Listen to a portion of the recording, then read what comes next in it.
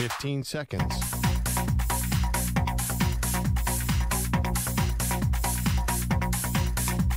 Break ends in five seconds.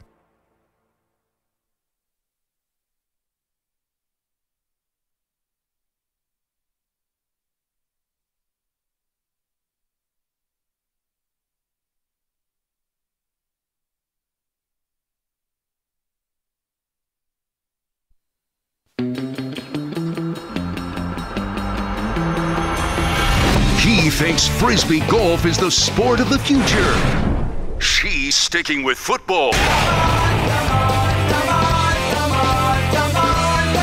They are Maggie and Perloff on CBS Sports Radio. Big, big win for the Dallas Cowboys. Hey, good morning. It is Maggie and Perloff here on CBS Sports Radio. We are the brand new morning show, and this was a sign to take a deep breath, Dallas Cowboys fans. It is not as bad as what you saw against the 49ers a week ago. This was a close game on the road. I know it's not the most hostile environment for Cowboy fans to be in the Chargers Stadium. A lot of Cowboys fans there, including LeBron James and others. But here's the here's the positives: is you were finally in a close game. The Cowboys' first five games have been decided by 40 points, 20 points, 12 points, 35 points, and 32 points. You had not been in a close game, and here you were in the fourth quarter needing a score, and Dak Prescott was able to lead that drive that led to the go ahead field goal. I thought Dak was good yesterday. Uh, it had me a little bit nervous. Mike McCarthy had me a little bit nervous in this game, Yeah. but ultimately they were able to get the victory. And again, a big exhale, I think, if you're a Cowboys fan. Well, here's the thing with Dak Prescott. When Dak decides that he's going to move a lot, they can really move the ball a lot. You are right. But he's keeping plays alive. I know Dak Prescott really well. I've watched the Cowboys. He's going to get hurt at some point because last night it was his legs that gave the Cowboys that win. That play to Tony Pollard. He basically The touchdown that he is- ran in for 18 yards. No, the 60 yard No, pass. that one, but also running in a touchdown. Yeah, yeah, yeah. Well, yeah, exactly. But Dak, how many is- sacks did he escape last night? The other thing, it was a reminder that the Cowboys defense is elite. I think Yeah. we forgot about that after the Niners. Remember, they were dominant early in the season. I think the main mismatch in last night's game was Dan Quinn against the Chargers because Dan Quinn obviously probably knows Kellen Moore's offense Yeah. like the back of his hand. I didn't think. Uh, I thought they they definitely they covered everything for most of the game. They frustrated Justin Herbert. To me, I credit the Cowboys defense, and it wasn't glamorous like Micah Parsons wasn't eating the whole game. He had a huge sack at the end of the game. Yeah, massive. But it was it was a reminder. Ooh, the Cowboys defense is really tough, and I actually think that's the key to this team. Yeah, it is. And it wasn't just Micah Parsons coming through when they needed it on the final drive. So Justin Herbert and the Chargers get the ball back with about two and a half minutes or so left in the game. They're down by three points. Like, this is. It's not where you hope to be if you're a quarterback, but like as far as trying to go to uh, drive your team down the field, if you are going to be trailing in a game, this is like as good as it gets. Like over two and a half minutes, you get the two minute warning, and you have timeouts at your disposal. And Dallas just like snuffed it out. It was Micah Parsons with the big sack, and then it was Stephon Gilmore who came up with the game sealing interception. And so you feel great about that, especially after it had been the type of game where the penalties were such a big part of the game because defenses were not given an inch. They were calling holding on Yep. everything. You really had to be on your P's and Q's. So for the Cowboys to come and their defense to come up with that big stop, I saw it spoke volumes for them. Yeah, there was a third and one where Austin Ekeler ran for a first down for the Chargers, and they called a hold. I, in my mind, there's never a hold on third and one. I mean, it, the guy just hooked him, and anytime a holding is really the defensive guy fell. That's what holding is in the NFL today. I, I think that they need to stop. There were 11 penalties accepted on the Cowboys and Yep. nine on the Chargers.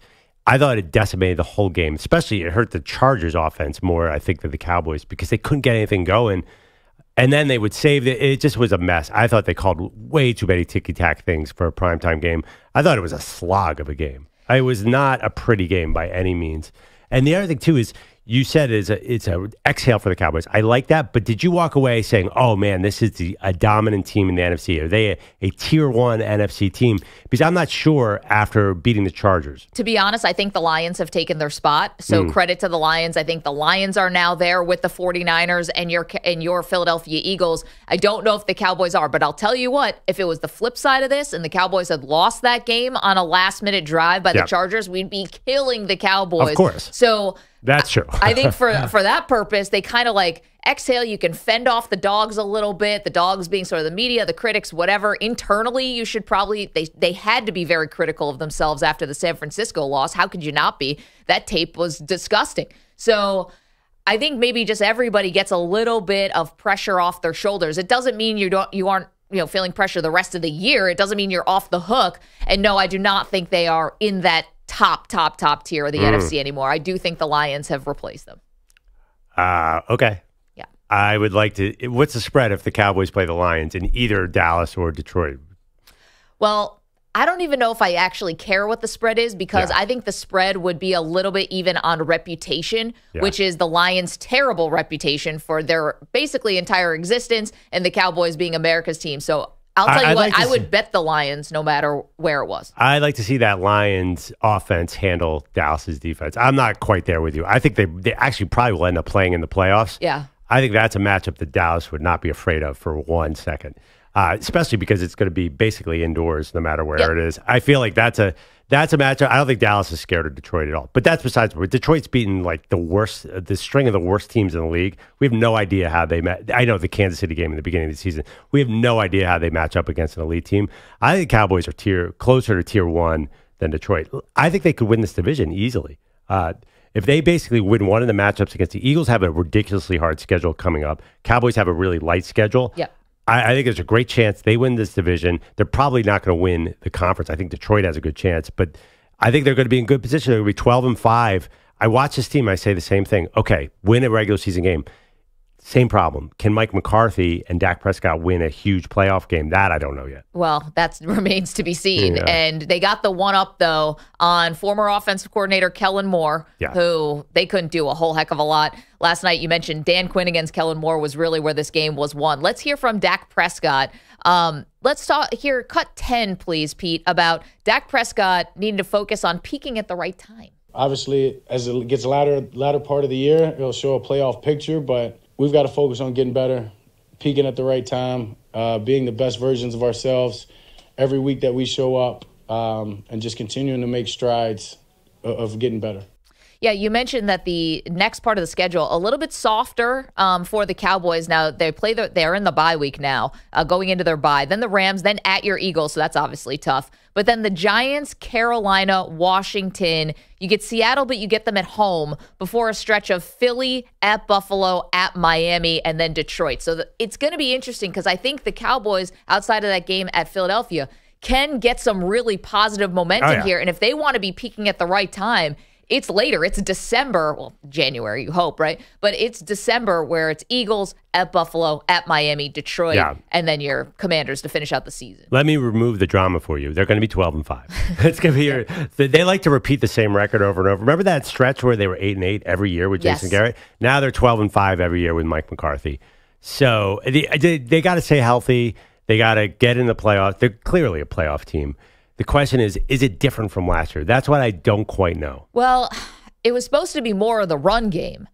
That wasn't that that hasn't been featured in a way that I think all of us were expecting. But that was it was supposed to be. Remember, you know, Mike McCarthy Yep. wanted to take over play calling responsibilities from Kellen Moore because he wanted to run the damn ball, and they didn't want it to be all about pouring on points. They wanted more ball control to help out the defense, so the defense wasn't so gassed um, and could get a little bit of a breather. I'm not seeing that No. overwhelmingly, but again, you get into colder weather a little bit more down the stretch. Maybe that starts to show itself. Yeah, I mean, I think you're going to win with defense. This is the, you saw it last night. This is the best thing they have going is their pass rush at the end of a game. Yeah. The ability to close a game, that's what really, really good teams do. I, I don't blame Justin Herbert for it because once that Cowboys defensive line started moving downhill, they're really tough to stop. I, I think the Eagles are going to have a hard time with that defensive line as well. That is the dominant unit for the Cowboys. So they can win with that formula. It's just last night you came away with it being like, yeah, they're good, but are they a great team? And I didn't see great. Well, speaking of not great, um, Justin Herbert on the other side and the LA Chargers, a team I think that got a little bit anointed, not the head coach. Brandon Staley's always been under duress, but you know, that the quarterback, because he has such a great arm, because he has these wow plays, because he looks like a quarterback's quarterback. Like other quarterbacks are jealous of what he has and his mm-hmm. arm talent. and his like physical tools and all of that. He's not a runner per se, but you know, he's able to scramble for some first downs. But forgive me if I want to see Justin Herbert finally go win a game. Again, hmm. two and a half minutes left with timeouts at home. I know the Dallas defense is good, but you're supposed to be one of the best quarterbacks in the league. You're definitely getting paid like one of the best quarterbacks in the league now with the big contract extension. I think the expectations have always been high for Herbert, and I've yet to see him really come through in a big game. And I, he, it leaves me wanting more from him.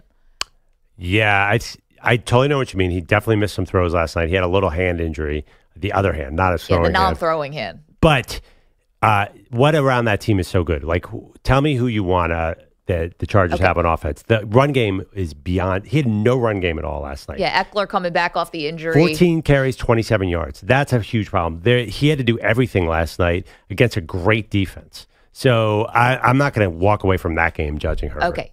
Here's the thing about Herbert 38 one score games since he came into the Yeah. league in 2020. It's the second most of any quarterback in that stretch.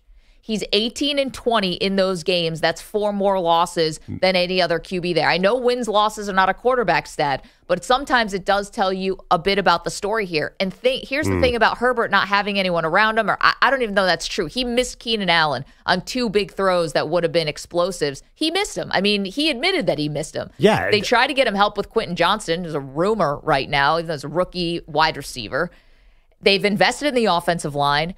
I guess, like, here's my thing. What they Rashawn Slater's a first round draft pick. I know. But that offensive line has definitely struggled a little bit. They have, but here's the thing about with Herbert. It's never going to be perfect. You're never going to have the perfect pocket. You're never going to have the cleanest everything. Like it that's just not how the NFL is. So when you are expected to be one of the top quarterbacks in the league, you have to at times overcome some of the deficiencies on your team. He was hurried last night. He was harassed last night. But you know what? That's where the great quarterbacks still have an opportunity to make plays. And he came up short in the final drive. Yeah, I mean, he, but the Cowboys knew exactly what was going on. They had him pinned back. I think the offensive line failed him. The interception at the end of the game, we were arguing before the show. I mean, he was a. Should he have just taken the sack? Is that what you wanted? At least he would have had fourth down then still to play. You're definitely in four down territory. I thought it was a duck of a throw. Third, it was a. He was about to get tackled, and he sidearm one where Gilmore made a great play on the ball, and basically the receiver. Also, the receiver probably could have knocked the ball away or tried something. They were both on the ball. The ball was short. It was desperate. It's third and ten. It, it was a desperation throw. He had no pocket. He had nothing, nowhere to go. He couldn't have escaped out of the back.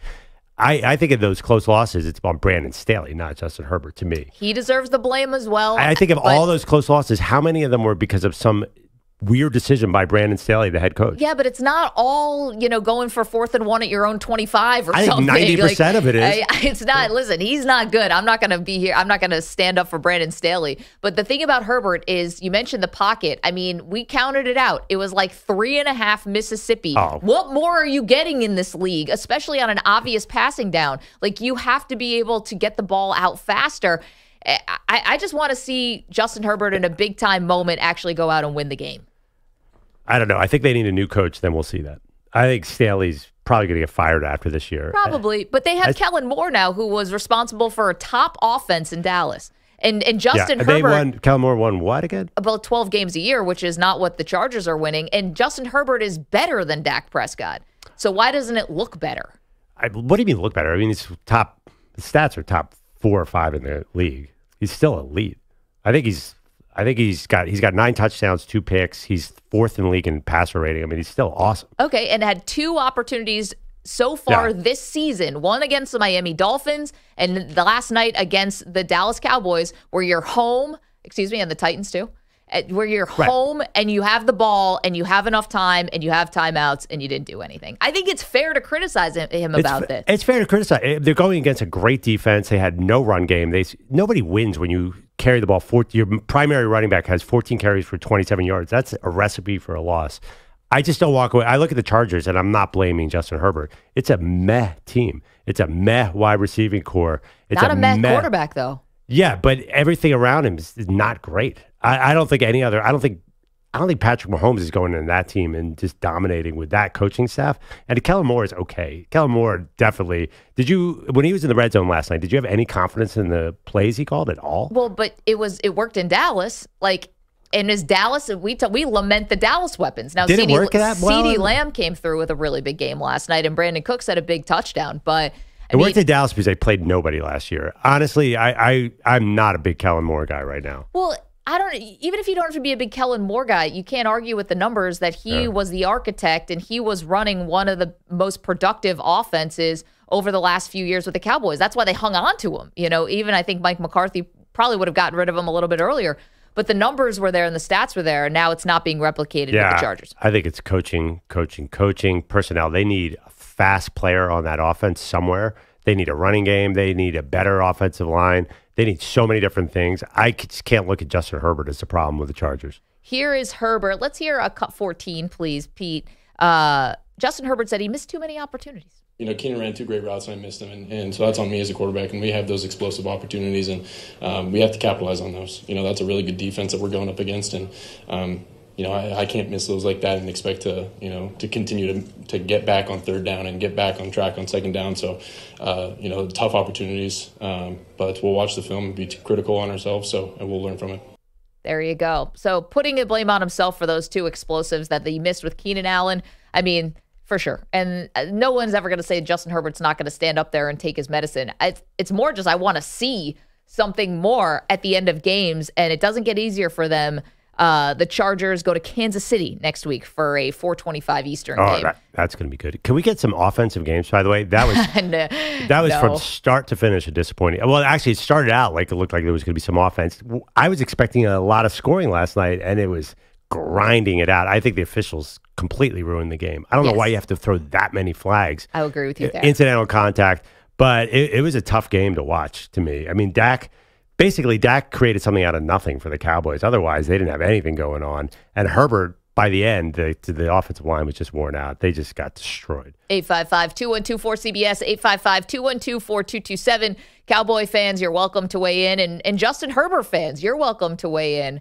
Exhale for the Cowboys. They get everyone off their back for a week after a bad loss to San Francisco. They rebound with a good win on the road and now go into their bye. Meanwhile, Justin Herbert, is it fair to criticize him for the end of the game? 855 212 4CBS. Don't move. More Maggie and Perloff straight ahead.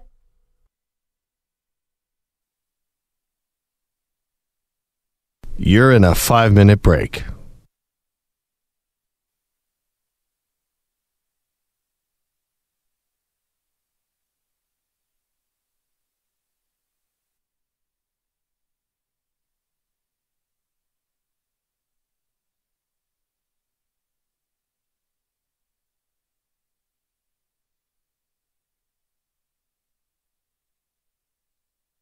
Four minutes, 30 seconds remaining.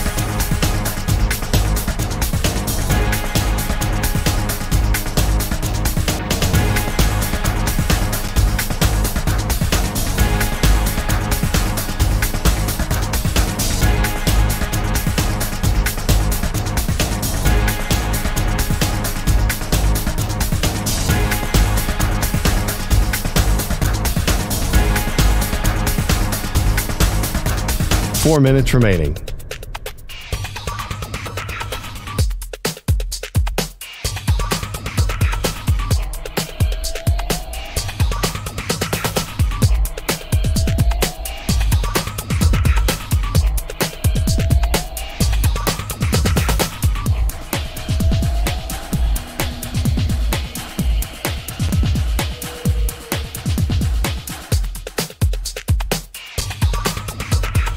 Three minutes, 30 seconds remaining. There's one thing I want you to do for me. What? Come here. What? Eat the chili. No hands. What are we waiting for? Take this!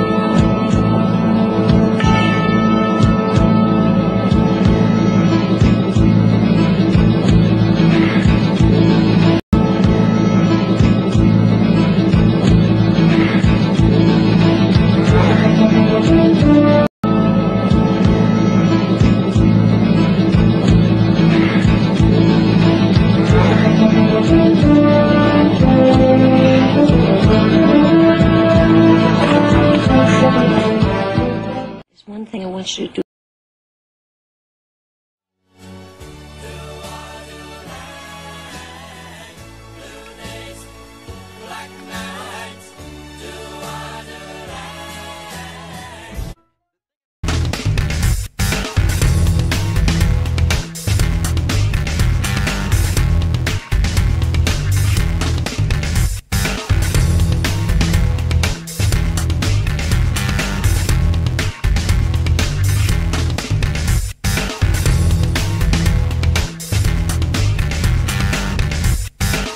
Two minutes remaining.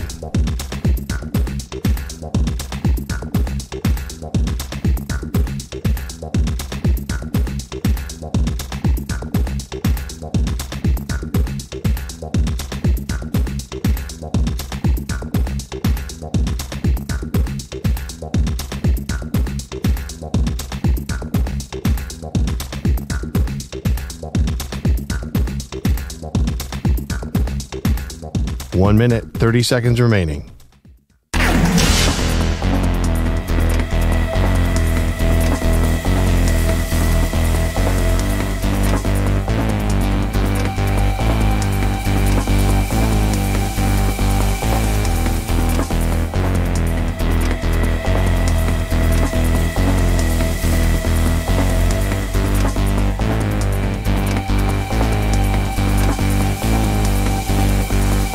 One minute remaining.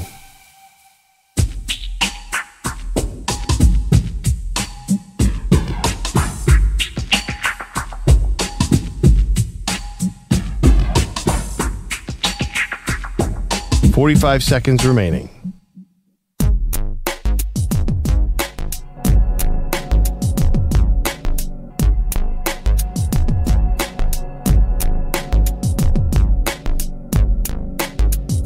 Thirty seconds remaining.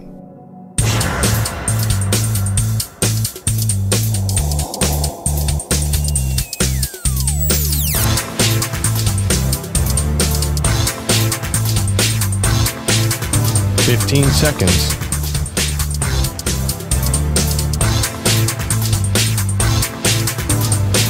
Break ends in five seconds.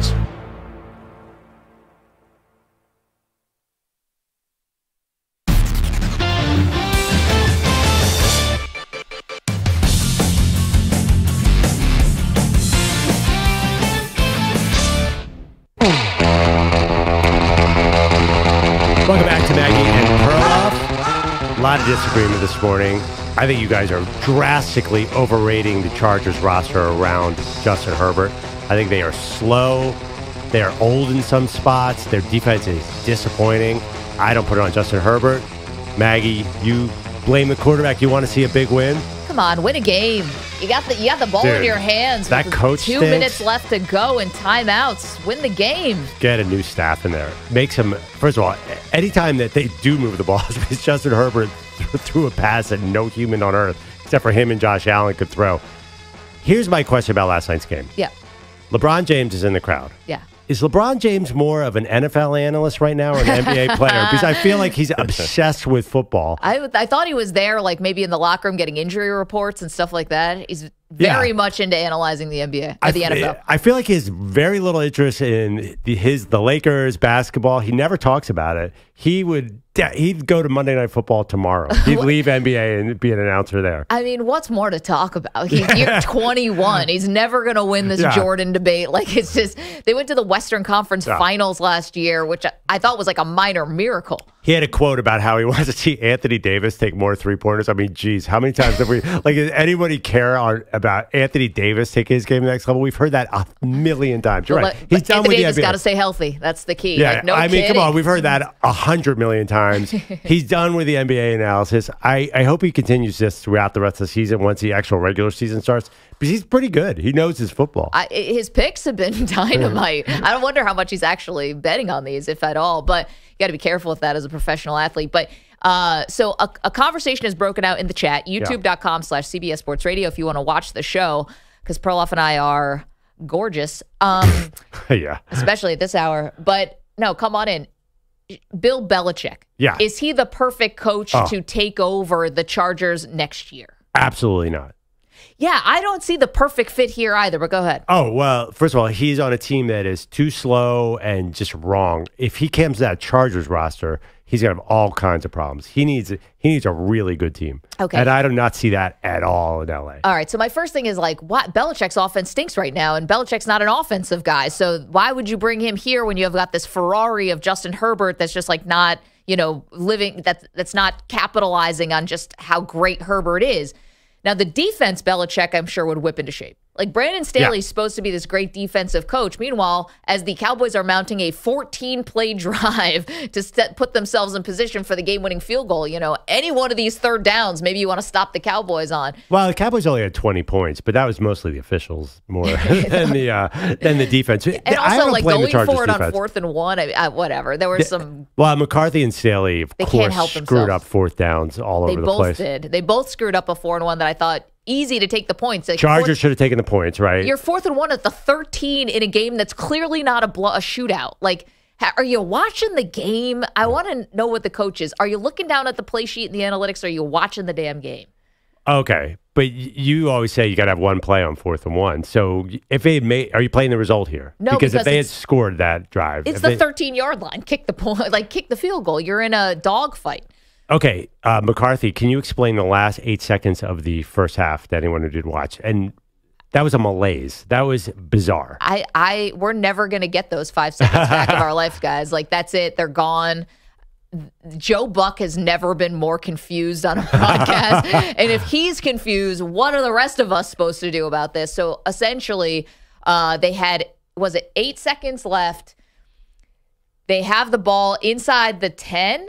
Was it basically at the 10 yard line? Bogus, do you know what yard this was? This was basically a, a chance with nine seconds To take one shot. To take one shot at the end zone before you would be able to uh, either call a timeout or you throw the ball sort of, you know, where it's either your receiver or it's going out of bounds and they could set up for the field goal. And instead, Mike McCarthy chooses not to call a timeout. Seconds are ticking away until it gets five seconds tick off the clock till it gets to the three and three second mark and they kicked the field goal. Okay, it was 14 yard line. 14 yard line. Okay. But then, then the I just heard the explanation at the start of the third quarter. Buck explained Yes. it that it was a clock mistake, and they went to McCarthy And said, Do you want to stop the clock? "Do you want to, or do you want to use your timeout and not run ten seconds off?" He said, "No, take, give me the Yeah, ten seconds, Yeah. and I'll Get it down to field goal." three. Yeah, right. So he could have had eight, like you said, eight seconds with two timeouts to run at least a play. I mean, the fact that Mike McCarthy even had timeouts inside of two minutes is like a minor miracle. And then this is what you're going to do with them? I mean, come But on. by the way, did you hear the line? He goes, "Why'd you stop the clock?" McCarthy said that to the official. it was uh, it was bad. I thought we were setting up for one of those like, oh, blame Mike McCarthy, and kind of could have, you know, but Yeah, they took the- the three points. The lesser of two dummies. Seriously, it was not a coaching clinic last night. But anyway, um, we get to Yeah, Dak. By the way, I, can we give Dak some flowers because everyone's been ripping him all season long. He made some incredible plays with his legs last night, and that if that Dak is around, then the Cowboys have a chance to do anything. If Dak can run, I just wonder. You know, even last night you saw it a little bit. Like, don't you feel like he's an injury risk when he's making all those plays with his legs? Well, also slide. You know, there Yeah. was one where he was running for the first Yeah. down and just sort of barrel rolled. Like I don't know, maybe you slide there. Yeah, You're almost you're ten years into your you know career yeah. I remember when Dak first came in the league, he was really effective running the ball. and rushing touchdowns. Yeah, and he early was unstoppable. But like any quarterback, an older quarterback making plays with his legs always makes me nervous. And Dak has an injury history, so we'll see. But last night he saved them. That play that uh, he kind of got out of a sack and gave the ball to Pollard, Yeah. broke a tackle, six yards. That changed the game. That was the entire. I, I felt like the until that point, I was like, oh, the Cowboys are blowing this game. They're not going to win this game. That so, and there's an element of luck to that too. It was that game easily could have gone either way. That was the longest play for the Cowboys on offense all season long. Yep. There you go. Andrew Bogusch is here with some headlines. Good morning. Good morning. All the headlines sponsored by Progressive Insurance. Insurance for motorcycles, boat, and RVs for protection on the road and on the water. See how much you can save at 1 800 Progressive and Progressive.com. Jerry. They are making it very hard to ignore them. Here's Bryce Harper, the birthday boy, and he swings and lifts it high and deep. And happy birthday, pal! Harper oh, oh, oh. with a monster drive deep into right center. It's 2 nothing Phillies. Harper's fourth of the playoffs. Hit us all with foul ball. Scott Franzke, Phillies radio, Harper adding an RBI single on his 31st birthday, leading his godforsaken team to a 5 3 win over the Diamondbacks to start the NLCS. Being 1 0 uh, in a series is huge, and um, we got a big one tomorrow as well. And that's a, that's a good team over there, man. They're not going to lay down, and um, thought they fought, and I thought we battled as well. So I thought it was a good game one, and uh, I'm looking forward to tomorrow. Which is now today, game two starting 8.07 Eastern with Aaron Nola and Merrill Kelly on the mound. Uh, are you going to do the Schwarber home run too? Yeah, dude, it's only 6.30. oh, because I love that one. I, I'm sure you Kyle did. Schwarber's awesome. And me too. Um, he, do you guys ever, when you hear it's somebody's birthday on the broadcast, be like, oh, well, they're going to win probably? Yeah. yeah. Like uh, Bryce Harper last night on the uh, Monday Night Football game, it was Brian Schottenheimer's 50th birthday. I'm like, what, is Schottenheimer getting the birthday? He's like, what, the offensive coordinator now? I don't know. I always, Brian Schottenheimer is only 50. I feel like he's been around for for a long time in the because he NFL. has. It's like maybe he shouldn't have had He's those been on a jobs all that of- long. he was a little too young for that Jets job. Uh, yeah, Seattle. Anyway, anytime it's someone's birthday, I get nervous. Go ahead. Uh, game two in Houston went to the Rangers just like game one did. Yesterday's 5 4 final makes Texas 7 and 0 this postseason, the sixth team ever to do that. They scored four times in the first, added one in the third, and survived three. Astro homers. They are back on the field in Arlington tomorrow. The Cowboys now 10 and 1 following a loss over the last two plus seasons, a 2017 win over the Chargers on Monday Night Football. It wasn't easy, it wasn't pretty, but it was a win from Mike McCarthy's team. It was a bumpy game out there. I mean, there's uh, about 20, 21 penalties called, a lot of back and forth, um, a lot of resetting your jaw and just keep fighting. And um, and I thought our, our, I thought our men did a really good job there. Brandon Aubrey kicked a tie-breaking 39-yard field goal with 2:19 left. The defense then spoiled the Bolts' last drive with a Micah Parsons sack and a Stephon Gilmore pick. Dak Prescott threw for a score, ran for another. His team hits its bye at four and two, while the Chargers are now two and three. the Niners calling Deebo Is that Samuel McCarthy? and Trent Williams day to day after getting hurt Sunday in Cleveland. Christian McCaffrey a little more unsettled. The team's still waiting on test results on his oblique slash rib injury. San Francisco plays in Minnesota Monday night. Jim Irsay says rookie QB Anthony Richardson is likely done for the year. Likely heading for shoulder surgery, and the Bears confirming a dislocated right thumb for Justin Fields. He is unlikely to play Sunday against the Raiders, but no real timetable for a return. Georgia tight end Brock Bowers had surgery yesterday for Saturday's left ankle injury. He'll likely miss the rest of the regular season. Kansas is number one in the AP men's college basketball preseason poll for the fourth time in program history. Duke, Purdue, Michigan State, and last year's champs from UConn also getting first place votes. And let's do some shootout hockey. The Capitals and Flames in DC. So Kuznetsov is going to start it off here. And we'll see if he pulls out the move. He sure does. going to slow it down along the right side. And just going to tap at it here all the way to the net. Slow it down through the right circle. Tap, tap, tap, and score.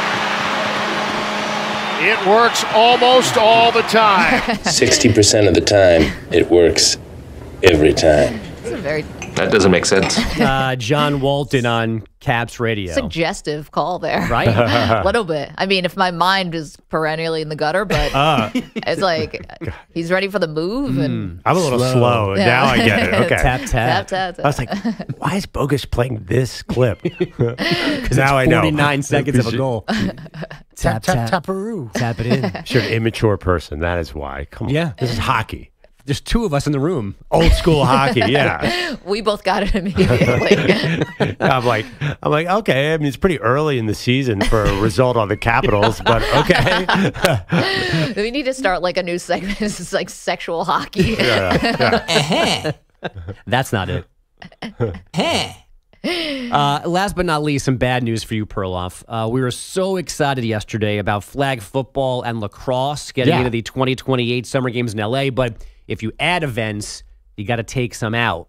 And your Uh-oh. beloved breakdancing will not be in LA in 2028. So enjoy it in Paris Your next dreams summer. are shattered So what is replacing? it? Did lacrosse make it? lacrosse, lacrosse, cricket, squash, baseball, softball, flag football. Squash. Squash. Does anybody want to watch squash? Um, probably when you could not. be, you could have breakdancing going on. I'm going to agree with Perloff on this one. Huge miss by the Olympic Committee. Nobody wants to watch squash over breakdance. I know. Where do you even put the camera in a squash court? Also, we have badminton, we've got table tennis, we've got actual tennis, Yeah. we've got enough of these squash sports. like. Yes, There's probably you. badminton Although in there too, right? pickleball, that's coming. Yeah. I wonder if people all over the world are obs- obsessed with pickleball as Americans. I wonder. Yeah, I think America would dominate pickleball. I think, uh, you know, you'd have a middle-aged Brooklynite would be in the Olympics. It's the 70 and older division. Maggie was so surprised the internet, the strength of breakdancing internationally, and I'm not surprised. I, I knew that Europe and Asia had picked up breakdancing and taken the torch. There were no Americans among the contenders. Netherlands, Japan, all over Europe, they're really good at breakdancing. So no wonder Well, U.S. what are we got rid of it. here? I mean, uh, let's get our It's weight up 19 here, U.S. We, we mastered it in 1987. Listen, if you're the moved coun- on 40 if, years ago. if you're the country that produces Breakin' Two Electric Boogaloo, then you've got to win this gold medal every year. well, yeah, except certain people ruined that movie. Oh, really? I haven't seen it. Yeah, the the Breakin' One with the the original Breakin', and then Breakin' Two. the Boogaloo Boys, who are the far right extremist group, took it because uh, Oh, uh, they they're named after Breaking Two. Ah, we cannot just have nice things. Uh, Yeah, because they're it's like over. they're like let's have the American Revolution to the Electric Boogaloo. That was the joke. so they took they We're really took Breaking scraping Two. to the bottom of the barrel here. We can't come up I do like the reference slogan. to Breaking Two because when I when I was a young kid, oh man, I had the cut off glove. I was obsessed with breakdancing culture. You had the cutoff obsessed. glove. So, uh, oh yeah, uh, I was so bad, Michael but Jackson I tried. stuff. Oh Well, yeah, his wasn't a cutoff. I guess his was just like a rhinestone glove. I tried to style myself like uh, Beat Street and uh, Electric Boogaloo. That was yeah. my favorite. Did you movie. have like a jean jacket that was cut off sleeves? Uh, I don't think I ever went there. I was I wanted to. I just knew I couldn't pull that off. But breakdancing was awesome, but now it's been taken over by the world. It's our gift to the world. I can't believe they're getting rid of it. Imagine if you knew back then that you could have been an Olympian. breakdancing. Yeah. Yeah, it right. could have changed the entire No. course of your life. I was terrible. It got to That's the point. That's not surprising. Yeah, it'd be I like think we a- need a bogus It'd be like at a headline. Sweet Sixteen, and I'm like, you know, I can't make any moves, so I'm just going to just flop like a fish here. Yeah, and that, I'm like, that's breaking. Perloff shows up at the eighth grade dance with a cardboard and it's like, what's he gonna do here, ladies and Do it gentlemen? again. Yeah. Man, how long until video games are part of the Olympics? Ooh, e gaming should be. Why not? I mean, talk about the world. You know, that's not just a U.S. thing. I don't know. The actually, uh, video games feel too relevant for the Olympics. Like people might actually want to watch that who are under fifty-seven years old. I don't think that's their demographic at all. Yeah, uh, it, you do have to be like watching a lot of daytime TV to be Yeah. into the Olympics. Yeah, I, I, I don't. I don't think there's a huge crossover between the e-gaming and the Olympic watchers. It's an opportunity. I don't think most of the e-game watchers even have TVs to watch the Olympics on. Aren't they doing three on three basketball? I mean, They already did that last time. Yeah. Yeah. How do we do in that one? I Oh, think I the hope we women won won that. The women The had men did not win. I don't think so. Kelsey Plum was on the women's team. I'm oh, pretty Oh, sure they won, but I don't know about the men. You know what sport I there's two sports I don't like in the Olympics. Tennis and soccer because they have so many international competitions. Nobody cares Yeah. about winning the tennis gold medal, in my opinion. Well, it's cool if you are like a Serena Williams or something. She has a golden slam now on her resume where she won all the grand slams in a calendar year and the gold medal. I mean, that's pretty badass. Is it no? Does anyone say, "Oh, here is Serena Williams, the Golden Slam winner"? No, they're like she has the all-time majors record. well, but the golden slam is cool. I think it's totally stupid. If they're already, it's a sport that already has international competitions. Then why are you doing it in the Olympics? Mm. Soccer. Does So then anyone care? basketball's out too. Where Yeah. does the I don't know if there are any soccer fans here, but where does the Olympic gold medal count on the soccer list of international events? Well- like tenth? So men's Olympic soccer is like an under 25 event. It's not Oh, a okay. full thing. Women's is a full event, and I and that's pretty significant because they I think they have fewer internet at least up until now they do. So that was probably the number two thing you could Okay. do is win Olympic gold after a World Cup. it's a good point though about basketball. Basketball has international stuff too. FIBA. Do you have to win a basketball? Oh, come on. You don't want soccer. you don't want the tennis. FIBA, Wor- the FIBA World Cup is the same thing as the soccer World Cup. Have you seen other countries celebrate FIBA? Like in the United States, we're just like uh, we're immune to it or something, Right. or we're just like, what have you done for me lately? yeah, we in sent other over like countries, Jerami really- Grant.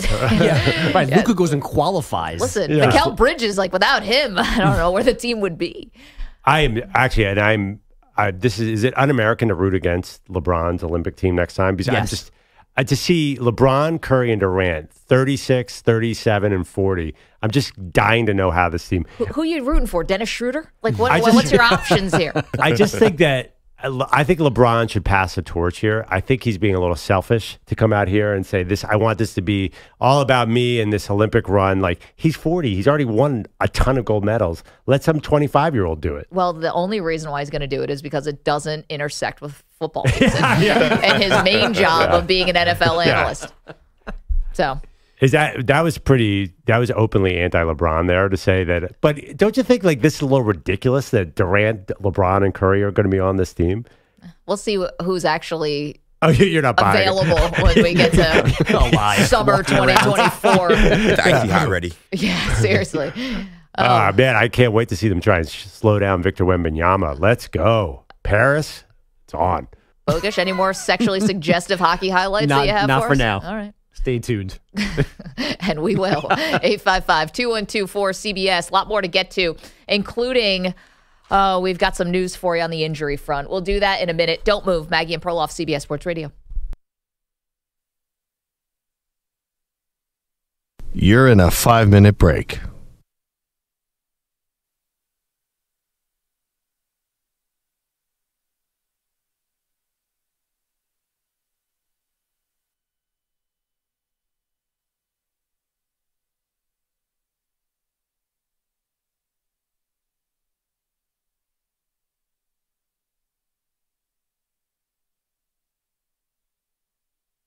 Four minutes, 30 seconds remaining.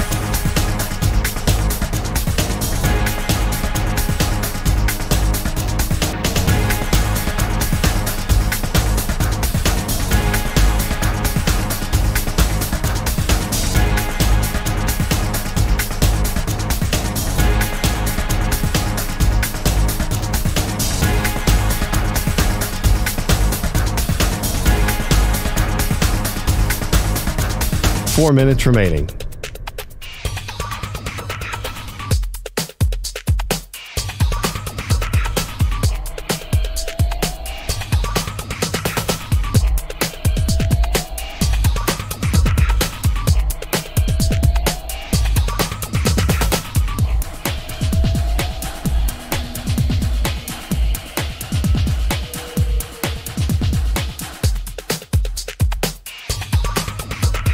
Three minutes, 30 seconds remaining.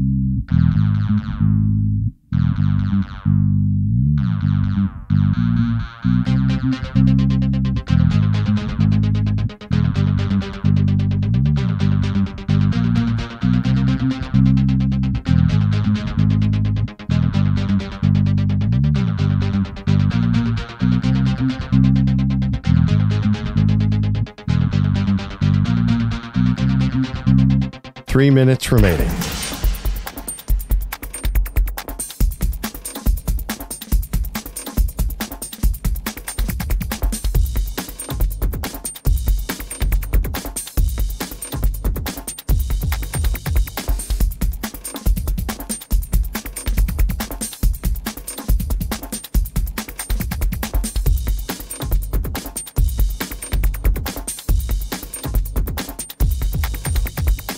Minutes, 30 seconds remaining.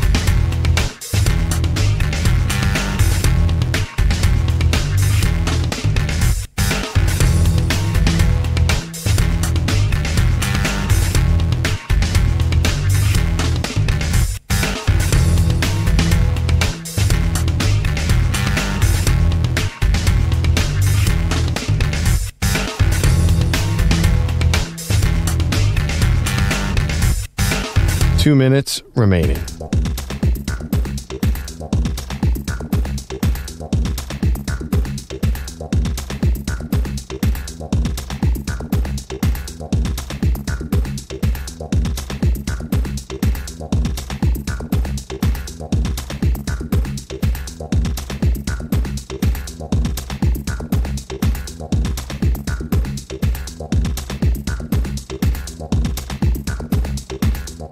One minute, 30 seconds remaining.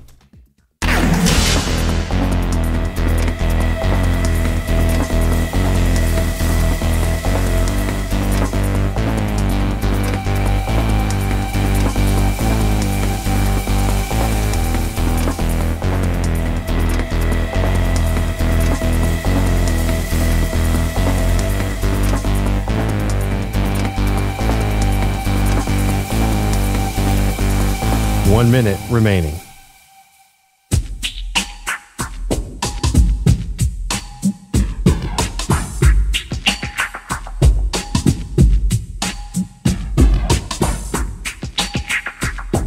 Forty-five seconds remaining.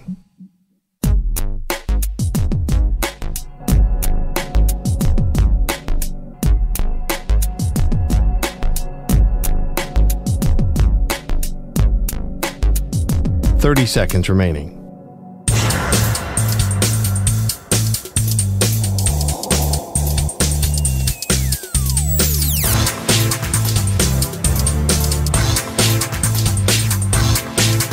Fifteen seconds.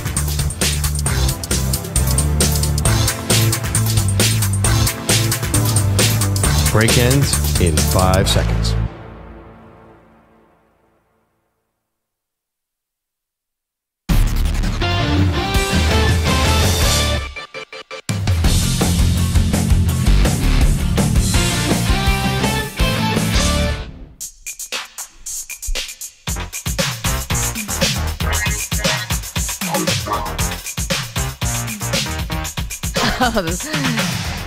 This is this from Perloff Breaking? right in the sweet spot here. There's no stopping it. Do you guys remember Turbo from the Breaking movies? of course you don't. You, I was just born around this time. What year did Break come out? 84? Four, I believe. what year was uh, Breaking Two? I don't remember Breaking. I mean, the plots are a little thin on these movies. well, if you didn't see the first one, you're going to be totally lost for the second one. yeah, I'm assuming it's Breakdancers Save the World, right? I don't. I never saw them. I just know they exist. I don't know if they saved the world. It's that there's a love story I remember that was really odd. It, you know, basically there was a lot of competition. Who was the better dancer, the Yeah. guy or the girl? Big That was deal. pretty good. Beat Lincoln Street 2 was, was December 84. What year was Beat Street? That was my movie. As a kid, I'm like, oh my god, this is the greatest thing ever. I think LL Cool J was in it. 84. 84. Yeah. One one thing they had in the 80s when I was a kid that they just don't have, I don't think anymore, is light up clothes. Now they have like light up shoes for kids. Mm. But you remember, like I had clothes that lit up. Like it almost looked like Knight Rider, you know? Like I know the shoes. I, Yeah. I don't know the. I've never seen the clothes. That sounds amazing. I had like light up shirt. It was. It looked like the license plate, like the front of the car, not the license plate, the front of the car from Knight Rider. Did it have batteries? Yeah, it did. Oh wow, where would the battery go? You would have to take it out. I guess you must have only had to hand wash it. That would have to be a machine wash situation. But yeah, it had like a little battery on the side, like wires and a little battery. I'll try to find it. Anyway, you put up a poll Yeah. on your own Twitter feed where you try to skew the What? results in your own No, no, no. direction. But this one went against me. Oh. So the question was, I, I think the Cowboys would be favored by a field goal against the Lions in the playoffs. Yeah, we were talking about. I, I think that the Lions have over, despite the Cowboys' big win last night on the road against the Chargers. I think the Lions have now replaced the Cowboys Yeah. in terms of the teams we think about as elite in the NFC: San Francisco, Philadelphia, and I think Detroit is there, and the, the Cowboys are one step below. So, did, but my argument would be Detroit's been nothing but teams that are going to be in the top eight of the draft. I mean, Okay. they've been terrible teams. and Dallas was Yeah, stacking the box against the Giants and the Jets. fair know. point. Uh, if they play in the playoffs, who do you like, Lions or Cowboys? Try and guess the results. Well, I mean, there's just more Cowboy fans out there, but I feel like the Lions fans are a little more, you know, they're feeling themselves now. Yeah. They deserve to be. Ninety-one percent Detroit Lions. What is going on here? That's First of all, Dan I- Campbell fever, baby. I'm little telling you right now, thought. if they play in the playoffs, the Cowboys are going to be favored just because the public will bet on the Cowboys. Yeah. But also, too, like Jared Goff, he's not getting away from Micah Parsons. It's going to be kind of like Herbert last night. I think he's going to be a sitting duck back there. And I know the Lions have been really good against these bad teams. I think that Cowboys front line is a different animal. Okay, but here's the th- here's the thing about Detroit that would make me uh, optimistic Yeah. about them. Number one, their offensive line's really good. Yep. because they've been quietly stacking like off, awesome offensive linemen, you know, through their draft picks. Two, their run game is awesome. They were facing the Bucks last on Sunday, which is a really good run defense. They lose David Montgomery. They don't even have Jahmyr Gibbs, and they were still able to run at will Mm. against the Bucks. The Bucks are terrible. The Bucks But their They're run win defense is games. not bad. I, I don't know. And everyone was feeling Baker after the first couple games of the season. So that you got that going for you. And then the thing about the defensive side of, of the Lions, which I like, is they're able to get home right now without blitzing. Like they barely blitz. I was looking this up last night for something we're going to do later on about the Lions. And they're not a big blitzing defense, and they're still able to come up with lots of pressures, lots of hurries, lots of sacks. Yeah, it's but they, again, show me a defense they played that's like Dallas. Dallas got to how many times did they get to Herbert last night? Uh, I think They- they at the least ten. That was the most hurries that uh, and most pressures, part of me, that Herbert has faced this season. They were hurrying him on forty six percent of the plays. Yeah, and the Chargers usually uh, have an okay offensive line. So anyway, this is getting ahead of myself. Usually the Cowboys lose to the Niners, not the Lions. That's why I feel like it's a movie that repeats itself. Just let them play. It's going to be great this year. It's going to come down to a Mike McCarthy call in Santa Clara.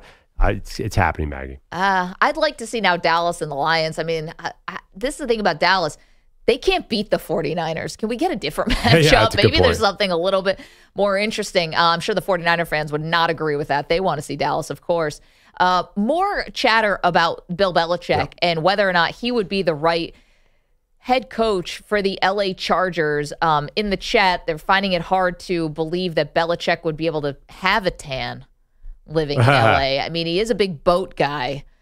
But listen, here's the thing that Belichick gives you. I know that it's bad, and the end of this era in New England is looking really disappointing. However, Belichick, I think, still needs to give get credit as a culture guy, someone who gets buy-in from the players. They're still playing hard, even though the Patriots stink right now.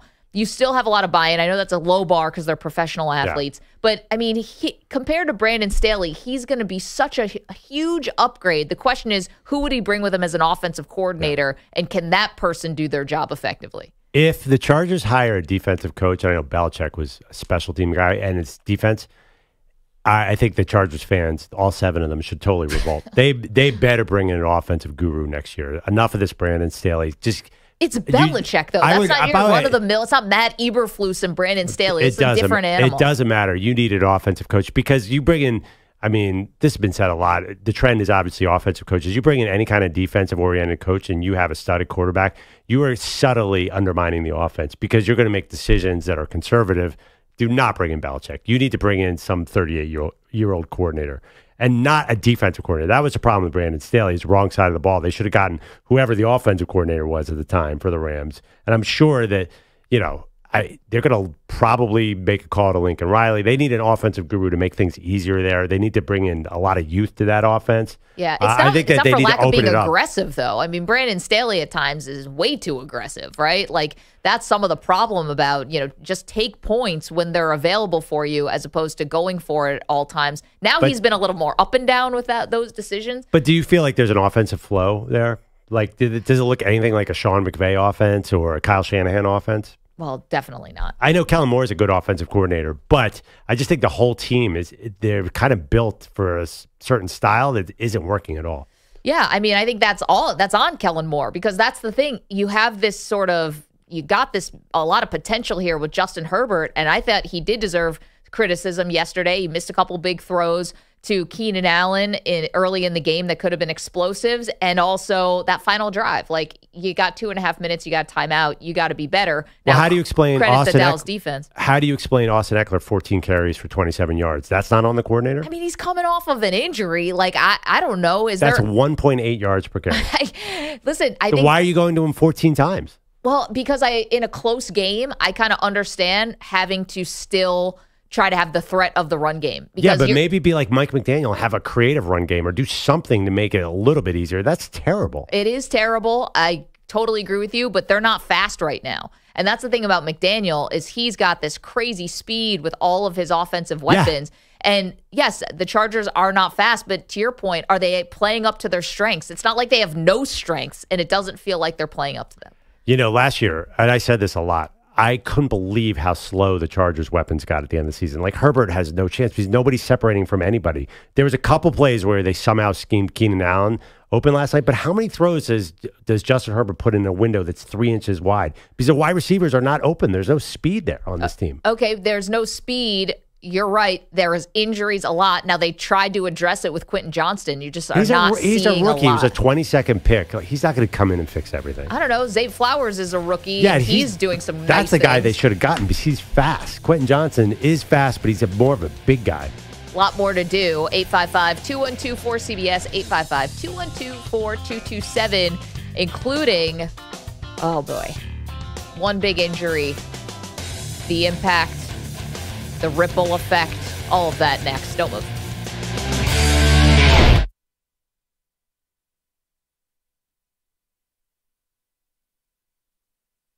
You're in a five minute break.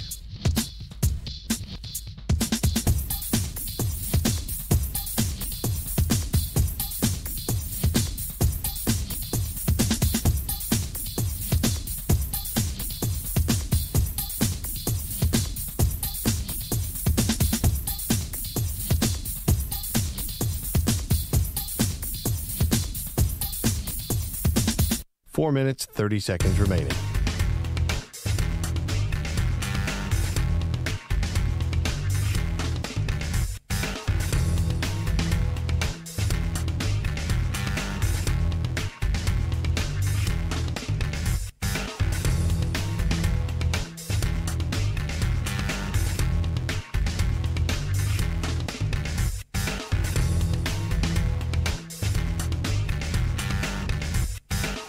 Four minutes remaining.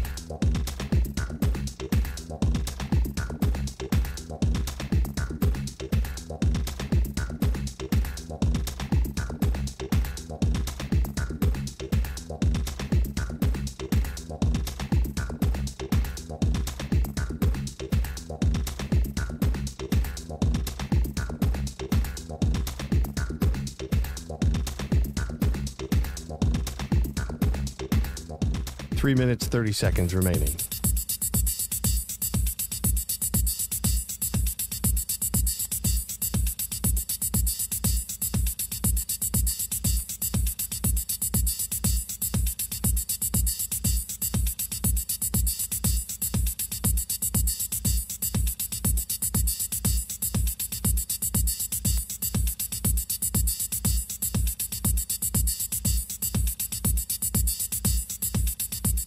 Minutes remaining.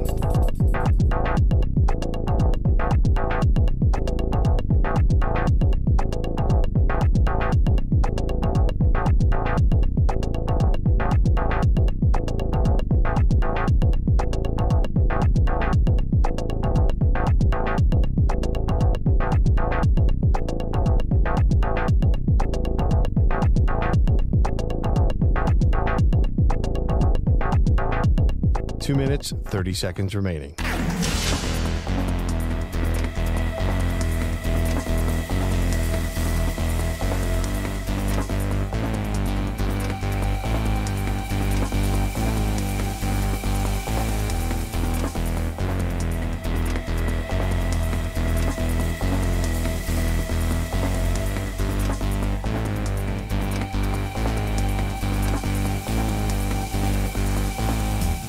Two minutes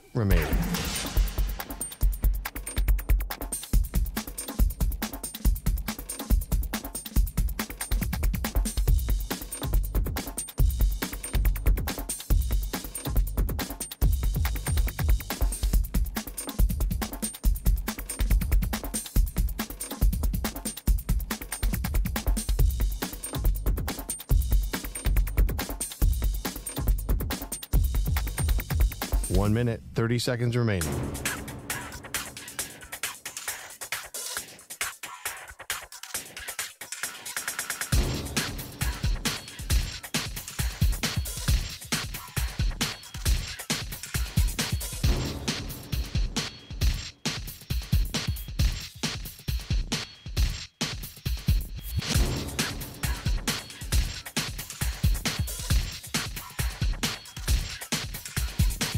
One minute remaining.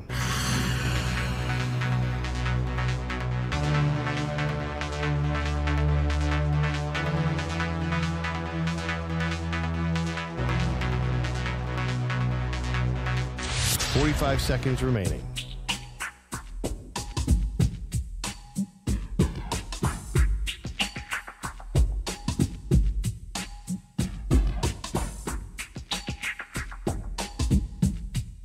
Thirty seconds remaining.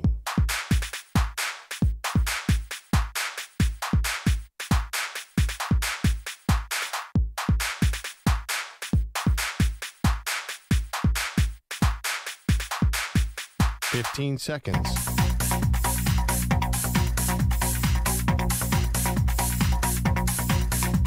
Break ends in five seconds.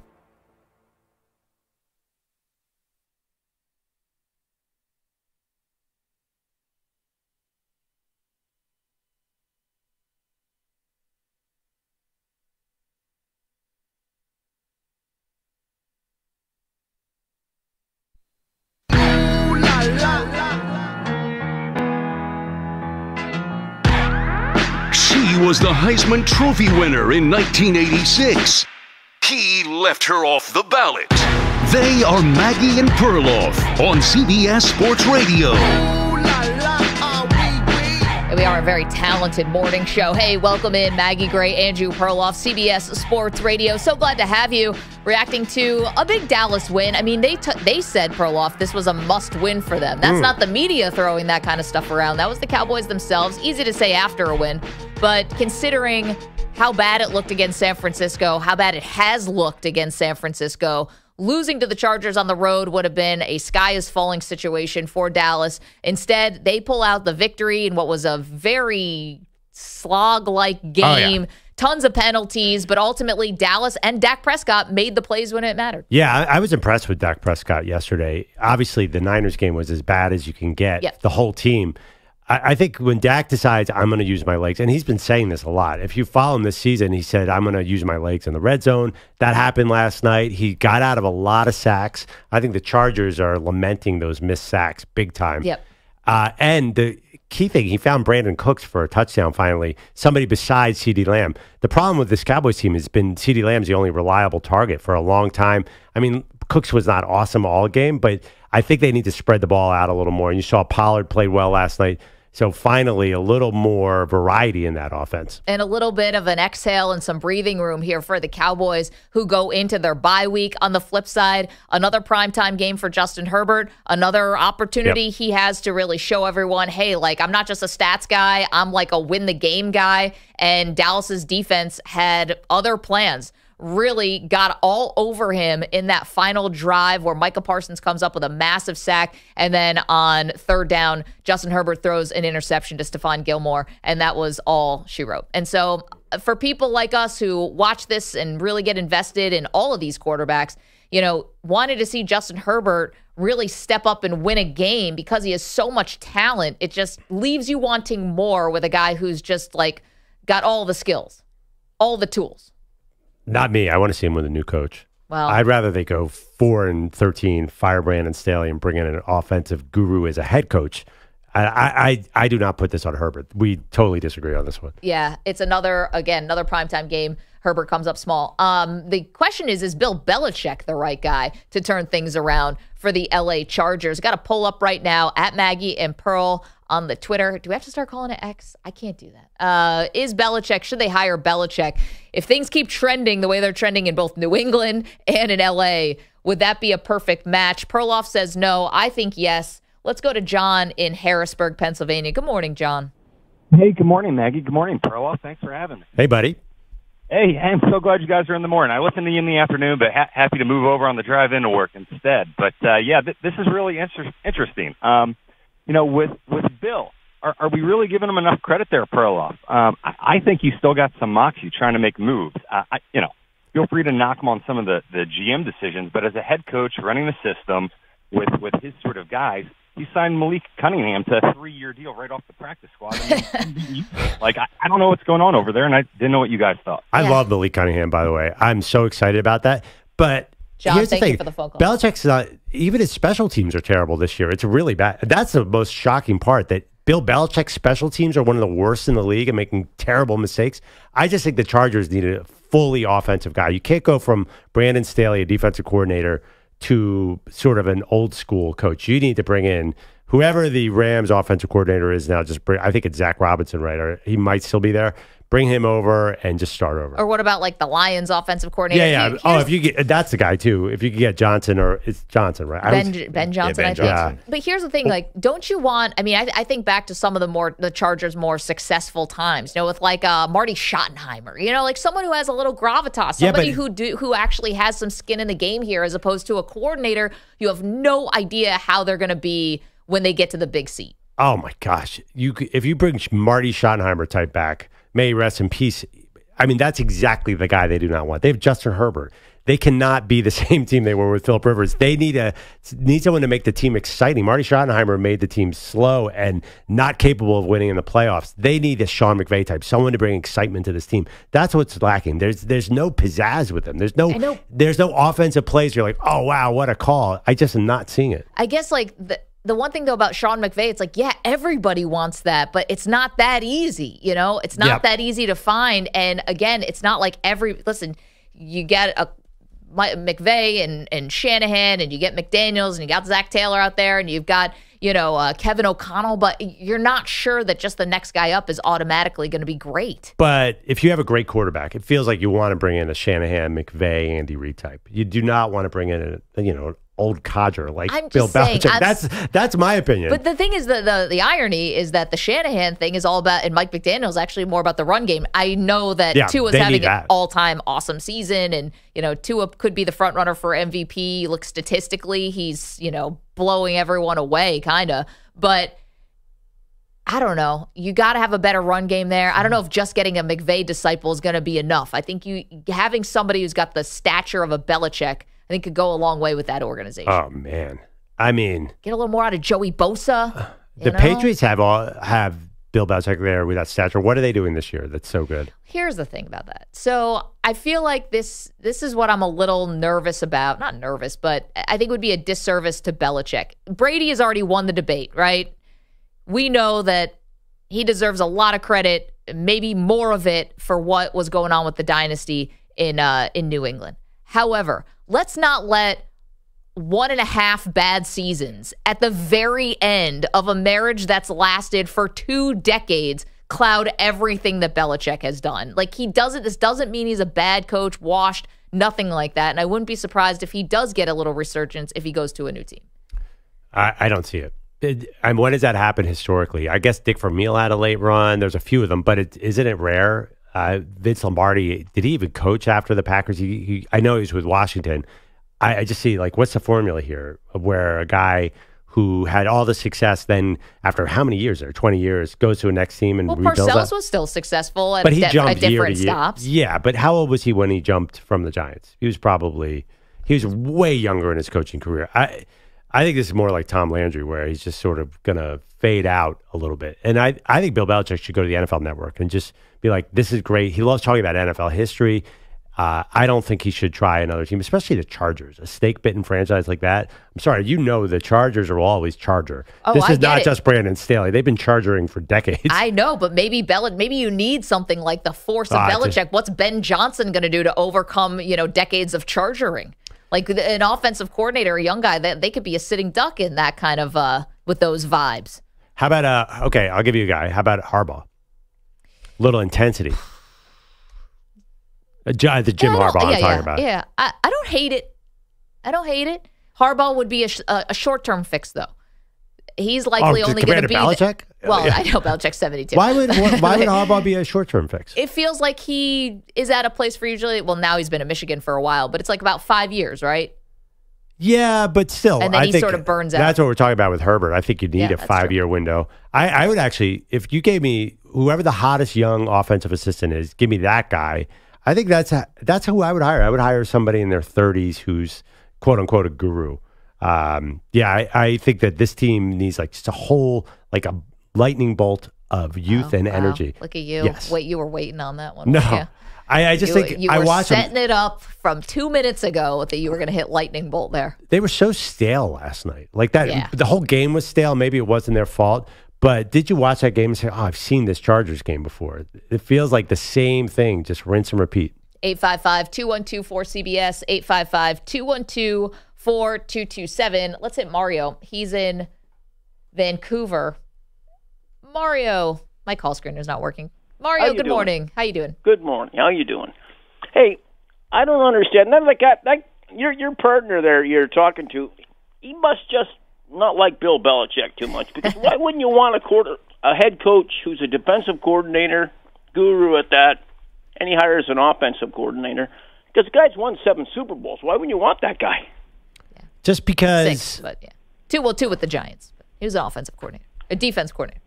Yeah, Yeah, he won two with the Giants. yeah, and then six with So the that Patriots. means that means he's won eight Super Bowls. There you go. Bill Belichick's style is so conservative, though. Is that really who you want to pair with Justin Herbert? I mean, he had a game two years ago where he threw four passes in the entire game in the win against Maggie's Buffalo Bills. Okay, but that was Yeah, also well, you were playing was the weather. That was the win. brilliant. They But won no. that game. Win- But it, w- was it working for him running the ball? Well, here's the other thing. Not anymore. It- not in today's NFL. It wasn't a conservative offense when it was Tom Brady to Randy Moss. I mean, y y- when you have a great quarterback like Bill Belichick, since Brady has left, it's been Cam Newton and Mac, end of the road Cam Newton and Mac Hasn't Jones a good quarterback. and Bailey Zappe. Give him, put him with a good quarterback and get a, you know, some, some And update no the receiving core. team. And no I in team. Thank you, Mario. So he always gets in the, you know, he'll get, he's got a better chance to getting the Chargers to the promised land than any other coach that's out there right now. Because look at the guy in Seattle. He's he's an old guy too. What's his name? Well, here's Pete the Carroll? thing, Mario. In all seriousness, Carroll. doesn't Belichick need to bring in Bill Belichick type players, guys who are all about like he needs to gut that roster and bring in new guys? Like, how long is that going to take? He's 71 years old. So, because you have the quarterback, you're ahead of schedule. So, you got the quarterback, you've got a couple pieces on defense that, you know, listen, Khalil Mack can obviously still get his I mean- in the right moment. Joey Bosa is supposed to be and give, is being paid like an all pro. I mean, you still have some bones here on this team. And the fact you have the quarterback, it just really puts you ahead of the sticks. Joey Bosa always gets hurt. He's amazing. Uh, that's the other thing. All the Chargers get hurt. I, I hope they do hire him because then I will show you and Mario that it's not going to work. because there's also there's a stickiness to this franchise. Like they can't seem to change. You think a, a Belichick will change the culture and make it better. I think there's deeper personnel problems too. So you're coming from a flawed personnel situ- situation in New England. I think the Chargers have a flawed personnel situation. They never should have gotten Mac, by the way. They need to listen. They need to rip the band-aid off and go young and build team speed and be dynamic. This team is not working for me right now, and I don't think Belichick could save it. Hire hire the next Sean McVay, Maggie. It's as simple. Just get the next Sean McVay. Yeah, Perloff. Why can't you do that for me? Uh, This would be like Perloff having a consulting company, you know, and they bring Here's him what in. you wanna they're do. Like, All right, Here's can what you, you diagnose what's going on in our franchise? Like, there you go. You got to find anyone who had a cup of coffee with Sean McVay and hire him. You see uh, what Kyle Shanahan's doing in San Francisco? That's what you Yeah. want. You want that, that. on offense. Yeah, and defense, you know. Yeah, actually, defense. I feel like uh, Shanahan's lucked into that defense because historically he hasn't been that great at it. I love that. Is that funny that you're right? Kyle Shanahan is this offensive guru and is winning games with defense. the defense is amazing, and all their defensive coordinators are one's better than the next. It's like Robert Saleh leaves, and then DeMeco Ryans. DeMeco Ryans even better than Saleh. Now you got uh, Steve Wilks is there. They look amazing. Like yeah, when you them. have great personnel. John Lynch pulling the the personnel moves there. Obviously, he knows a thing or two. yeah, when you have Fred Warner and Nick Bosa, of course. They spent on Javon Hargrave though. That was a big one from Yeah. your Eagles. Oh no, He's they made good. great moves on defense. I mean, they did draft Trey Lance at three. That's the one Yeah. glaring mistake for that front office. Hufanga is great. Oh yeah, fifth round. Oh, they all. I think a lot of that is because Bosa causes so many problems for the. Uh, Yep, the, you have Bosa, to we didn't pay, pay so much attention to Nick Bosa that it makes it, everything easier. Fred Warner, that's two Hall of Famers for sure. Yeah, Shanahan's. It, another thing that helps, by the way, if I'm starting this football team consulting thing, Yeah. have seven or eight Industries. Yeah, have seven or eight Hall of Famers. I would suggest that. You know, have the best left tackle in the league in Trent Williams. That's good. Have three or four amazing wide receivers. The best running back in McCaffrey. That's you know, it's simple. And then you Easy. just send him a bill for 20 grand. 855 212 for CBS. You're welcome, Chargers. Yeah, yeah, yeah. You might want to draft Caleb Williams if that's possible. I think the quarterback's the one thing they don't oh yeah, have they, a problem right, right. with. No, no. I'm just thinking. I'm I'm expanding out to all 32 teams Oh. here. Oh, yeah. That's your dynamite plan. You need a PowerPoint for that. You know, our buddy Thomas Dimitroff, former Falcons GM, has Yeah. a Sumer Sports where they're doing an analytical look of how to build a champion. Yeah, he's explained it four times. I still have no clue what they do. Yeah, I, I, I think they're a consulting company, exactly what you're talking about. I think this exists. I, they're a very young company. I'm dying to know what they would say to the Chargers. Like, what do you need to do? Do you bring in Bill Belichick to change the culture? Is it a personnel situation? Because there is something about the Chargers, like they just can't get over this hump. I mean, if Thomas Dimitroff was smart, he'd be like, well, you should hire me. well, that's what consultants do, right? They get in the door, fire everybody, and be like, "Well, I'll be vice president." I was never. Okay, I'll do it. Did you guys have friends who became consultants after college? No, I just, I, I'm not exactly sure what they do. I have no idea. I don't get it. Like McK- McKinsey? or Yeah, yeah. I know they fire people. They come in, they, They, come fire in, they people. fire people. They work long hours, and I have no idea what they do. I don't really understand the entire financial industry, by the way. I have, you're tuning to in. admit that now. Yeah. Do you? Not I- really. Okay. I watched The Big Short like three times. I was like, eh, guess I kind of get it on the third time. Yeah. Are you guys financial wizards on the other side of the glass? Oh, we work in radio. Day traders. I know. okay, good. I feel like if we were into Well finance, said. we'd just be in finance. Yeah. Being radio. Although all the finance bros want to work in sports.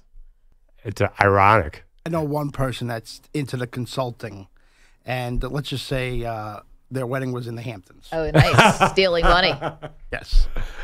Maybe that's our. I always thought this would be a great job for me or me and you or people who work in sports. I want to create a consulting firm for politicians who always botch these sports references. Like Mm, it's, that's a sports good is one. the easy layup for politicians, right? It's like it's so Yeah. easy to get people on your side, and they just make dumb mistakes when it comes to sports. I want to be a, a, a sports consultant for a politician. Absolutely. Remember that woman in Massachusetts who lost an election because she said Curt Schilling was a Yankee? Mar- Martha Coakley. It can really affect your campaign. Yeah, uh, th- this is a huge issue. Uh, how about when It's huge issue. The, Thank you. PED, the PED trials at Congress? We used to play the sound of Dan Patrick show all the time. Uh, the who is the guy for the Mets? The PED supplier, the Kirk steroid. Radomski. The other Oh, one. Brian McNamee. McNamee. They Yeah. said Mr. McNamee, and then they they couldn't say any. Uh, yeah, I'll find this clip. We used to play it. Uh, they butchered Rafael Palmeiro's name so badly. You're right. Congress has no idea. They're just they're they're they're killing themselves over yeah, this. people are worried about the fact that there's no speaker. They should really be worried about the fact they can't pronounce his name. also, it's just like you got to be able to take the layups here. Call me in. I'll charge you ten grand an hour. No, that's a little high. Five. 855 212 4CBS. 855 212 It's a little low, 20. See, Pete, I need you as my financial person. Clearly, right. I don't know what I'm doing. I'm right. negotiating against myself. That's why I'm that's why I'm still here. Not in the financial world.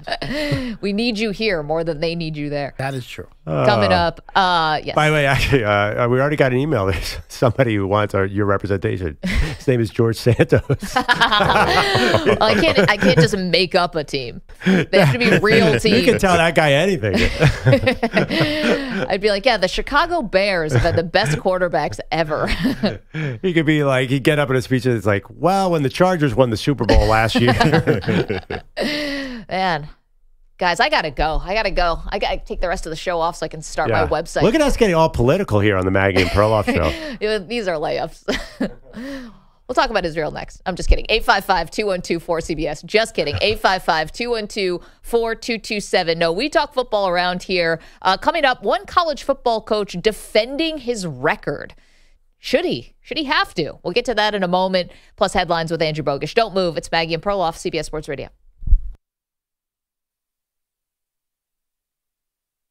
You're in a five minute break.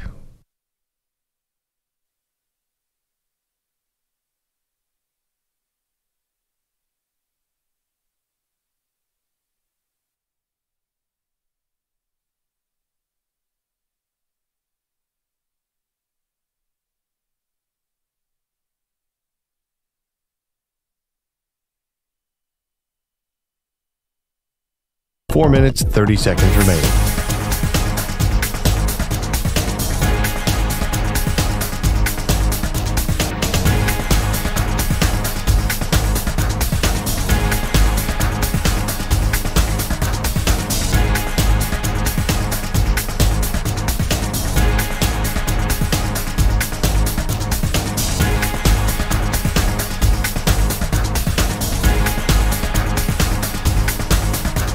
Four minutes remaining.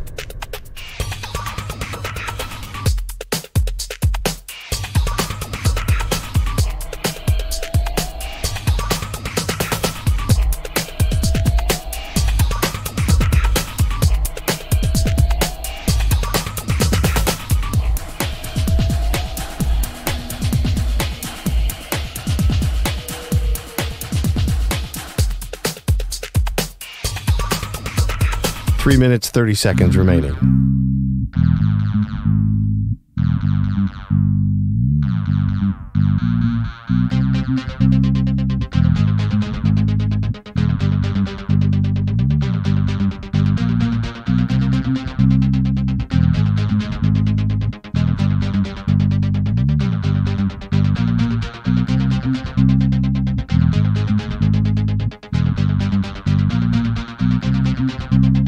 Three minutes remaining.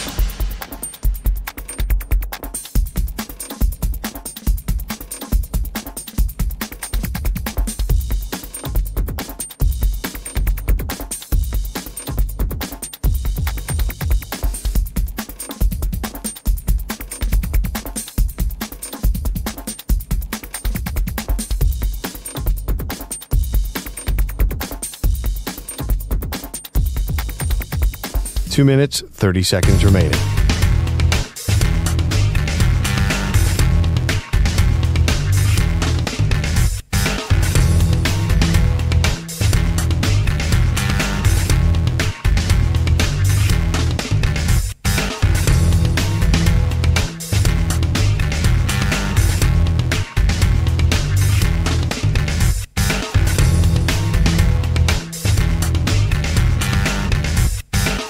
Two minutes remaining.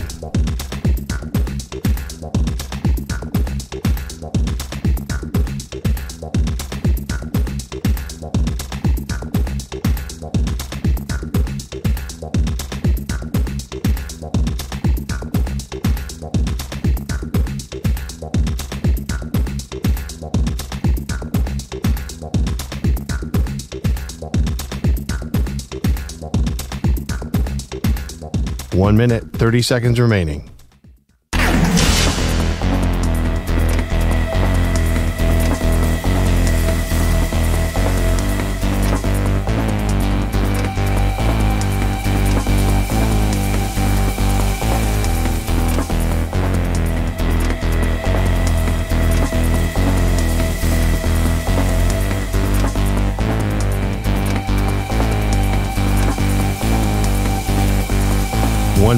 Remaining.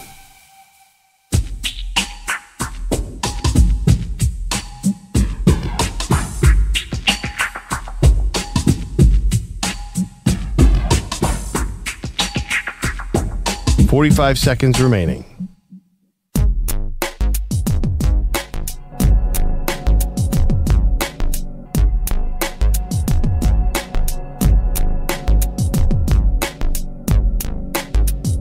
Thirty seconds remaining.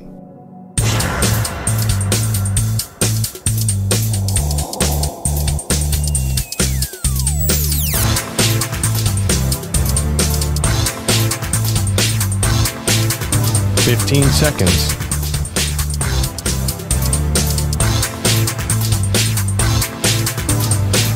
Break ends in five seconds.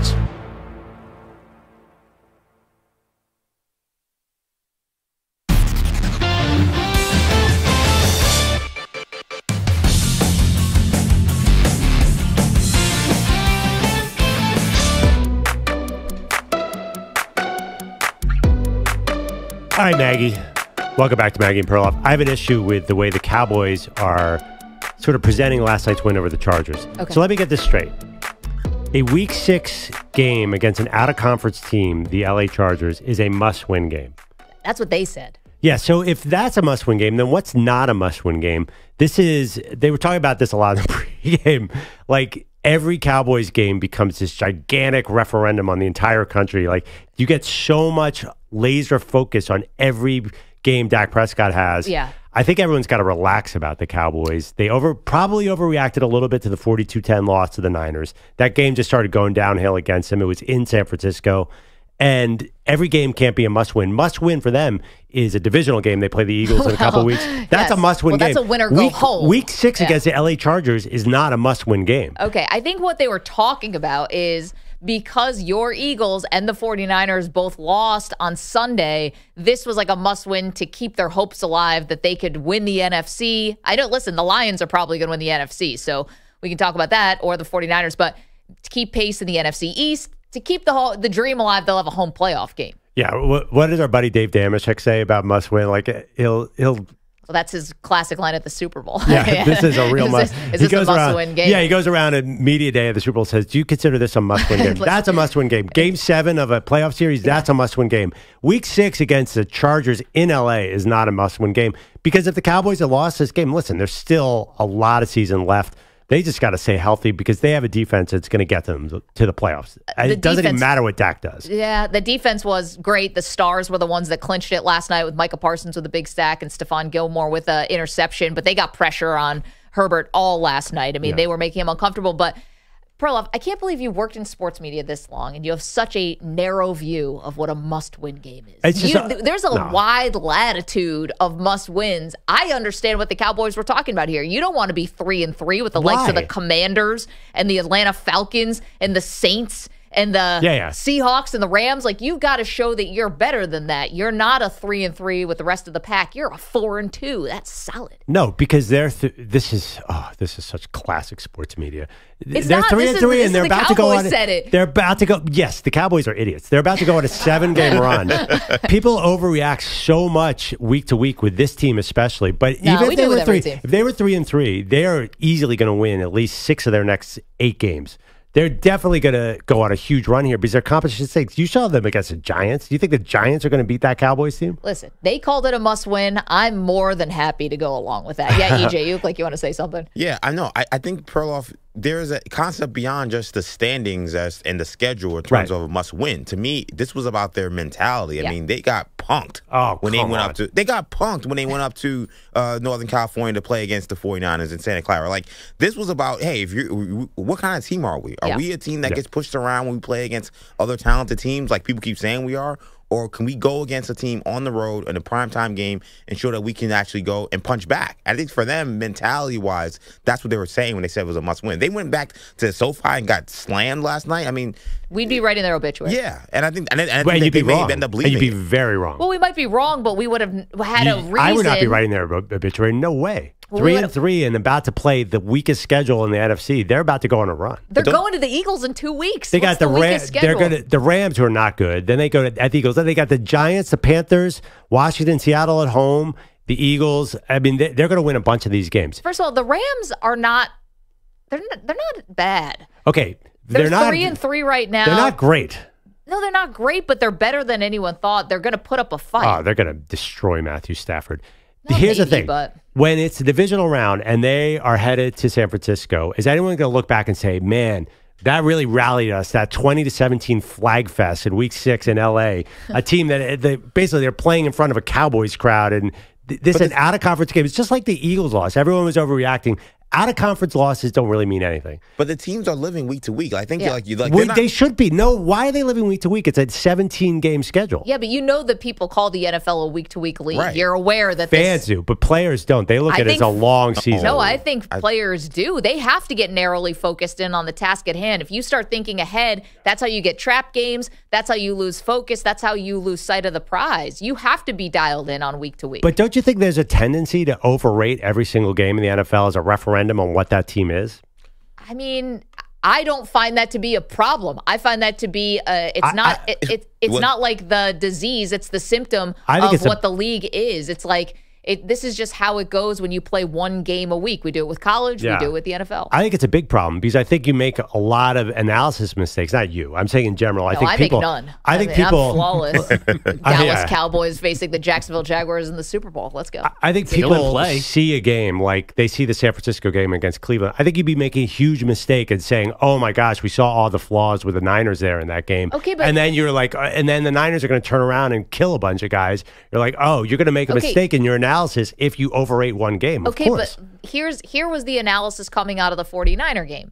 It wasn't, wow, the 49ers suck now. Nobody said that. Not one per find me anyone who you actually care about. But people who said, that. Purdy's out of the MVP race. Okay, was Purdy ever actually in it? Would have been another flaw of the analysis. fourth in odds. Okay, okay, but did he did he actually deserve to be in the MVP race? Is something we could go back and just argue the premise. And then the other part is the analysis coming out was if Christian McCaffrey and Deebo are hurt, what does this offense look like? How is it different? And is Purdy going to be as effective missing those two weapons? That's not an overreaction. Yeah. It's not just being Total week to week. Okay. It was pouring in the second quarter. Well, let's see He went back to pass the ball. He had an about the other open guy three 10 yards quarters? in front of him. and The ball went backwards because how it slipped out of his hand. Well, let's see because we have injury updates and Bogusch is here. I'm sure we're going to get to that. Let's see with Christian McCaffrey getting Yeah. an MRI. Deebo's day to day, so that's encouraging. Um, They needed to pull up. They needed uh, to be dry. If they could got a fourteen nothing lead when it was dry, then they could have won that game. But it just started raining too quickly when they were driving the ball. Okay, and Perloff, trust me, Brock Purdy. football. They Brock play in Purdy's the not playing. He's not playing in the rain again. This there's no game. What are you, playing- the meteorologist? I'm what just are you, saying, like- God? How do you know he's not going to play in the rain again? He plays in San Francisco. It's not going to rain in, in, in California. It never rains in San Francisco. What if they have to go on the road? Does it rain in Philadelphia? He might have one road game where it rains. Uh, I mean, listen, is Super Bowl ever going to be played in the rain again? Are they going to make it to the Super Bowl if he can't play in the rain? No, I mean, the odds of him playing a rain game are, are slim because he's a 49ers quarterback. He's not in at Lambeau. This is the ultimate excuse making for this guy. Like that, you think the like. See, that's that- exactly this. That's the other point. I think you're misinterpreting Brock Purdy because if you think like the rain game is indicative of who he is, then that's a mistake because that's not who he is. Okay, but if you think that you can actually win, at some point you're going to be hit with adversity where your quarterback's going to have to win under circumstances Mm. that are not perfect. And you're someone who loves this. I say I want domes on every stadium. You're somebody who Yeah. wants them to play in the elements. At some point, you're going to have to go to maybe not this year, but at some point, you're going to have to go to Lambeau. At some point, Yeah. you're going to have to be in a bad weather game. Like that's part of the job description. It also wasn't raining in the second half when they had 21 yards of offense until the last drive. The second quarter was bad weather, not the whole game. It was still super wet. It was really windy too, and you saw it on the field goal attempt. It was really windy, Yeah. is what everyone said. But I mean, I Wind is a killer for quarterbacks. But honestly, if San Francisco gets home field, they're not playing. He's not playing in a weather game in the playoffs. I don't know. There's you don't no know. chance. Could rain in San I mean, Francisco. and they just lost a game that might make them have to play in Philadelphia instead of hosting the NFC Championship game. Uh, it- listen, it, it might go through Detroit. That's a good chance. It's not It's going possible. through Philly. Also, Brock Purdy Yeah, played Detroit- at Iowa State. Detroit- There's bad weather there. It's not like he was sitting around playing it, you know, Detroit's very North much Carolina or indoors, by the way. I want to point out that it's not cold. what's that? I, I, I, oh, can we do a massive show bet that Brock Purdy does not play in a rain playoff game? Because Detroit's indoors, guys. what have, a San Fran- Farmer's Almanac? Like, Well, how I just can looking you at the tell? schedule. The Super Bowl's in Vegas. The conference title game is either going to be in San Francisco, Detroit, or Dallas. Uh, Okay, let's just go with like recent. And I know this is we're on all over the country, but we just had a situation here in New York where they told us that it was going to be light rain like two weeks ago, and the entire borough of Brooklyn ended up underwater and flooded, basically. One guarantee I will have: there is not going to be a conference title game in New York this year, next year. No, I'm saying you can't. uh, No, no, no. Yeah. I'm saying you can't predict the weather. That's the whole part of it. But I mean, the You point is know. like you're the Niners quarterback. I mean, it's not going to be pouring rain in San Francisco in, in January. That's just not going to happen. That never happens. My in-laws are out there. Trust me, it's beautiful that time of year. Okay, Jim Cantore. Yeah, I know. What are you guys talking about? How you know can that the- you, you guys you? are aware the weather is different in California, Yes, right? I Like, know. you- But Perloff, how can you argue that you know what the weather is going to be like on January 17th? Because if they play in Detroit, I know exactly what the weather's going to Well, be like. 70 degrees. Show me where are they going? Where is this weather game going to be? You're also in Philadelphia. in Philly. They're it not going to Philly. be very much raining, They're- snowing. Philly's not getting. Philly's not getting home field. You're also It's not happening. so opposed to overreactions, and now you're not making any reaction to games. it didn't matter how bad the Eagles played. It didn't matter how bad the Chiefs played against the Jets, and yesterday it doesn't matter how, how the Niners played on Sunday against Cleveland. It doesn't You're just because abstaining weather, from weather games reactions. are outliers. They're total outliers. You cannot judge anything on them. You can't judge how a quarterback's going to do in dry weather compared to cold weather. Yeah. Okay, well then we can't give flowers to quarterbacks who are good in bad weather. Then, so take all the Brett Favre super cold games and just Right. erase them Tom from his Brady's resume. Bowl game, Yeah, I Tom Brady in the bad weather, like these no longer can add, can count as accolades on their uh, on their resumes. Was Tom Brady the- that good in the bad weather? Tom Brady was a, a monster in those games. Are you what? Yeah. Like which he didn't have that many weather playoff games. I don't remember him Against winning the Raiders? Against, the, against, the, Raiders? Col- against the Colts, and they, they were bludgeoning them. What do you mean? Yeah, I don't remember Tom Brady being like an amazing snow and wind and rain quarterback. I mean, they played games in Foxborough in January, week after week after week. That's some of Those the colder Ravens games that- we've what- ever been to. And by the way, that Raiders game, that was early Tom Brady. He didn't have to do anything in that. That was his first year. He wasn't throwing for a lot of yards. okay, Th- then forget it. Wait, wait. So you're saying You like don't think Tom, Brady was a great cold weather snow I mean, I'm quarterback? sure he was good, but I mean, I don't remember him winning big games. What's the big rain game that he won? I don't remember a ton of those. I mean, now you're just asking us to pull out a game or two from Tom Brady's career, but can you? You can't The way the understand that NFL him playing these in NFL Foxborough. I'll and tell them- you right now, them these- having home field advantage was crucial for the New England Patriots. The NFL this year, uh, actually, there was a Chargers game that was pretty, that was really windy. I remember that they a really good Championship game? Chargers game. But The point is, this year's NFC playoffs, I'm telling you, they're going through California or indoors. Philly's not, they have too many hard games. Philly's not getting uh, an, the NFC title game. I just love how you can talk with such certainty about something like the weather, which nobody oh, okay. can talk about with any certainty. That's the whole point. And taking Philly completely off the table as a possible road Right. playoff. By the way, I was at that NFC title game. It was gorgeous that day. It was like 57 degrees and sunny for the NFC Okay, title a game last couple year. a couple other po- possible options where Brock Purdy may have to play in the elements. You're at Jacksonville in November. You are at Seattle later in November. At Philadelphia first week of December. You are at Washington Yeah. on New Year's Eve. So you're not you're not going to go 17 or 16 to one. That being said, Saying he's gonna might have to play. There might it might rain in one of those cities. It's possible it could rain in Seattle. give me just Might be playing chilly, the odds too. there. give me give me any bets odds about being a cold weather snowy game for Brock Purdy in the playoffs. It's not happening. It's going to be indoors or California. I mean, there's a reason they play the Super Bowl in San Francisco. If they wouldn't do it if they thought it was going to be a monsoon in January. I mean, you don't think your Eagles could be hosting that game? They might be, and it could snow in Philly. Lane Johnson's got a lateral ankle sprain and he's their MVP. I don't know. Well, you, you don't want the lateral sprain.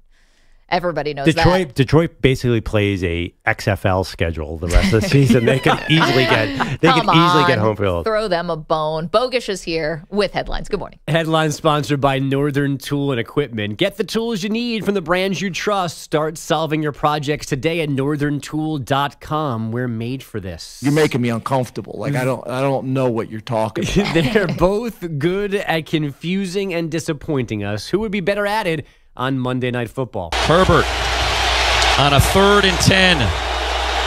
Shotgun snap. Sets his feet. Throws intercepted. From bad to worse. Game over.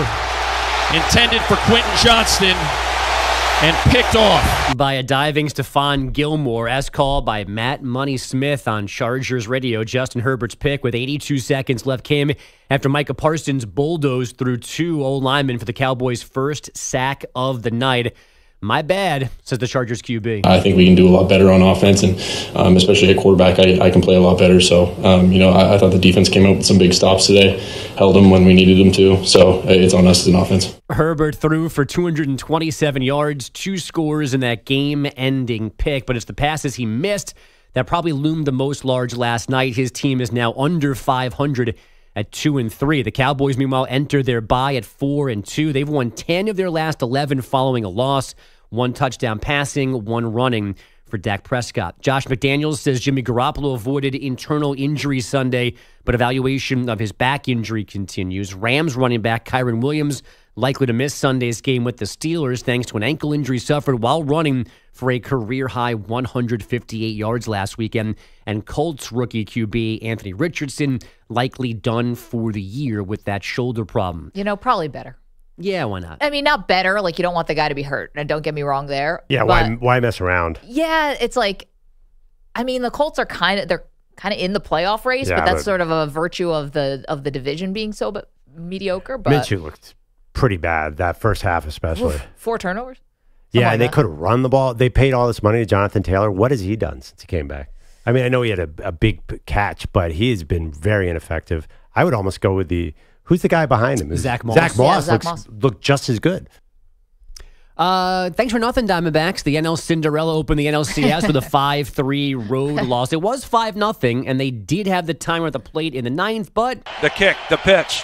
Swinging a hot shot to third. Backhand boom to second. There's one. On to first. Game over. No. Uh, no. Strong no. Game two, 8.07 Eastern tonight. The Rangers, No. meanwhile, are halfway done with the Astros, winning again in Houston yesterday, 5-4. Bruce Bochy's team scored four runs on five hits and two errors in the first or Framber Valdez. It's always good to get a crooked number up there, and especially early and held up for us. Uh, but it's about putting the ball in play, and we did that that first inning. Max Scherzer returns from a shoulder injury to start game three tomorrow in Arlington. Did you guys see the guy? Was it Garcia? Adolis Garcia was at bat for the Rangers, and he almost got hit by an inside pitch, and then ends up just doing like a cartwheel over Yeah. home plate. Never seen anything like that before. No, he, I guess he's athletic.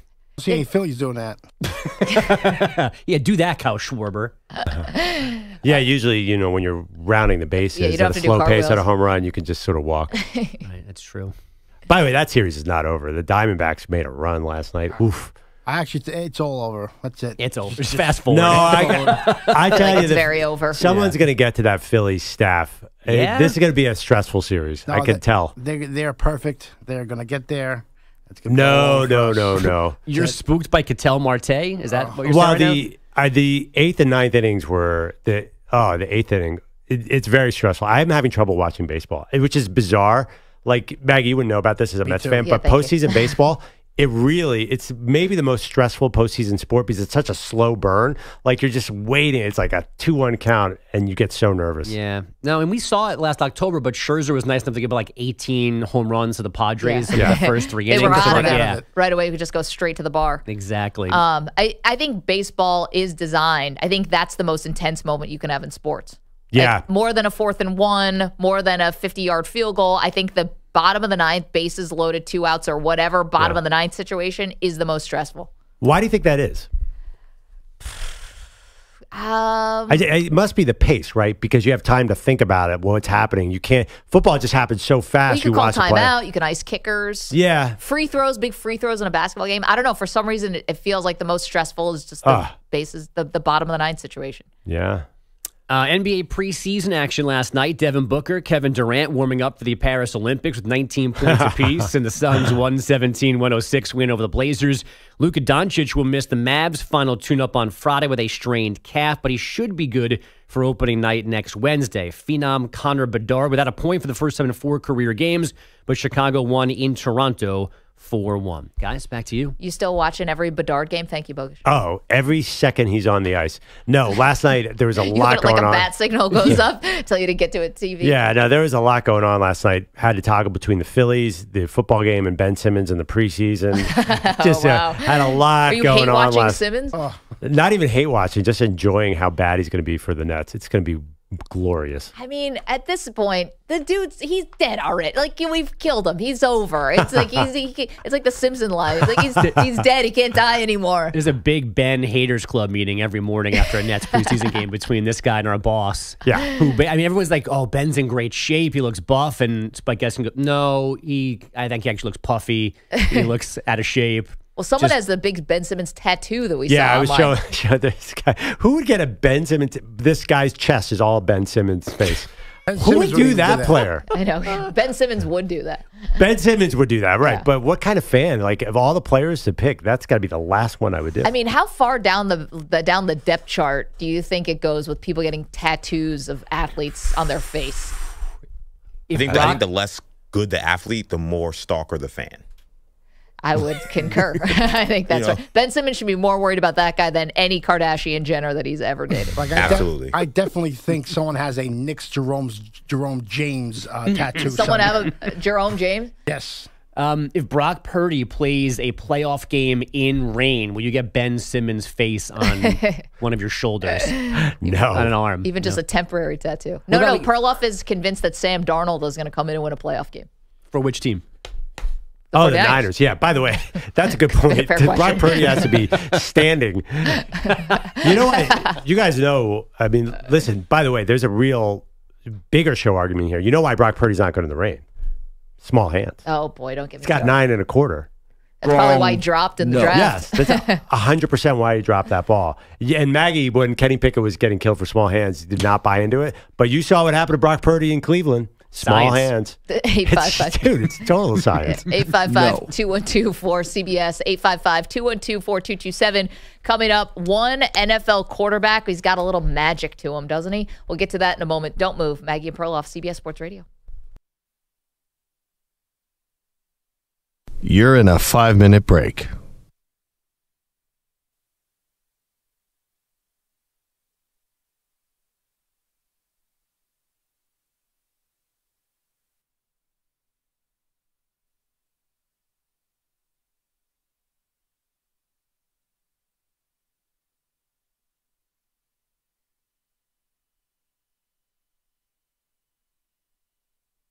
Four minutes, 30 seconds remaining.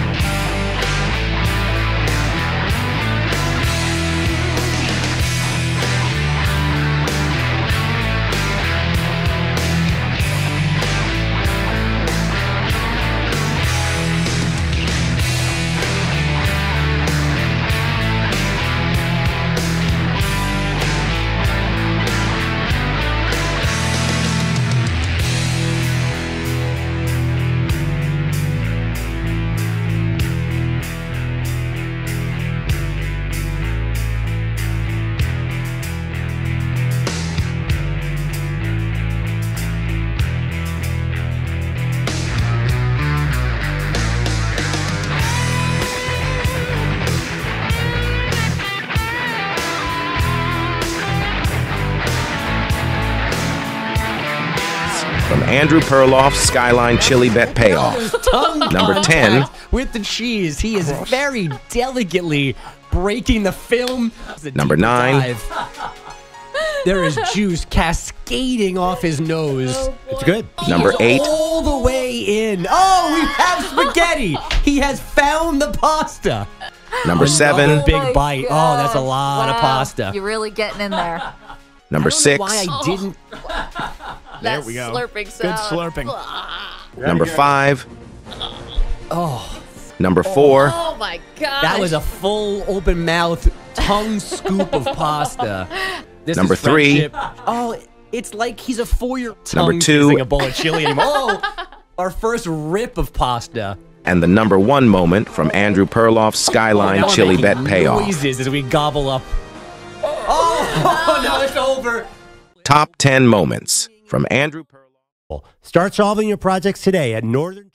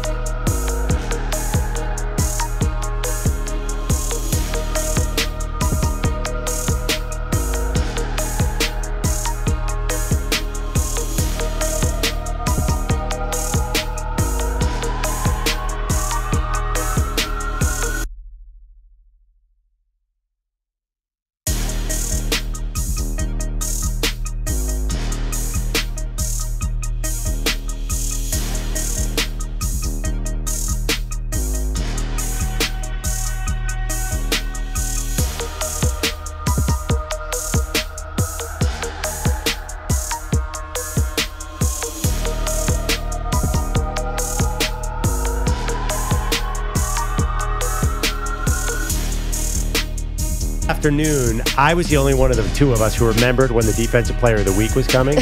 so I could think about it a little bit. I forget every time. It's now that we're in the Tuesday. morning, so it's a Tuesday morning, and I can. But you need a minute to come up with the defensive player of the week. No, no, no. Getting the defensive player of the week is also it's like knowing the personnel on the other side. Like we Yeah. used to know Stu Kovacs. Now it's like Pete and EJ. I think I don't know who picked this week's. But- EJ. okay, so like would EJ Oh, go pro? Would he EJ go college? There's a plan with that too. EJ is a Jets fan, that. right? Oh, there we go. But wait, wait, wait, wait, wait. I'm EJ's not Jets fan. It's got to be Jets. It's got to be Quinnen Williams. It's got to be Tony No, Adams. Something like that. See, I don't know if there was one standout. That was more of a team defensive effort. I don't know. The interception on Jalen Hurts at the end, kind of, that could be the defensive play of the week. Bellotti could have caught that pass. That was hit him in the chest. Ah. Defensive player of the week. Is it? I like guys who have like five sack, like a Khalil Mack six sack game. Cleveland's defense. I don't know if there was one standout there. They were pretty dominant. I mean, they were amazing. Their whole defense as a whole is just incredible. Myles Garrett had an awesome See, game. I know EJ a little bit here. I think he does not want to do the Jets because he doesn't want to be perceived as obvious on this one. See, I know EJ, and I feel like he will take a Jets victory at any chance he gets and would love to rub it in your face, like we all would. That's not a specific EJ thing. oh wait, but, but by the way, are we just ignoring the college game? well, that's what I'm thinking. Oregon, Washington No, can't really no do defense, defense there. Yeah. Not so much. Colorado, definitely Stanford. Stanford. No. no. I don't think I can name anybody on Colorado's defense. All right, so we're going. Besides Travis Hunter, and that we- wasn't great. Are we both going Tony Adams? I think it's got it's something. It's either Tony Adams or it's Quinnen Williams. Or did you see that Quinnen Williams and his brother Quincy? Quinnen had this had the first interception, and Quincy had a sack. And apparently, they both play well when their grandmother is in attendance. Hmm. Yet it's a mystery why the grandmother isn't just there every game. If they really play that well, get this Okay. lady at I- the fifty yard line. I'll go with Myles Garrett. So, so we got Myles Garrett, and what's the guess over there, Maggie? Uh, I'll say the Jets, just Jets defense, embarrassing another good quarterback. Okay, so the defensive player of the week this week is Bryce Huff, Jets Oh. There pass you go. rusher. So he led the Jets in sacks. I did not go Tony Adams because you know the pick was kind of thrown to him, but I thought Bryce Huff as a situational pass rusher was uh, an absolute monster and gave uh, you know the the backup uh, right tackle hell with the Eagles. I think he kind of changed the game in the fourth quarter. So Bryce Huff You can't be that deep cut.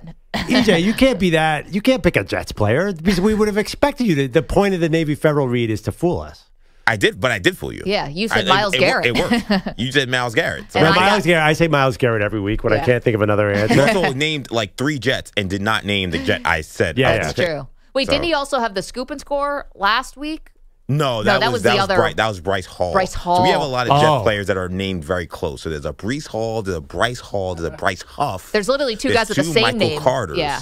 I sent you a stat You have a too. couple Wilsons. Garrett Wilson, Zach Wilson. Garrett Wilson, Zach Wilson. I sent you a stat that Maxx Crosby is one of EJ's favorite players. He had a killer game as always. Yep. He leads the league in pressures, but I think Bryce Huff is second. Bryce Huff is so underrated. It's because Yeah. he, doesn't- he plays he plays so few snaps, but like he's basically Yeah. a pure third down specialist. But he if he ended up with eight or nine sacks this year, it wouldn't surprise me. Yeah, but here's the thing: it's like if you do, if you put up all this, all these numbers against the Patriots offense, does it actually matter? That's a good point. I mean, that is true. Sorry, with Maxx, Maxx. Crosby. Yeah. I mean, But, I know you had uh, to work hard, but like, eh, not that hard. Speaking of Bryce Huff, how about that Bryce Harper last night? Yeah. Sorry, I have to bring it back to pro Philadelphia. Yeah. Ooh. I know because you, You just guys, you guys should not root against Philadelphia teams just because I'm here. I don't root against all of your teams. I would be do. rooting against the Phillies if like literally the We mayor never of met. Philadelphia was the co-host of Perloff, Maggie and Perloff today. If they were in for you. See, no, I don't. I don't. We'd stay away I don't actually. I don't root against the Bills at all. I like the Bills. Everybody likes the Bills. How can you root against the Buffalo Bills? I, I actively root against. No, I don't. Um, I love the Bills. I just criticize them a lot. Um, I think you are actively rooting against the Bills. No, no, I, I'm not. Oh no, not at all. Everybody, it's impossible to root against the Bills. I do think they'll blow it in the playoffs because. I have eyes. That negative That's not energy. rooting against them. That's common sense. And I don't root against. You think I root against the Jets or the Giants? They're not even nearly relevant enough to root against. There it is. it's the context. I mean, are they? That's what it is. I mean, the Jets are celebrating three and three like they just won the Super Bowl. I'm surprised there's not a parade. that had a was a, tough with that. stretch. You had a problem with that, Pilati? I had a problem with Yeah. that comment Saleh said. oh, you should. I, I, they're not there yet. They shouldn't be talking like that. Saleh can't help himself. He loves a good like quip.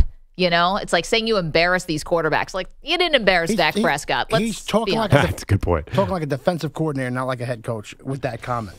Absolutely. Very I fair. totally agree with that. Let's obliterate more coaches. Ah. Eight five five. Coaching around the league is bad. Coaching around the league, we're talking McCarthy, Uh, red zone. Staley. Red zone, not good. When are these guys going to get a clue? 855-2124 CBS. 855. Easy for us to say. like we're we're Lombardi's over here. Coming up, going to make a case for one team going all the way. Aggie Perloff next.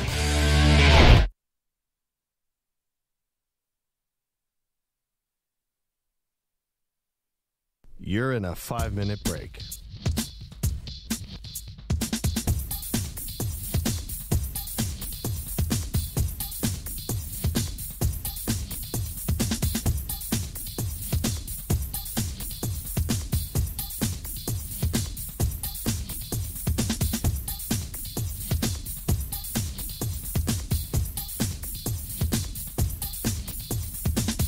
Four minutes, 30 seconds remaining.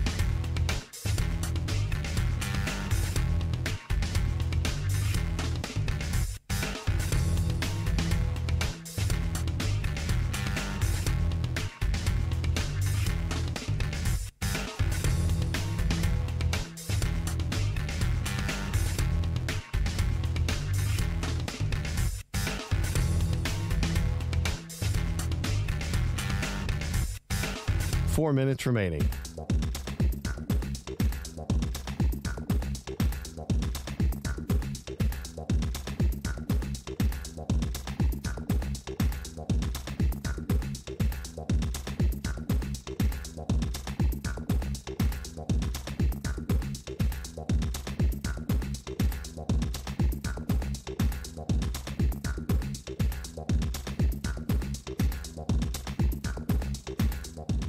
Three minutes, 30 seconds remaining.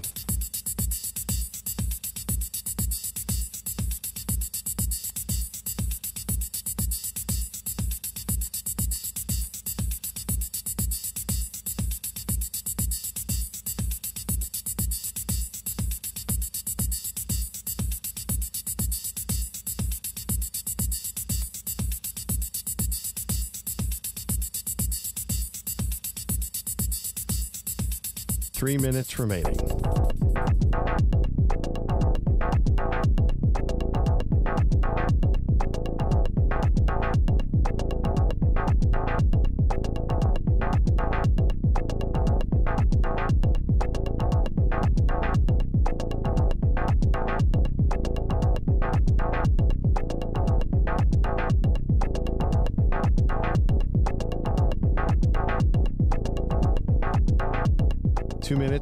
Seconds remaining.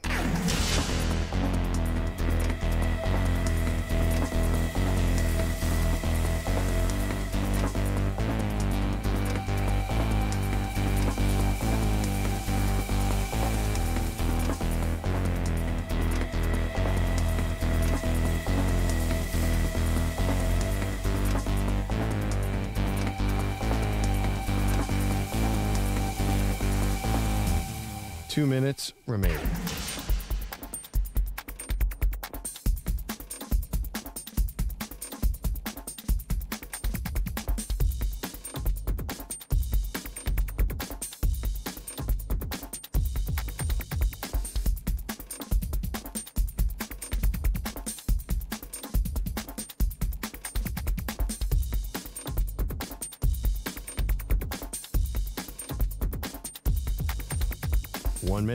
Seconds remaining.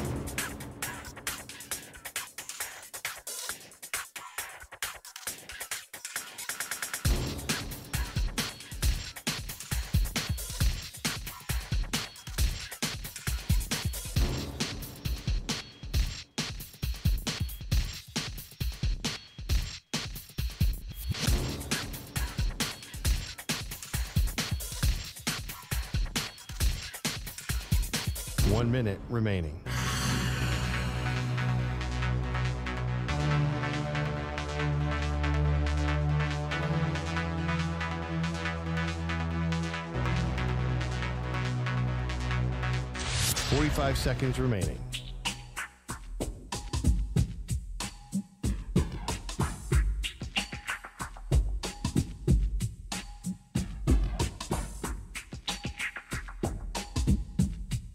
Thirty seconds remaining.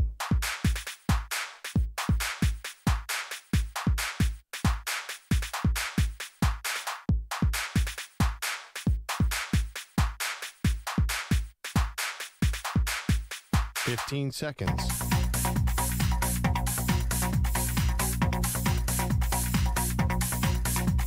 Break ends in five seconds.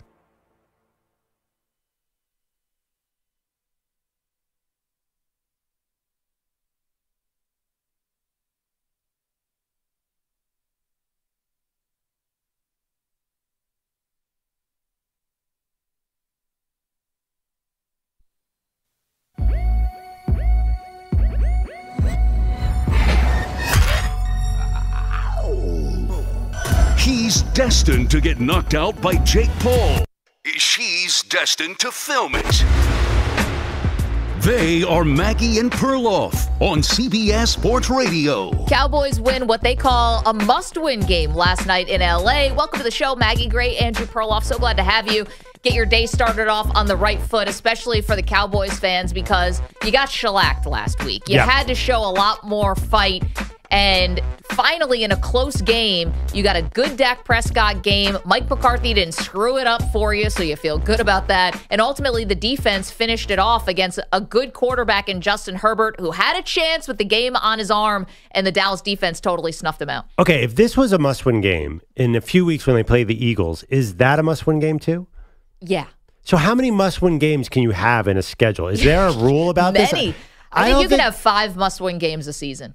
How can you have five must win games Yeah. a season? That seems like too that's too rich. especially if you you know are a playoff team you know if you're someone who has big aspirations you know once you get to the playoffs win or go home these are must wins because Yes. of a couple things number one again you're coming off of a bad loss so you want to get that taste out of your mouth before you go into your bye week which is what dallas is about to do but secondly I- you know i think that dak prescott has Mhm. been you know really questioned and i think a lot of that is fair because Dak's on the verge of another contract extension because Dak has been in this league for a decade and has doesn't have a lot to show for it. And I think you wanted to see an offense that got catered to cut down on Dak Prescott's interceptions. Yep. But what could they start doing well? Like, what could they start doing better than they did a season ago? And that wasn't necessarily clear. It might not still be that clear, but last night they showed that it, when he uses his legs, he can run, Yep. he can he can be effective, and that this, you know, in a dogfight of a game, in a close game, they can pull it out. That all sounds great. Yeah. But here's the reality of the situation. Say somehow Justin Herbert gets bailed out by the officials and has a touchdown drive to win the game last night. Because that's the way that game went last night. Yeah. They easily could have lost. It was 2017. Then the Cowboys are three and three. Guess what? They're going to collect easy wins. They're going to end up in the playoffs. The real test, the must-win game for this team. I don't care that they can beat the Chargers in a, in a slog game in LA. My question really is they they need to measure themselves against the Eagles and the Niners. Otherwise, what are we doing here? Like they need to be an elite team. If they were three and three, by the way, they're still about to go on a run. They have a lot of wins left on that schedule. As long as Dak is healthy, they're going to be good. And even if Dak isn't healthy, they're probably going to be good. So I, I didn't see that as a must-win game at all. I think you're going to really start talking about must-win. How are they against the Eagles and Niners? Are they closing this gap? Did you see anything last night that convinces you of that? That's what I want to talk about, not that they came away with a W. Because they're going to be in the playoffs, Maggie. I'm telling you, they're going to get wins over Washington, wins over the Giants, and they'll be fine. Okay, well there there's it's like stepping stones, right? Because you took a big step back. If you use the 49ers as your litmus test, they failed that miserably. They got blown out. The game was awful for them. And now it's like, all right, so you got humbled. You got pushed back a few steps. You can't go in and lay an egg against the Chargers, a team you are better than, although the spread was only one and a half. It's not like they were predicting that the Cowboys were going to be a touchdown No, it was- favorite It here. was on the road. yeah, on the road. So a I think game that you could easily drop and to me not be a huge problem. Mm, I, I think it's a nice step forward for them, and especially not just Dak Prescott. You got CeeDee Lamb had a fantastic game. Brandin Cooks gets involved. He gets a touchdown.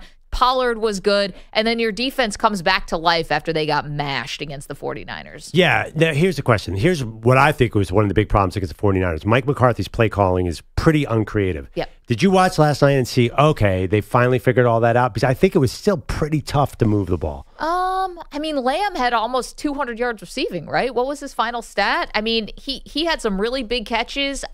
Dak had a nice 18 yard touchdown scramble. I mean, that would Yeah, have I been mean- on a broken down play, but sure. But still, it was it was kind of a low scoring game for most of the game. I mean, it ended up 20 to 17.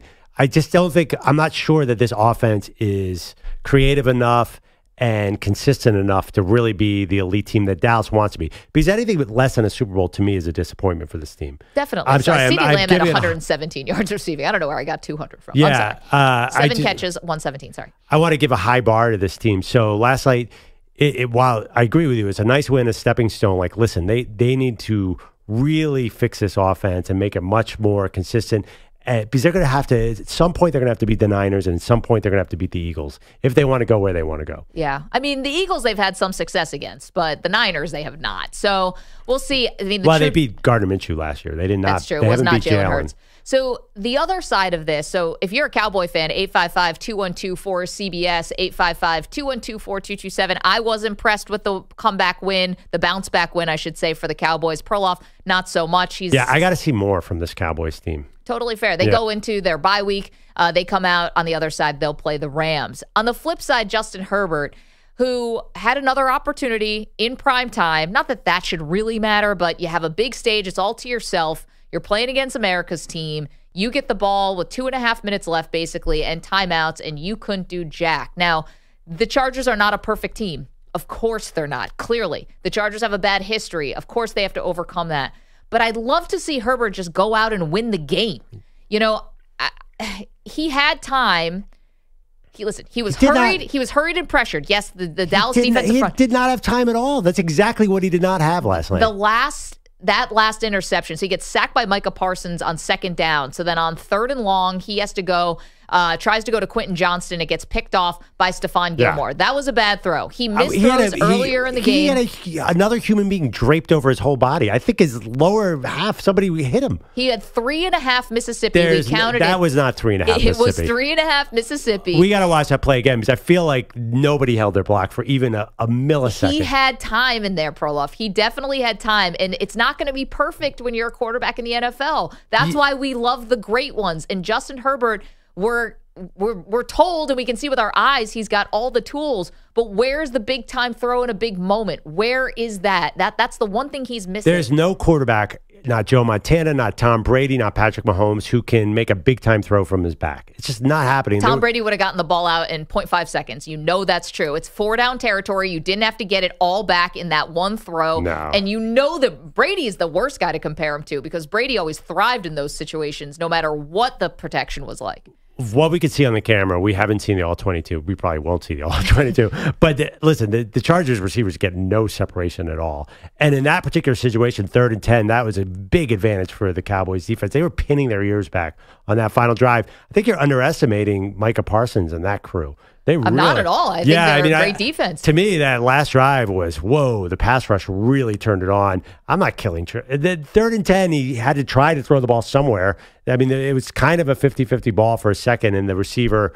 It wasn't the worst pick I've ever seen at all, by no means. Well, okay, what's the bar here? The worst pick you've ever saw? I mean, Is uh, Jalen Hurts yesterday against the Jets? Well, that that- is the worst pick I've ever seen. This is the opposite. Yeah, I- he had to desperately try and make some kind of play, and it was either take the sack and be fourth and twenty, or at least throw the ball where somebody has a chance. Okay, but we're not talking about a guy who should be this overmatched in the moment. That's what I'm saying. Because his line didn't hold up on those last two plays. He was completely he was Okay, destroyed. The Parsons sack, I'll give you. He had no, no, not even like a half a second for that. He did have time, and uh, uh, before the interception to Gilmore. You and I are just going to disagree, but it's it, it's there. And y- at that time, against a very good team, three it's three and a never- half Mississippi. never- There's no way that was three and a half Mississippi. We counted it before the show. You're I- never going to get a perfect pocket. You're it's never going to be perfect for you. That's why the elite guys separate themselves when it's when it's messy, when it's bad, when you are going against a great defense.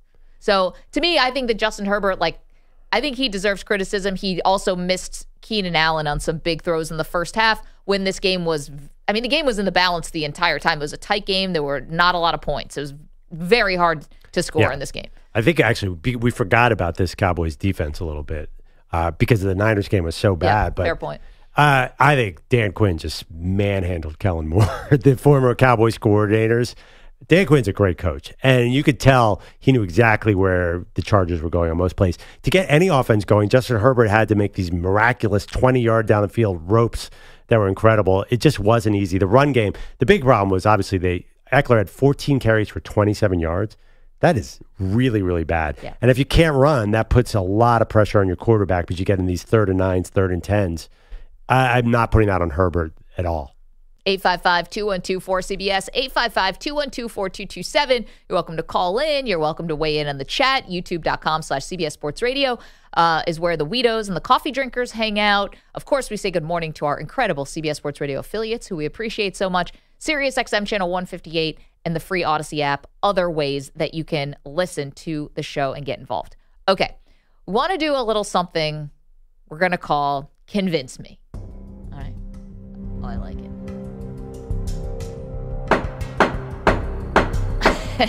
Come to Wow, order. that sounds ominous. Yeah, this is like bootleg uh, Law and Order music, and I'm obsessed with it. It's like if Law and Order, it's like set in the Matrix. Anyway, Perloff and I have some things that we staunchly believe that the other person doesn't. So we're going to try to convince that person to come to our side. Got a couple things for you. Okay. Would you like to go first? No, or I want me you. to go first? I want you to go first. I'm Okay. still organizing my notes here. Okay. Well, here we go.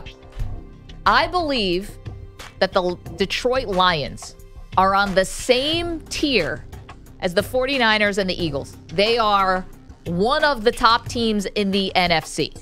And here's how I'm going to try to convince you. First, of course, they're 5 and 1. They're 3 and 0 on the road. Kansas City, Green Bay, Tampa Bay, okay? They beat the Bucks, who have a great run defense, even though they have lost their last two running backs. This is a team that's won four straight games by 14 points or more. They are physical. Their defense, four times holding opponents to 20 points or fewer. They're top 10 in opponents' points per game and opponents' yards per game. They're getting pressure without blitzing.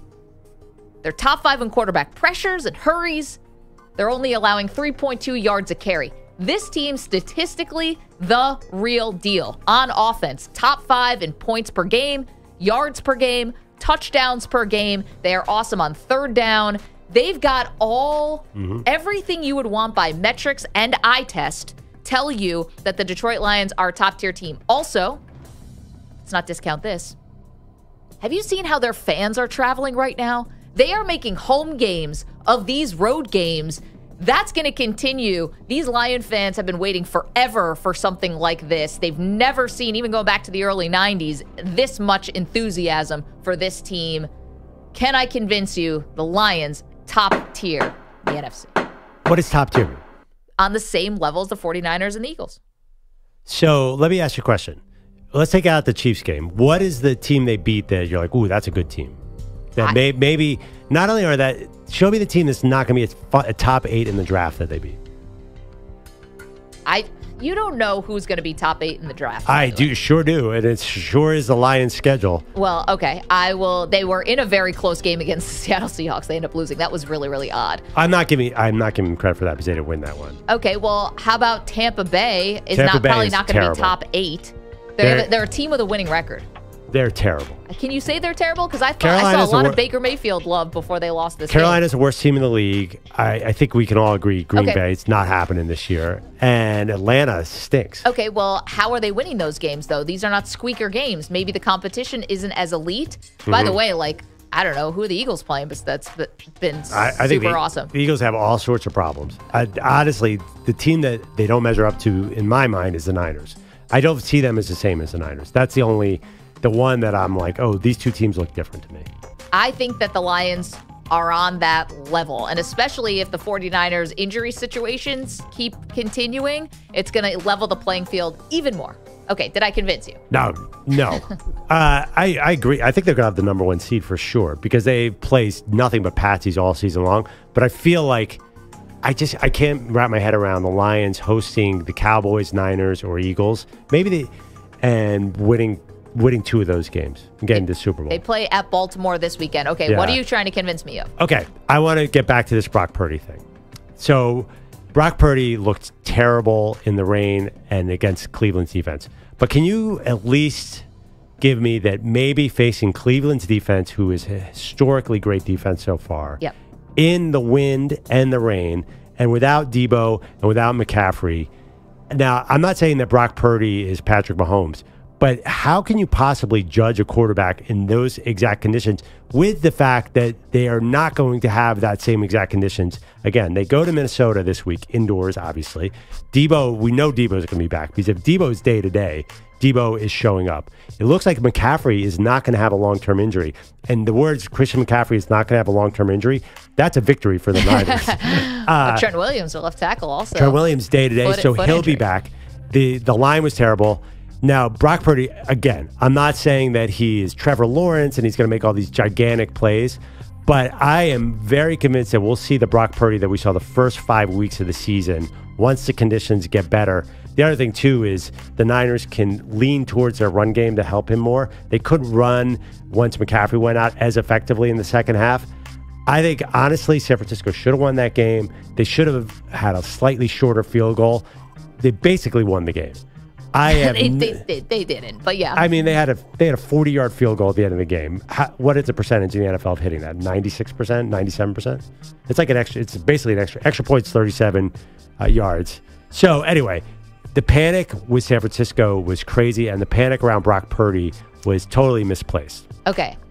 I didn't see panic from people about Brock Purdy. Oh, I I- just would love to know when did it become against the law to criticize Brock Purdy? We've gone so far in the other direction where if Purdy has a bad game, which he did, it's excuse after excuse and explain it away. He's just like every other quarterback in the NFL in that he's not above reproach. And he would tell you himself he had a terrible game. Yeah. Now, where I think that this might not be an outlier is not just about the weather, but if those weapons continue to be hurt, I don't know if Purdy can continue to be as effective as he was. So I want to wait and see. But it's like if you criticize Brock Purdy, somehow you, uh, you know, are- banned from watching NFL games, or you should be like put thrown in jail or something. Well, I don't, that- I don't get how this defense of Purdy, like, why is it so, f- so like fervent? It's Nobody in America was saying everyone saw he played badly.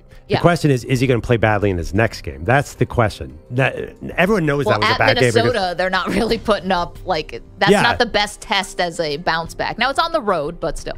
Well, I think the function, I, honestly, I think people are underestimating the defense he went up against last week. I, I think it's hard to wrap our head around how good this, you've actually were early on this, and I'm surprised you forgot about it, how good this Browns defense is. Oh, I yeah. mean, Myles Garrett's my defensive player of the year. Historically candidate. good. Of, course, Cleveland has played three rain games, which you guys don't seem to think matters, but Well, obviously how about matters. this? With Purdy against Minnesota, I don't know how, Yeah. but then Cincinnati at Jacksonville, Yeah, which is two not tough a, ones. which is not an easy place to play.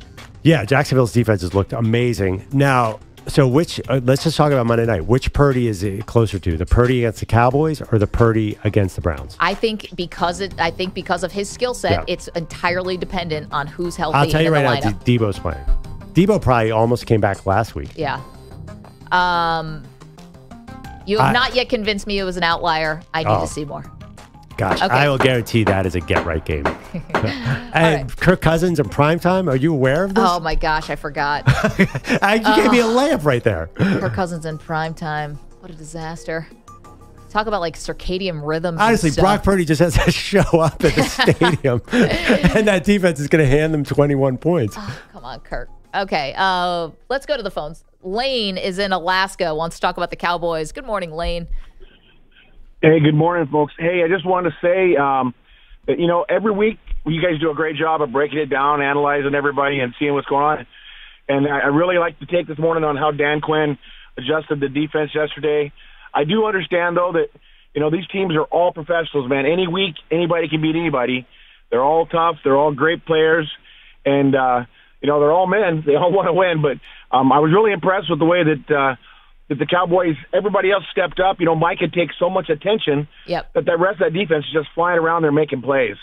Hey Lee, can I ask you a question? Is Dallas like the biggest fan base in Alaska? Who's who's got the biggest fan base? No, it's the Sea Pups, man, the Seahawks. Ah, got Yeah. it. Okay. Uh, that would make a little more See, sense. don't the Yeah. Seahawks have a? They have a partnership with Alaska Airlines too. So Oh, there's is a that lot the of corporate stuff. Uh, yeah, they Yeah. have a- yeah, they do have a partnership. I mean, all the Seattle sports, the Kraken, the Seahawks, the Mariners, they're all big in Alaska. Got it. Cool. Well, thank you. And uh, it seems like you're a Cowboy fan, so enjoy what you saw last night. I, I totally agree with what he said about that Cowboys defense. There was like multiple. The the defensive tackles were dominating the game. Yeah. Absolutely. It wasn't even Micah Parsons. It was the pressure coming up the middle against Herbert that was causing all the problems.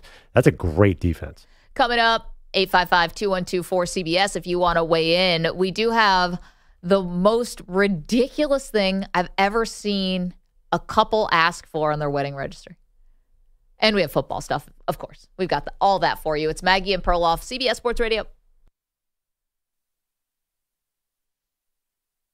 You're in a five minute break.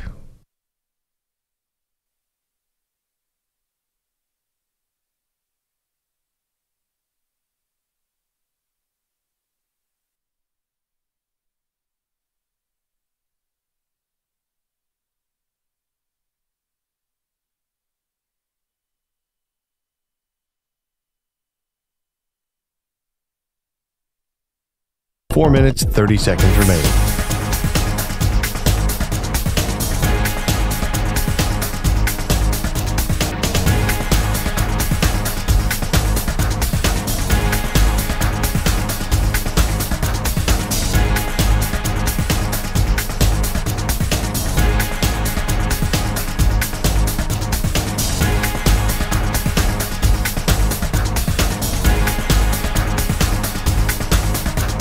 Four minutes remaining.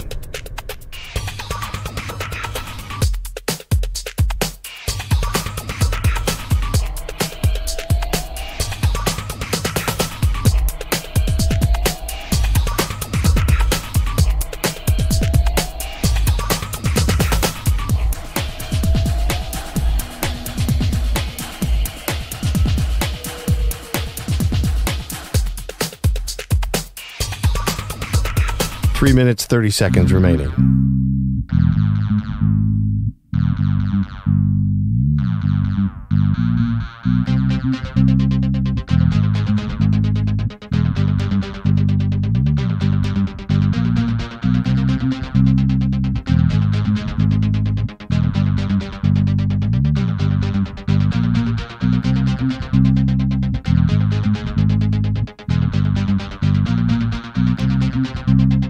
Three minutes remaining.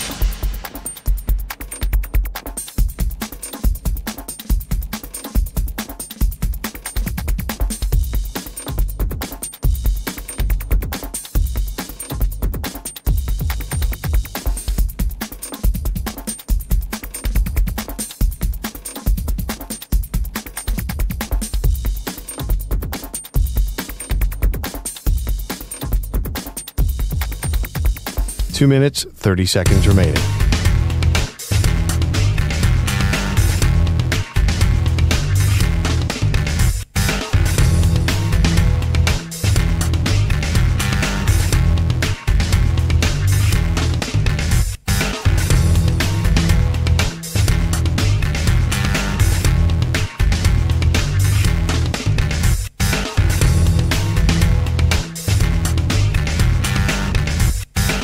Two minutes remaining.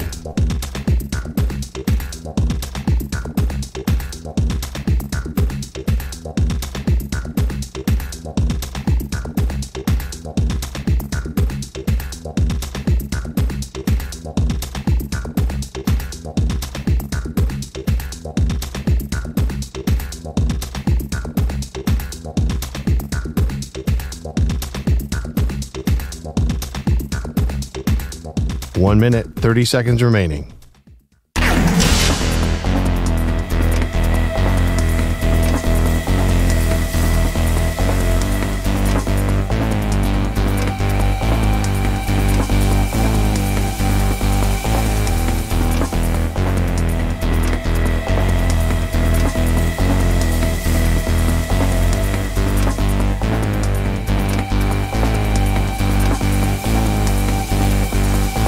One minute remaining.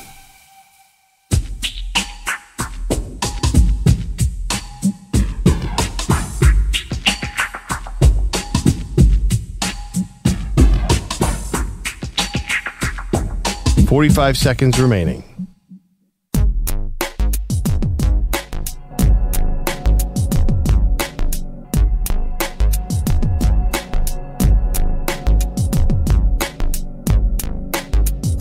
Thirty seconds remaining.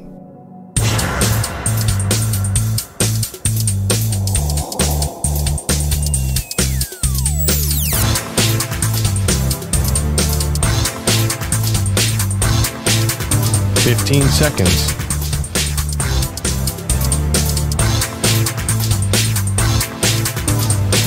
Break ends in five seconds.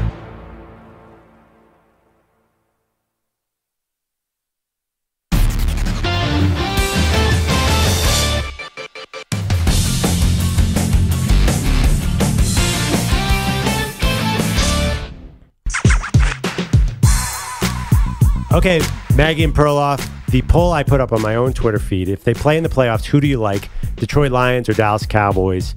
What is going on here? 89% say the, the Detroit Lions. This is their moment. They haven't played anybody. Do you have Neither, no idea. Neither of a lot of teams. You I have mean, no idea.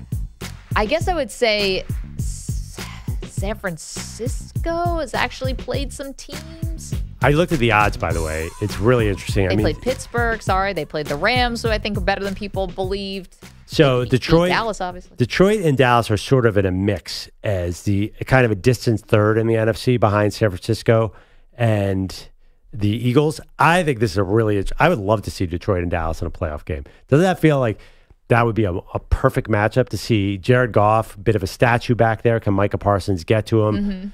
Uh, interesting to see if Micah Parsons last night with a big sack can get back in the defensive player of the year race. But we need Right to now, take he's got five on this season.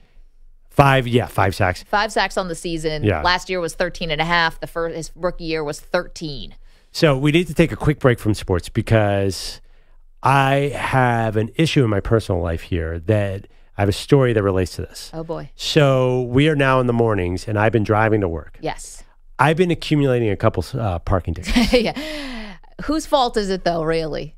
Um, New York City's for having draconian parking city uh, rules. Okay. That's right. Who who Yes. else's fault is it though? Because you can pay online on your phone. They're making it pretty simple, Yeah. and you keep forgetting. They got to do me it. one day. My register, my inspection was one day late. Oh, that was October first. They hit me, and then I forgot to hit the parking app, and they got me. So, So how anyway, much are you in the hole? Sixty-five bucks per ticket. Oof. Now, but I am inspired because I found this story yesterday. There's a couple in Texas who has a registry, like we all had registries, gifts that you want people to buy for you. They put on their registry a $231 parking oh ticket. Oh my god! So as a gift, you could pay. Oh no, I'm sorry, it was a speeding ticket.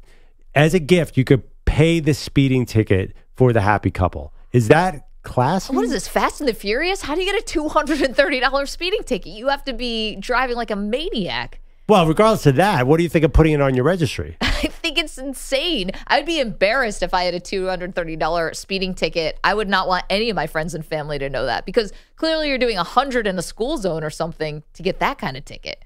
I okay. Forget the speed in the ticket. Let's talk about the wedding registry aspect of it. okay, sorry. I caught like it, and I'll tell you why I like it because the crap that we had on our wedding registry, China and Cuisinarts Yeah. and some sort of red mixing machine that I still don't understand. None of that has ever been touched since our wedding day. We got more stuff that takes up more room in the kitchen that has never ever been used. Yeah, you have a daughter about to go to high school. Like it's been a while since Yeah. you touched that stuff on the wedding registry. Oh yeah, yeah. I yeah. I, that was weird. We've been married for 15 years now. None of it has ever come into play in any aspect. We've never used the china once. Never served anything in the china. It just sits there, and you're nervous about if it's going to break. This is something practical. If you're going to spend money on stuff, why not spend money on something the couple actually needs? Okay, but where does this end? Are you like, you know, by the way, I've got five grand in credit card debt. Can everyone just jump in and I take love it. care of Very that? creative. I love it. It's very creative. I, love know, it. but isn't it supposed to be? Is that the spirit, really, of a wedding gift? These are tough times, though. With inflation, do we really have time to to waste money on a Cuisinart? Like candlesticks? Well, some people some people do with uh, registry where you're paying for their honeymoon. Yes, I've done that before. You know, before. I, it's, I, I think it's along those same lines. I got to be honest. I so I I did that once for a friend. This is a long time ago, and they were getting married, and I was like, "Oh, I'll here's the thing on your registry for your honeymoon," and it was like buy the couple like scuba diving or snorkeling or something. So I buy them the snorkeling. It's like two hundred bucks or something, or two hundred fifty, whatever. And I see them like a couple months later, and I'm like, guys, how was the snorkeling? They're like, yeah, we didn't leave the hotel room. I'm like, what? they didn't use it. They didn't do any. They just sat by the pool and drank the whole time or whatever, and we're in the room doing whatever, and never even used the snorkeling. wow. It's a waste. I'm reading, by the way, this is a huge trend. Since the pandemic, more people are are actually paying bills, and this is not. She's not the first person with this parking ticket. Yeah, I, I like Pay this. my cable bill. and even snorkeling's a little fancy. Can't you do something more practical, like buy them a meal? I don't know. It was just it was on the site. I clicked Okay. it. Yeah, I, I'm totally into this. I think, I, and I, as a kid, all I wanted was cash for a birthday present. I did Well, of not want a, a sweater. now, someone who was just at a, I was just at a wedding this past weekend. What I can say is the person putting speeding ticket, two hundred plus dollar speeding ticket on their registry, probably a fun wedding. They're probably a fun time. That I, I can guarantee you. I is what you're saying. They're reckless people. They yeah, have yeah, no you're, gonna, you're gonna get lit at that, at that wedding for sure. I go in the complete other direction on this. Really? Yeah, I think this means they suck. No, uh, They're cheap. They're Suck at cheap, life. right, bogus? I don't know about cheap, but just that's a really lame thing to do. Experience, great. Yeah. I've seen people now new new to me, maybe not new in general, making like a little Venmo thing for their bachelor or bachelorette party, like buy me a drink. Yeah. I'm in on that. But I made a mistake driving. Is you're, you getting married is not a GoFundMe page. Yeah, exactly. You paid for my experience of running the red light. Yeah, right. Thank you. I was No. really in a rush that day, so I had to blow through uh, four stop signs and a red light. No so chance. Thank you. But also, I, everybody- saw, I once passed a car on the highway that had the Venmo on the side of the car. That they're going to the- to a bachelor Yeah. party. Buy me a drink. Here's the Venmo. I was like, Yeah. not on your life, because that would probably get me pulled over, and then I need someone else to pay for my ticket. Be honest now, though, bogus. When you got married, would you rather have fancy candlesticks or a hundred fifty dollar gift certificate to Costco? I'm a big gift card guy. Yeah. Yeah. Yes. Gift cards are great. I feel like Perloff But is don't get that considering breaking up with his wife, getting remarried just for the registry to pay off the parking ticket since you've been driving to work. No, the Doesn't parking work. tickets I'm okay with. I would definitely put like the daily bills is what gets me. like Grocery bill. Yeah, yeah, yeah. Like Like three months of Netflix. I think I can rethink this. Yeah. Here's like, a promo code for you. Here's, Here's my here's my Geico uh, account number. Can you go in there and just take three months of recurring Pay payments? for my solar panels, please. Yeah. Just ask for straight cash. Don't Yeah. tell me what it's for. So you can pay Yeah. use however you want. Don't tell me it's for a parking ticket. And make it Goodfellas style, where I just hold the uh, the sack out and you throw in the, the stack of bills. yeah. Yeah. Maggie, you you don't seem to buy this uh, sort of tacky registry thing. No. Also, I would definitely. I give cash ever since that snorkeling debacle. I give cash. I only want to get cash. Oh, I don't so want to do anything you're a straight cash business at this point. Okay. there are there have been so many weddings where this is the this is embarrassing. Probably just for maybe the woman's side. I'm not sure if men care about this, but where I've forgotten to get the cash. So then Oh, I got to yeah. go to the ATM. So then I'm just giving you a stack of twenties. Dirty 20s. yeah, and if they're not clean, oh, that's the worst. The envelope is so thick. not that I'm like I'm not Yeah, this yeah. baller or anything, but you know, like people you're really close to, they give them like three hundred dollars in twenties. yeah. You look like you're trying to buy drugs. Yeah, you get the note back. Dear Maggie, thank you for the eighty-seven dollars and thirteen cents. Here's your ATM receipt. Yeah, thanks for using the ATM in the And hotel that, lobby. That frozen yogurt uh, uh, punch card with four punches on it. That was really good. Yeah, Now exactly. what? Now what do you do if someone forgets to give their gift What do you mean? in the registry? So, if, like, say we had a couple of people that that didn't give a gift Okay. Oh, at the wedding. yeah. What Is it like a do? year, Pat? You have a year, right? Oh, Yeah, you, but you no, no. hunted them down? No, no, but like you go through the you go through the list and you're like, oh, so so and so so and so, and like you think it might have been a mistake or Yeah, it's usually a you do? single guy who forgets to give the present. Oh, He came and drank everything at the bar and conveniently Yeah. forgot it. Hit on your aunt. Yeah. I don't know that, but one time it was just, this was super embarrassing, but we made up for it after, which was I don't know if this has ever happened to you guys. It was one of my husband's friends, the, a wedding, so he had the card with the money in the inside of the suit jacket. Mm-hmm.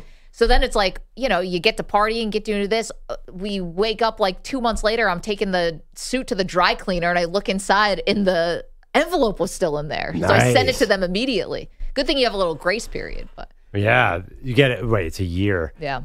Um, yeah, I think uh, you. I don't want to get remarried. Of course, I love my wife, but I would like somebody to pay my bills. Yeah. Is there where else? Like, Just yeah. invite all the all of us from the radio station. Just like, what'd you contribute to? It's like, well, Perloff's 401k. this is what I wanted. Have a party for the new time slot. Make a registry. We move to 6 a.m. Buy us things. You know, like a waffle iron, some cash, a that is coffee the, machine. the single dumbest. Has anybody ever used a waffle iron more than twice in the Yes, history of me. waffle iron? I have. Get Yeah, out. we- we No waffle irons. A hundred Yeah. percent. at a hotel. You guys Oh, are right. actually using waffle iron? Yeah, I get them. Uh, There's been a waffle iron sitting in my drawer forever. I can't believe you guys use them. I have is two of them. I have two sizes. What? Yeah. Waffle irons are awesome. Wait, what are you like serving brunch at your house? No, we do do like a a s- Holiday Inn. A lot of Yeah. Sundays we make we make like a family breakfast, and the waffle iron comes down. We have like the traditional one, the big Belgian waffle one, and then I, my What wife fu- stumbled upon like a tiny one that makes like ego sh- Eggo sized ones. So Do you live in a DoubleTree hotel? What is going Yeah, on? come on here? over. Warm cookies over there? And EJ, you use a waffle iron too? You're, you're Yeah, you have both me kids. and my both. Well, I think that was one of my like one of my early gifts to my girlfriend when we first started dating, and now of course you know we have the waffle iron together, and we we both use it. How often do you make waffles? Uh, every month maybe. You know, you know, we gotta have breakfast together. You know, she does yoga and teaching in the morning, so sometimes when I'm on the weekend, I'm not. You know, we're not together. But Yeah. we have a weekend morning together. We pull it out quite often. In fact.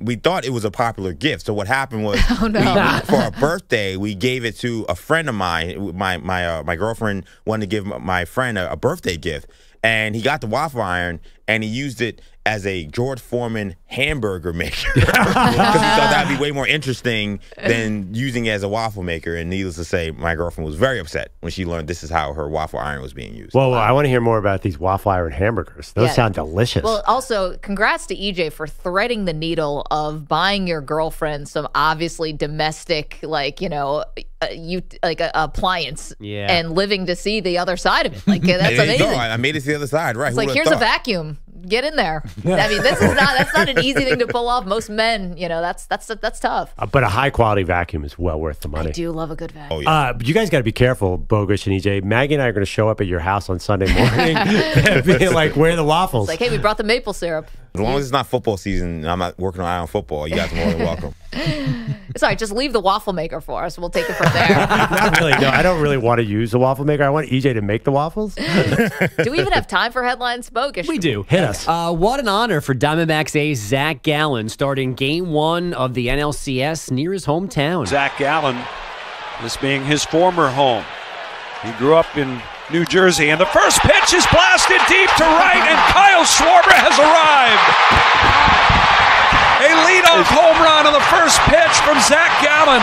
Yeah, that didn't go Oh, well. boy. Uh, Bryce Harper and Nick Castellanos also took Gallen deep. He was charged with five runs on eight hits over five. my stuff was coming out pretty good. Just maybe some, you know, missed spots, um, just lack of execution. Um, yeah, I mean, you know, they did their job. They executed their plan pretty well. The Diamondbacks losing for the first time in six postseason games, 5 3. Merrill Kelly starts game two at 8.07 Eastern. It was a 5 4 Rangers win at Houston for a 2 0 lead in the ALCS. Texas now 7 0 this postseason. Nathan Eovaldi struck out 9 over 6. The best play Dak Prescott made on Monday Night Football, not a touchdown. There was a whirling escape from the pocket, throwing on the run to Tony Pollard, who took the ball 60 yards. As I got out, I saw you know some some grass in front of me to potentially run, but always just trying to keep my eyes downfield, look back, looking for a tight end or receiver coming across, and here comes Tony out of the backfield and uh, threw it to him, and then he went and got a lot more than than than the play that I made. The drive ended with a Brandin Cooks TD for a 17-10 fourth quarter lead. The Chargers got even, so Dak drove for Brandon Aubrey's 39-yard field goal with 2.19 left. Then the D ended the game with a Micah Parsons sack and a Stephon Gilmore interception. The 2017 final improves Dallas to 10 and 1 after a loss over the last three seasons. The Niners still waiting on MRI results on Christian McCaffrey's side injury. Deebo Samuel, Trent Williams are day to day with their injuries from Sunday's loss in Cleveland. They play in Minnesota on Monday night. Wait, sorry, I just thought of something really quick. What's more impressive, the 10 and 1 after a loss Hmm? stat that Bogus read about the Cowboys or whatever Andy Reid's record after, After a a bye? Uh, definitely Andy Reid. He's been doing it longer. And the 10 and 1, I don't care what you are. What are you doing in the playoffs? That's the, always the rap on Okay, Mike but McCarthy. 10, but 10 and 1 Eh. after a loss is pretty good. I mean, Yeah. that's resilient. Not stacking losses is a good is a good trick to have because All right. two can become But you, three. you guys think that's more impressive than Andy Reid being the greatest off the bye coach in the history of the NFL? But you get like an extra week, so in Yeah. theory, you should be really good off the bye, right? No, but he's way better than everybody else. Like even better than Belichick. All right, we'll think about that. Uh, ben Simmons, eight points, six rebounds, nine assists in the Nets' 127 119 preseason loss to the Sixers. Magic assistant Nate Tibbetts expected to become the next head coach of the Phoenix Mercury. He's also expected to become the highest paid coach ever in the WNBA. And on ice, the Sex Panthers held off the Devils 4 3, and the Rangers made the Coyotes howl with a 2 1 win at the Garden. Guys, back to you. Thank But, you. By the way, you see that Bogus called it a side injury with Christian McCaffrey. Just say oblique. We all know what an oblique Well, they is. threw they threw rib in there yesterday too, oh, Okay. so sides all encompassing. Uh, and what, I, actually, I'm kidding because I always read oblique injury and I still don't know what, where an oblique is. I know it's somewhere. I think in it's the- like here, right? On the right? right of your ribs, Because right? You're doing crunches, bicycle crunches. I think you're getting the obliques. Yeah. It's like here. Okay. Yeah, I think it's I just further pointed around to myself back. on radio, which is awesome. Theater of the mind. You Uh, guys thank you, know- also for sending us an article from E ESPN highlighting Brock Purdy uh, Mm. success against zone coverage versus man. Without Christian McCaffrey, that's the key. McCaffrey's break the missing down. piece. Yep. I was helping you, Maggie, against this guy. I know. Thank yeah, Appreciate just kind of like when you read the Sixers win the preseason game, but Ben Simmons has four That's what assists or whatever. You know, you can't build every sports update in an anti-Philadelphia way. That's not There's sometimes anti-Philadelphia. where Philadelphia teams don't even play. That's the news. Embiid didn't play. Harden didn't play. The good Nets didn't play. Ben Simmons looking great again in the preseason. Well, That's what matters. Also, say that Everybody Bogusch else. can't. I mean, that's what he's been doing since Oh. he took over the job. Well, he's you're on count- week three. I'll tell you, if you're counting on Ben Simmons for good games, you're not going to get a lot. uh, thank you so much, Andrew Bogusch. Let's go quickly to Sean, who's in Oregon. He's got a thought on Perloff's parking situation. He's already gotten two tickets since we started the morning show. Hey, Sean. Good morning, you guys. I just turned on the radio this morning, and I couldn't believe to hear that Mr. Perloff did not negotiate parking with his morning program. Like, whenever you get a job, whenever you do that, let this be a lesson to anybody. Always negotiate parking. Mm. Sean Oregon doesn't pay for parking. Sean, but you, Sean, you've done well for yourself. We know from uh, used to call the afternoon show that you're always negotiating perks.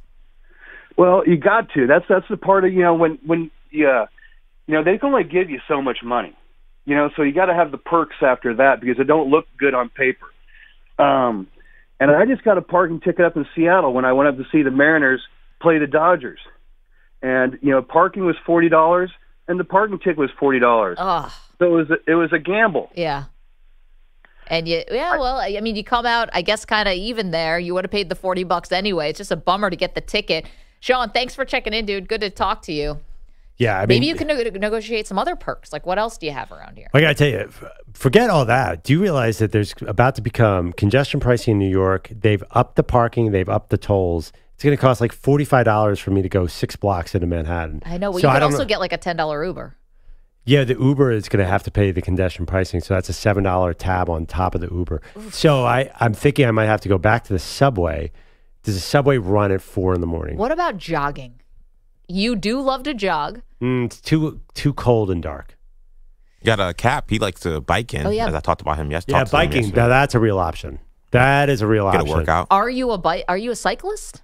Uh, I, Do you I own a ride. bike? I ride home. No, city bike. I ride home sometimes for sure. Okay. It's pretty easy. I mean, I'd be kind of sweaty. And what about bad weather? I'm like Brock Purdy. I'd prefer to keep it dry. you know, it'd be even greater if this place was in the suburbs like everywhere else, and we could just have a Parking lot. parking lot. Yeah, doesn't happen around What a here. concept. 855-212-4CBS. Check in on the most interesting man in the NFL next. Don't move. Maggie and Perloff, CBS Sports Radio. You're in a five minute break.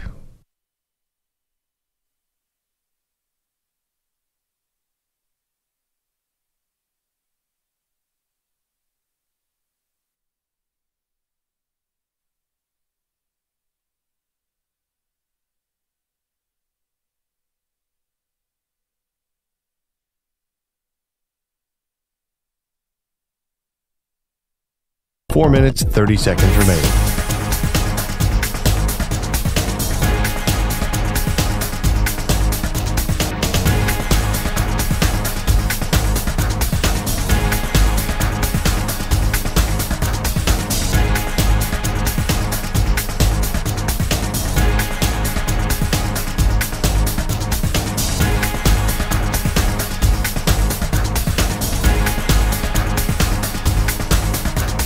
Four minutes remaining.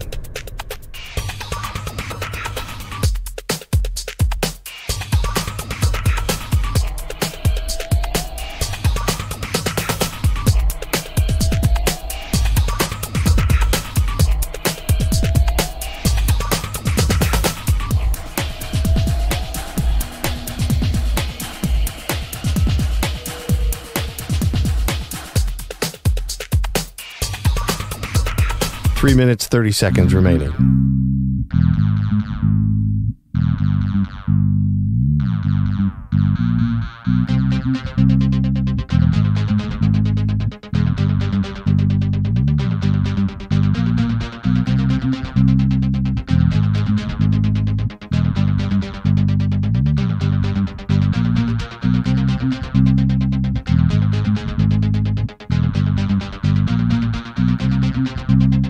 Three minutes remaining.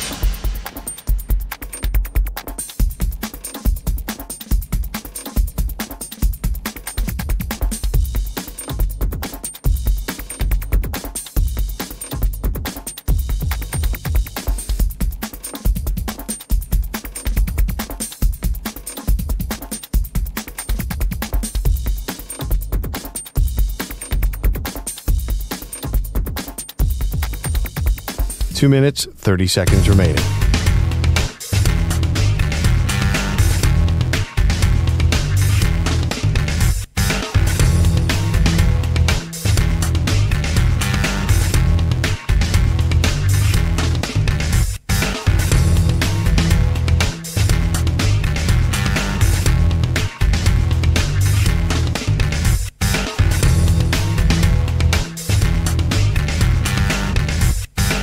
Two minutes remaining.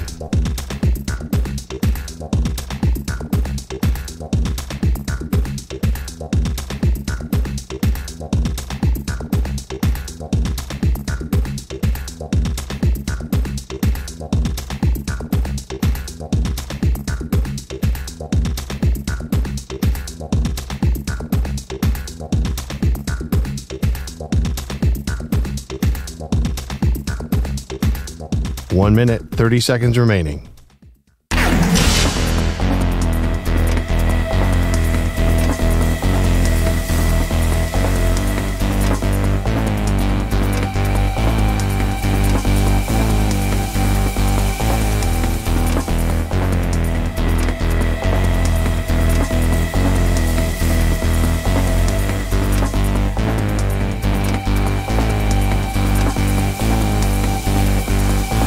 Minute remaining.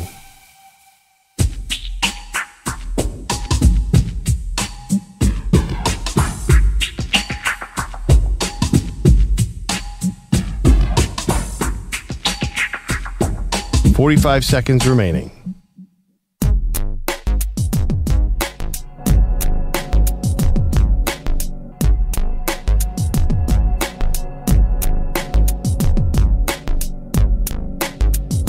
Thirty seconds remaining.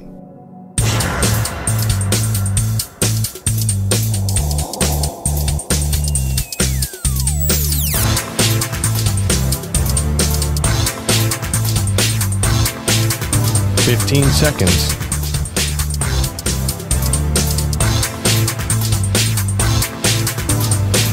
Break ends in five seconds.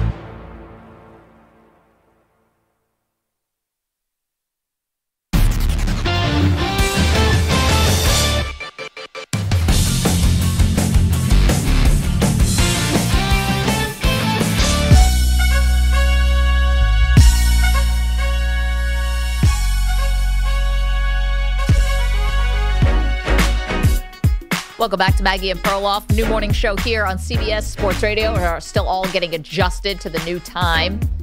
Doing quite well, I would say. Except for Perloff's parking tickets that he keeps accruing. Well, I got to be honest. I was got a few of those before we switched times. too. Can't exactly just blame I- the new time slot. I'm a very lazy driver in New York City. You're not supposed to. The city is designed for public transit, but when you have kids, you know, got the 2018 Honda Accord Hybrid. I mean, I gotta use that. yeah, puppy. you got to unload and Yeah, let I mean, that I gotta, air it out. I gotta show off that I call it the silver bullet. uh, speaking of which, EJ, our breakfast is here. So let's get to the most interesting man in the NFL. Hit it. What the f- is Aaron Rodgers up to today? By the way, Maggie, that came off as a little like uh, What? Like uh, my breakfast is here. It's EJ's breakfast too. It's Pete's breakfast too. We all got the I breakfast just want to say order that's in. not how it is. Uh, go get my breakfast. no, well, here I said I told EJ. Very diva like value there, Maggie. Oh my gosh! No way. I said EJ, if I put the breakfast order in, I'm gonna have you're gonna have to go get it. Do you mind? He goes, I "Oh, understand yeah, not all at that. all. I just want the audience to understand that it kind of came off like a little, I don't know, a little Taylor Swift Wait a minute. Bloody, you know what I'm talking about. Hold on.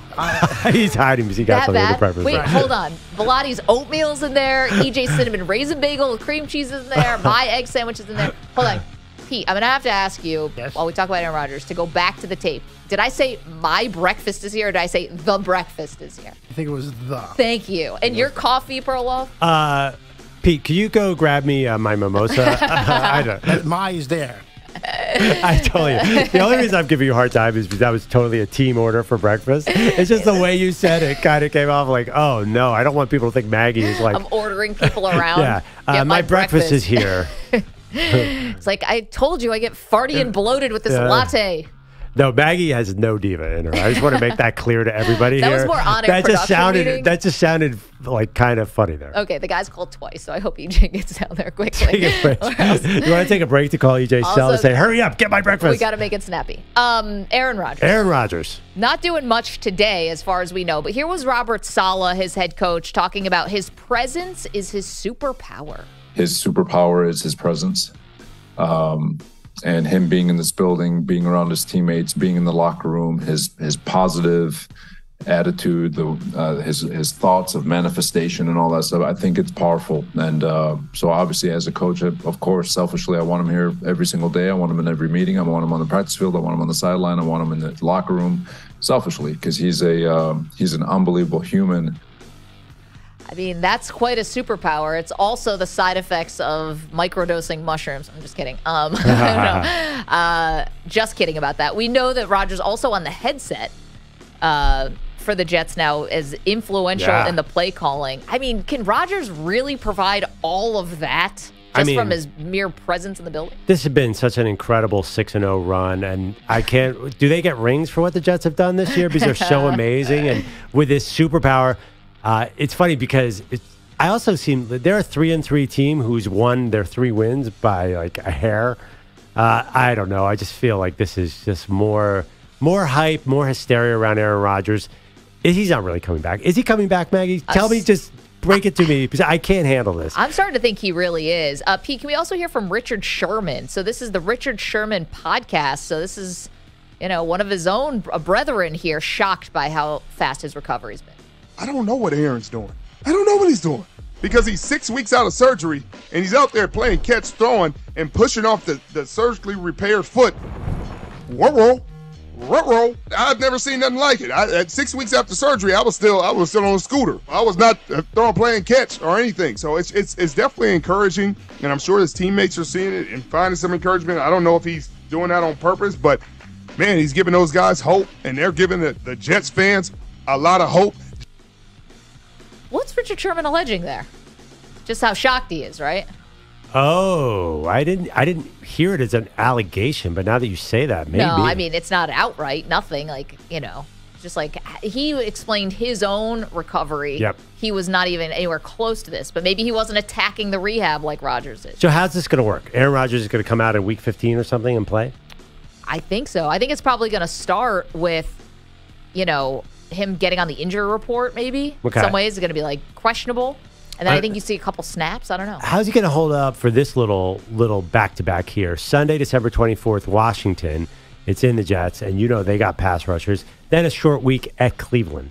Are you honestly going to put Aaron Rodgers on one leg out against Cleveland do in. Cleveland? No, don't do Maybe that. just p- Let put Zach Zach Wilson take that one, So even if he comes back, that's even more complicated because you don't know what kind of Aaron Rodgers you're getting. And if you're in the playoff race, that means that you're winning games with Zach Wilson. This is going to be. There's a lot of tentacles to what could happen here. Okay, winning games with Zach Wilson though is that because of Zach Wilson or Yeah. in spite of Zach Wilson? Like that part to me is not sticky. Well, the I part think- about whether you put him out there and he gets hurt again that I think for to, for the Jets to win games, you're going to have to have Zach Wilson moving around a lot.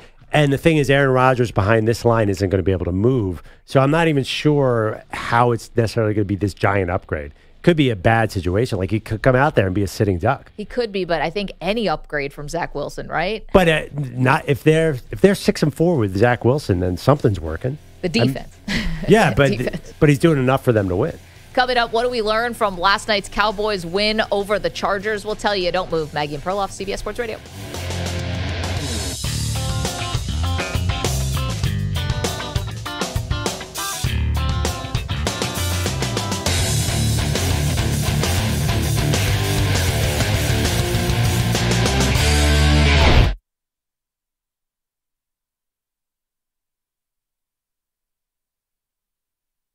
You're in a five minute break.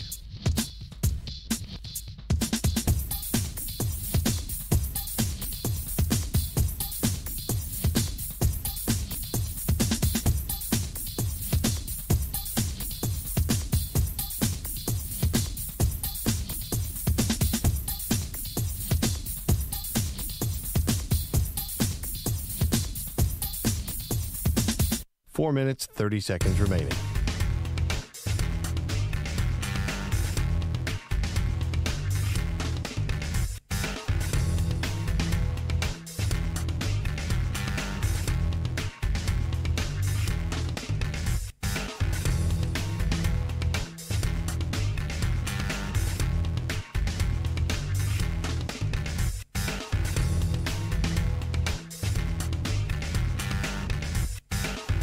Minutes remaining.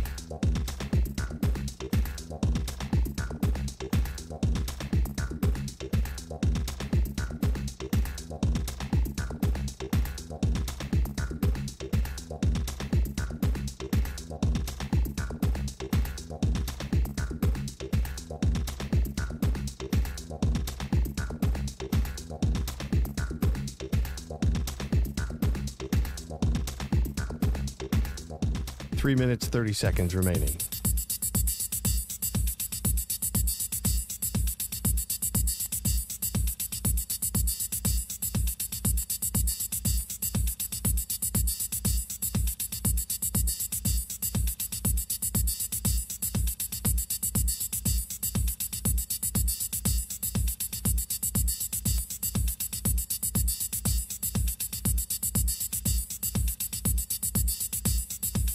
Three minutes remaining.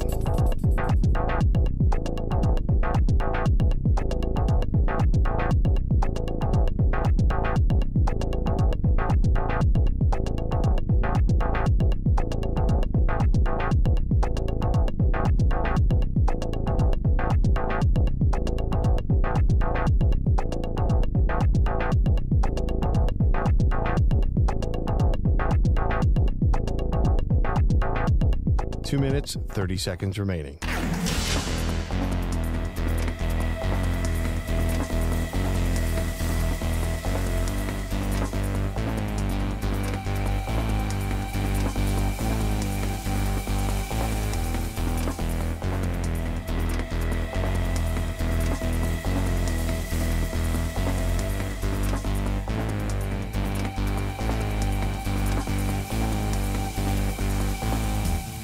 Two minutes remaining.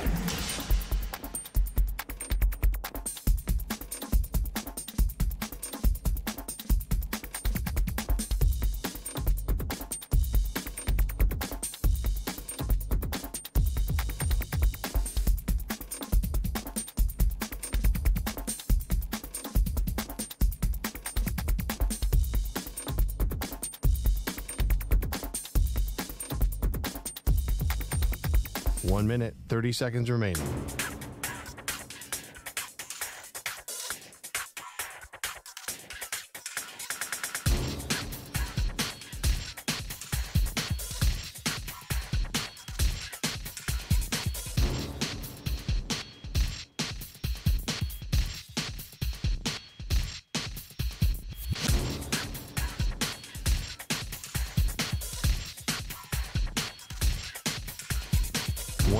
Remaining.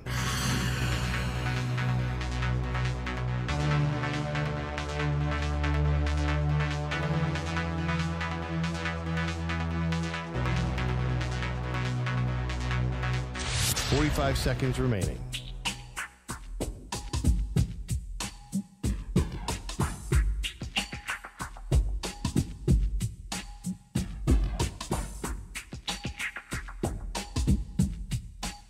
Seconds remaining.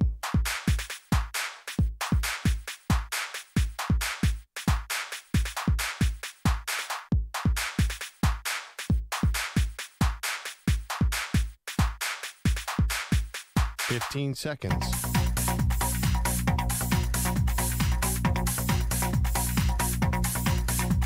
Break ends in five seconds.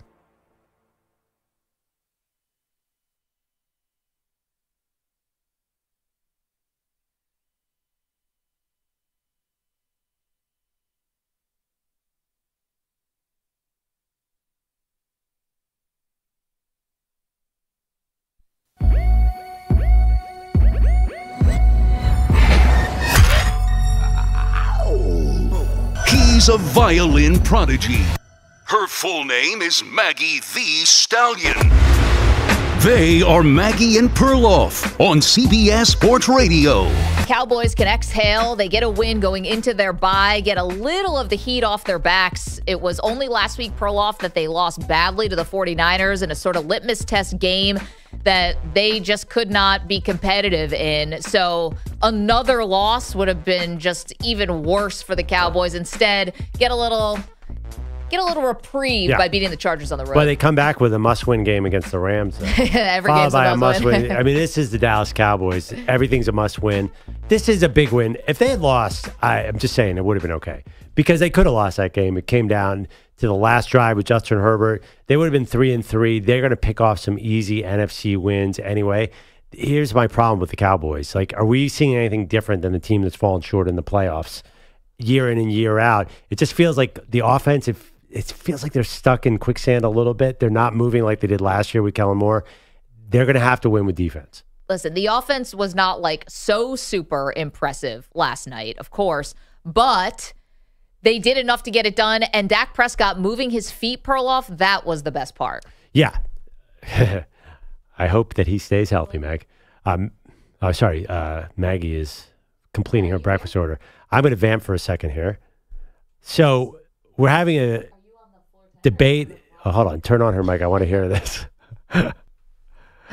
You're on the 12th floor? Okay, we're on the 10th floor. yeah.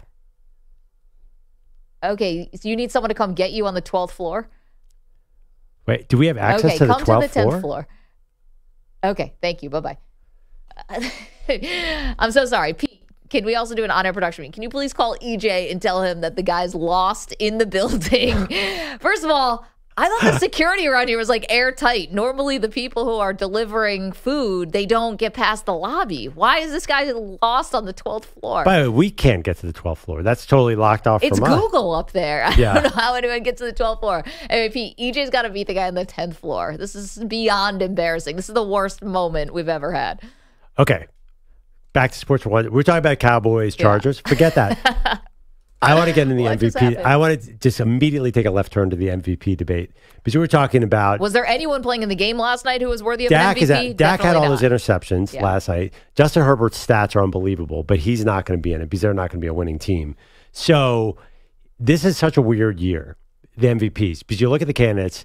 Is it the Tyreek Hill wide receiver win an MVP? Is there is there any quarterback who's so far ahead of the other quarterbacks that he's going to win the MVP? I think that Tua is probably ahead of him. If Tua, because this is such a quarterback award lately with the MVP, if Tua stays healthy, the numbers that Tua's putting up are great, phenomenal.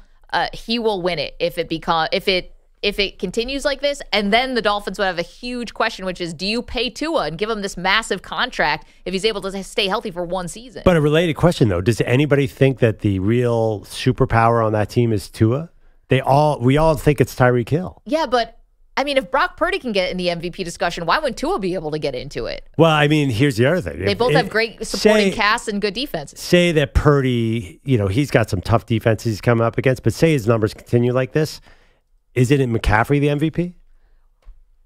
I mean, I think we all know that yes, McCaffrey is the MVP, but won't they give it to the quarterback? That just seems to be generally how this award is working. I just think this year is different because you don't really have a Patrick Mahomes.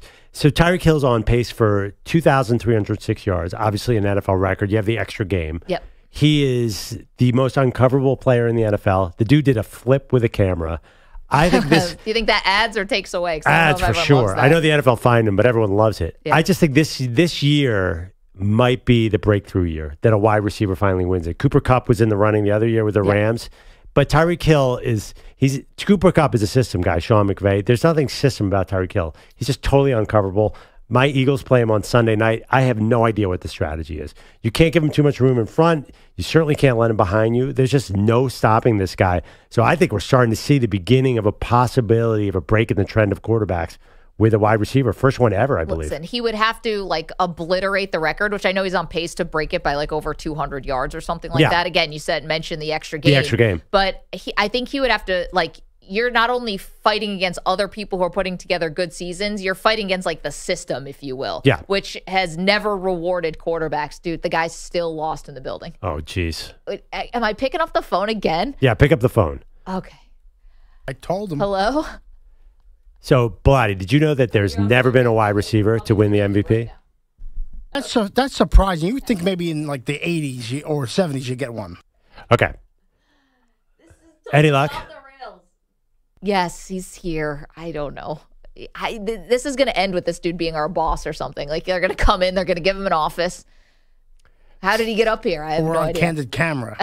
Apparently.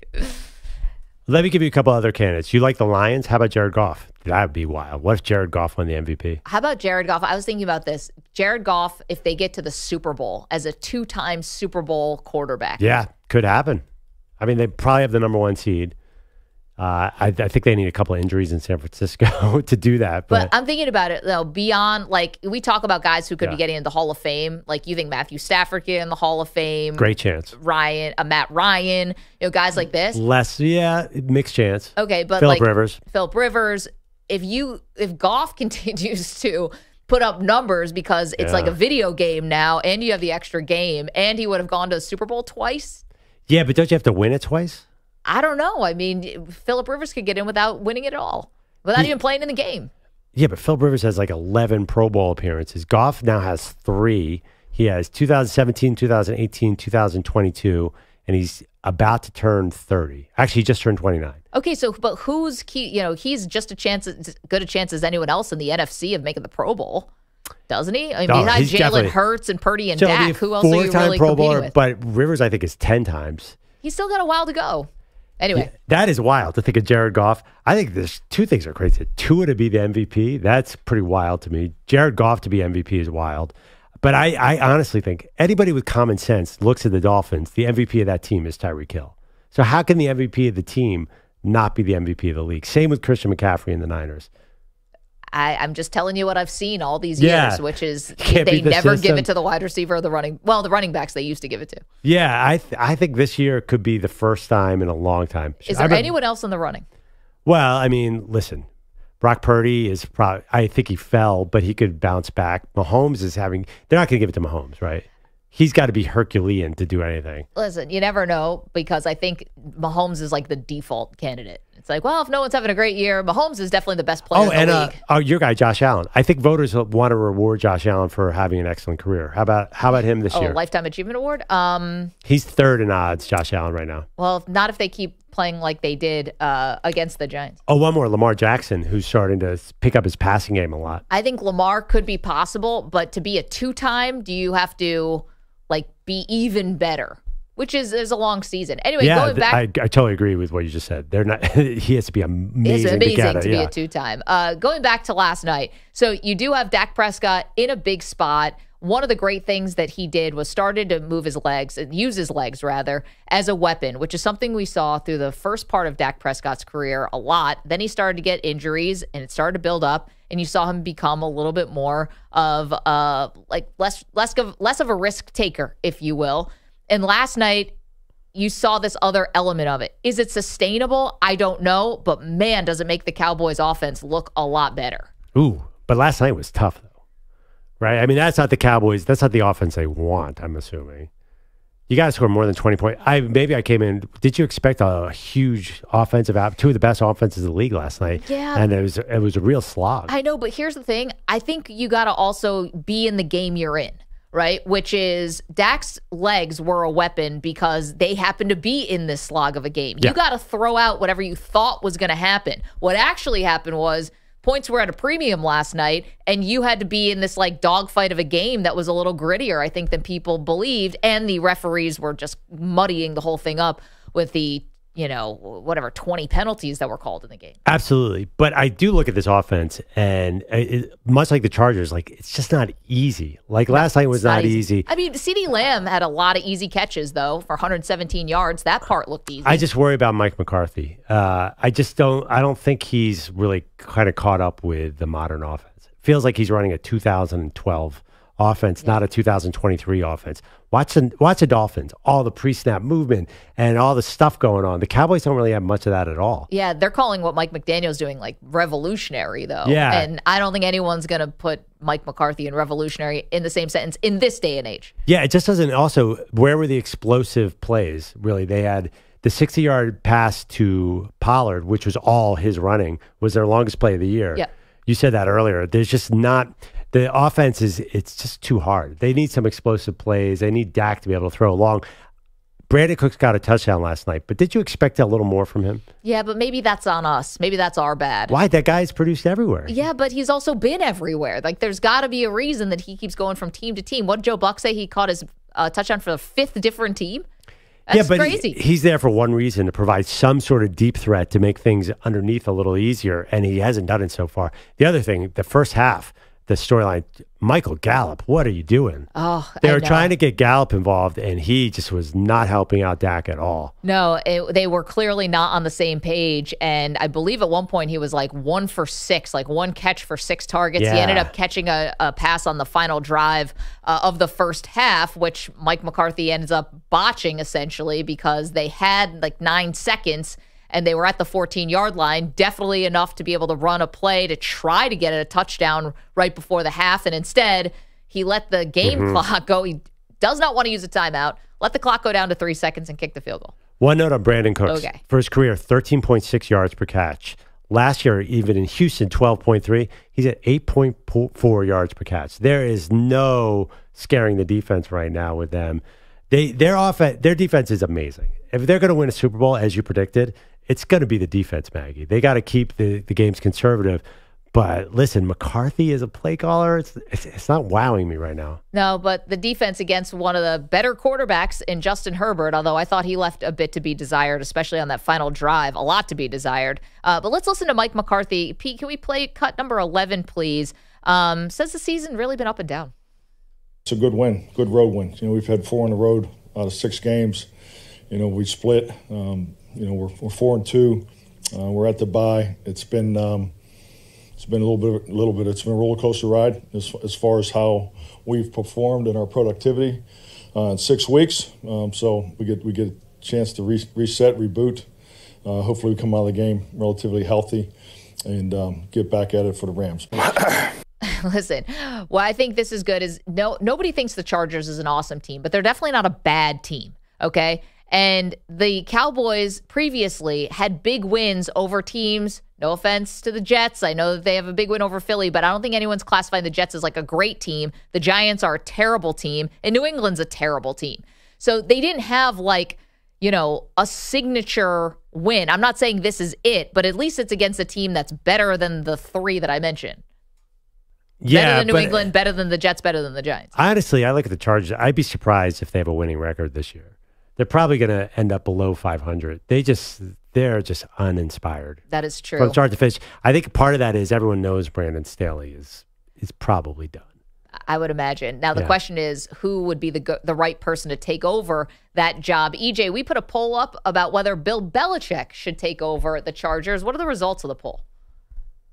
So looking at the poll here, give me uh, one second. I gotta circle back after this wild. Did we ever ride find had the breakfast? Does, elevator. that, does the guy who Um, d- delivered the breakfast was, uh, does he work crazy. here But the- now? The poll results right now, we got Chargers hiring Bill Belichick. So 45 percent say yes, 54 percent say no. Interesting. It's close. So does the guy who delivered the breakfast he works here now? he has an office now. Uh, he might as well. I mean, the fact that he was able to get. I mean, I feel like I was in Spider Man. Across the Spider Verse, trying to find Spot. If you've ever seen that movie where Spot's going to different dimensions, I mean, I've been on probably four or five floors. I, I think I've seen different dimensions. I saw a alternate Maggie and Perloff where you know Maggie was the male and Andrew was the female. I mean, I feel like I've just seen everything. You've seen too much now. Yes, I, I've seen the world now. Just trying to find the S in breakfast. Maggie has no idea what you're talking about. She does not know about the multiverse, the Spider Verse. No, but I get what he. I'm picking up what EJ's putting down. I mean, the other part is I can't believe he got to a Google floor. He got to a Google floor. He got to an Audacy floor apparently, uh, and then he was just chilling in in the elevator, in in the in not even in the elevator lobby, in the like in the freight elevator section, which all What? you need is one door, and you have access to everything here. How did he get in the freight elevator? I, look, he clearly maybe he's on some John Wick, Tom Clancy type. I mean, he needs to be, you know, in those movies or writing those movies because impressive job because there's quite a lot of security in this building. Dude, this this dude just like he, you know, like you got to test the perimeter, like Yeah. whenever you're trying to see where your weak points are. This guy just infiltrated the building. It's more like the movie Ricochet than anything else. Uh, he's corporate spy. What's Ricochet? Sorry. Uh, that was uh, John Lithgow, uh, where he was a uh, criminal. And then they're- they're John sitting there in Lithgow, our most our most hardened criminal. John Lithgow. What Third year rock was from. Ricochet? Oh, that was probably the 90s, mid 90s. 91. Yeah. Does anyone else have this with uh, the type of TV that we have? It's constantly feeding us like movie suggestions, and they're all from the 90s. It's like, have you watched Sandra Bullock in The Net? like, what? Oh, no, I haven't, and I'm not going to now. Well, I'm going to watch that early- Ricochet. Sounds awesome. I'm looking at Denzel Washington and John Lithgow. Sign me up. Anyone seen Equalizer 3 yet, by the way? I'm on the verge of renting it. I heard it's awesome. I've not seen Equalizer one. I haven't either, but everyone says Equalizer 3 is one of the best movies of the year. And I- you get on me because I like sequels. You're going to jump in on Equalizer 3 expecting a good movie? I heard it. I heard Equalizer 3 is outstanding. See, I'm a sequel fundamentalist. It's very hard for me if I've not watched the earlier movies to just jump in and like. You know, I gotta tell you- Fundamentalist. wow. Yeah, no, my friends It's a keep like stance. they've been hounding me on like you got to see the next John Wick. I'm like I've never seen the first John Wick. Like it doesn't matter. Oh. I'm like yes, it does. It for does for me. Equalizer and John Wick, it does not matter. It definitely doesn't matter. There's no EJ. plot. They just kill everybody. No, but I I, I want to see the story threads. I want to see how they the don't story have them. Yeah, I My- don't. It- my- it's like you can't see Kickboxer 2 if you haven't seen Kickboxer 1. I think you're going to be okay. You know what's Oh, an that's interesting? My yeah, wife Marvel rented brain. uh, Mission Impossible last night. Do you need to see all the Mission Impossibles? Because they don't really have a story thread that goes through. They kind of reset every time. That's another one where my parent friends keep saying, "Oh, I've never seen a Mission Impossible movie." They're like, "Oh, you got to see Mission Impossible." The next, you know, Tom Cruise movie. My dad loves these movies, and I'm like, I, I, I want. I, and my thing is, I'm not afraid to do hmm. the ten movie marathon. I'm not. I'm not ducking that smoke. Yeah. But like, I need time. People gotta relax. Like, I'm not gonna just jump to the eighth movie in a franchise. No, you got it wrong because you can't to see a James Bond movie. You can't see the 35 that came before it, and there's no need to. There's no plot thread. There's no relationships that carry from one movie to the next. Yeah, he's sleeping with different women and everyone. Yeah, same with Mission Impossible. There's no common. Yeah, they're the same actors, but they reset the plot every time. You're fine. I can't do it. And by the way, it's the same plot every time. Every I was Mission gonna say, Impossible movie. Reset the plot. How? It's like it's just a, an excuse for Tom Cruise to jump out of an airplane. Yeah, yeah, no, basically. and then tell us about it. Yeah, it's like the the American government is betraying Tom Cruise, and they end up on the same page. I just told you what happened in all the other movies. Jeez, Sorry, Paul, spoiler. You gotta you gotta alert us before you divulge. was that too much? I'm just kidding. Have you ever seen Mission Impossible? How have you not seen Mission Impossible One? I've never. I just. I've never seen it. I mean, it's not like a young thing. Cause I'm 32. Like, I feel like a lot of people my age have seen at least some Mission Impossible movies, but Yeah. just uh, not something that like you would think a young man who loves like action stuff. I don't know. Just never. I never. Never jumped to my thing or something. I Just want to admit it. You hate Tom Cruise. Yeah. No, You I hate- actually don't mind Tom Cruise. Tom Cruise. I, I don't. Like it's.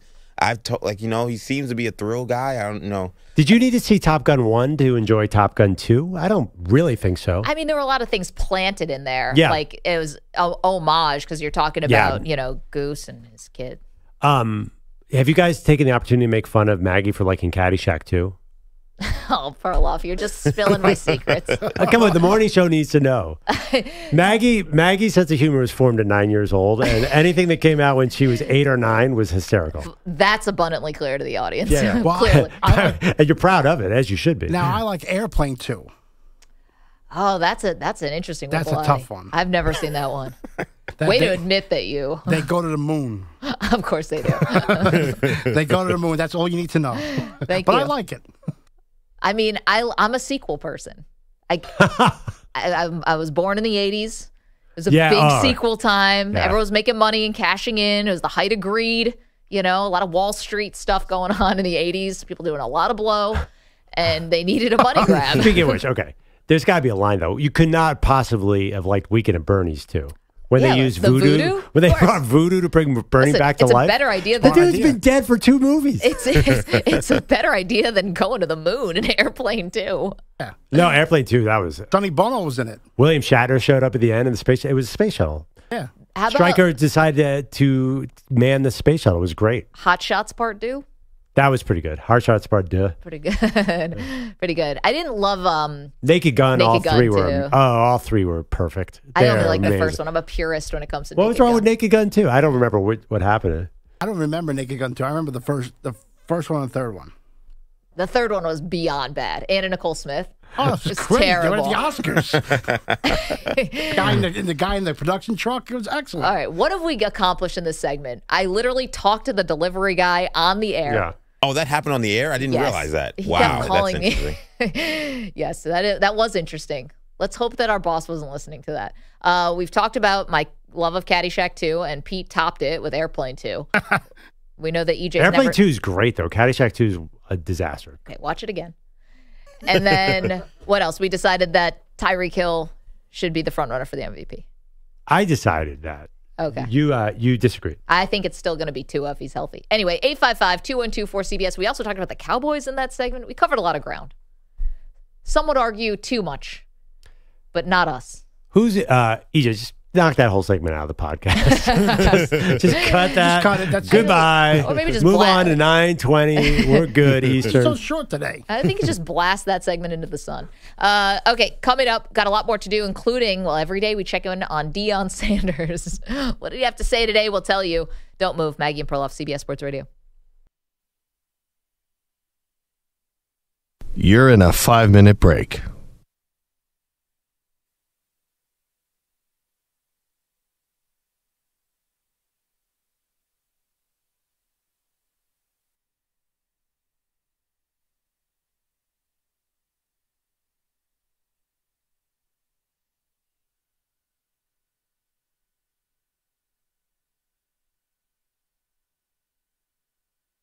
Four minutes, 30 seconds remaining.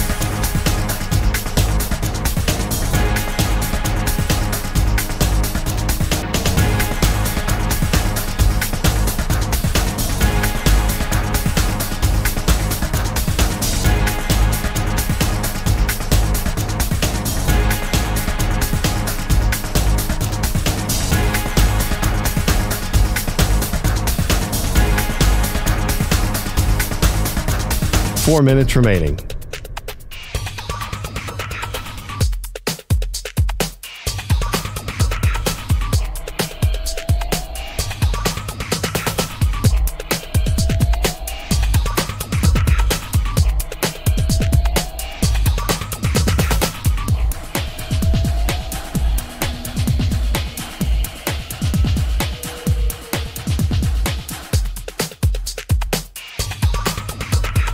Three minutes, 30 seconds remaining.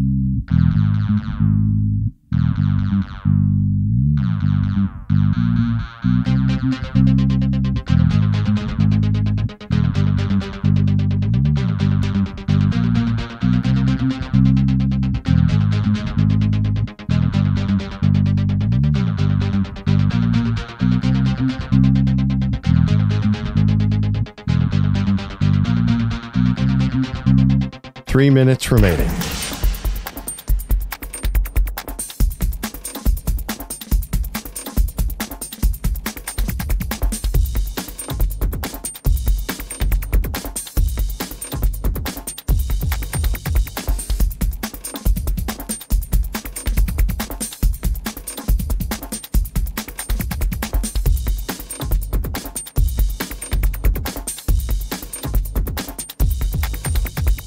Two minutes, 30 seconds remaining.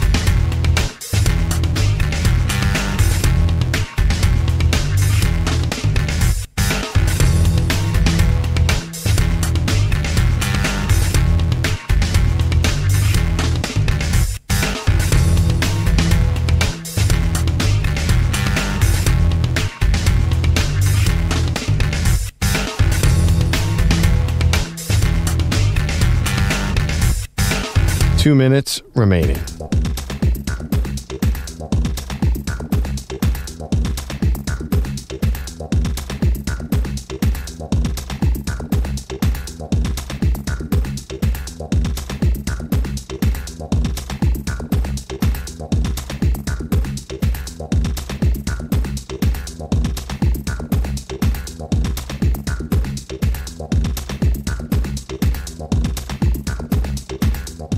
One minute, 30 seconds remaining.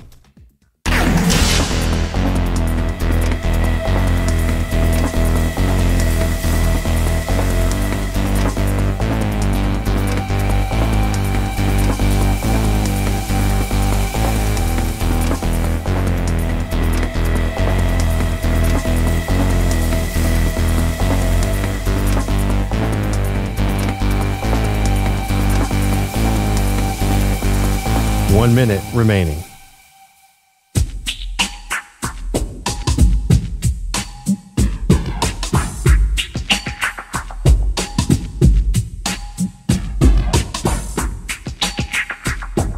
Forty-five seconds remaining.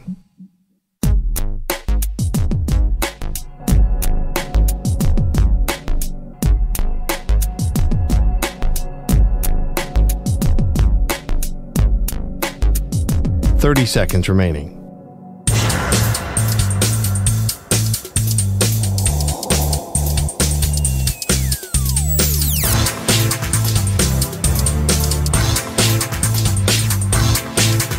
Fifteen seconds.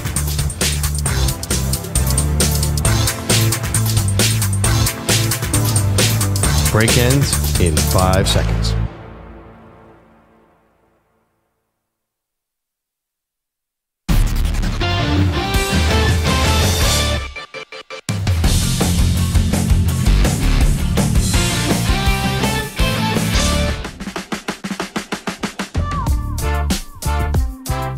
Welcome back to Maggie and Perloff. I felt like the whole crew here was a little disappointed in me yesterday. I mean, Correct.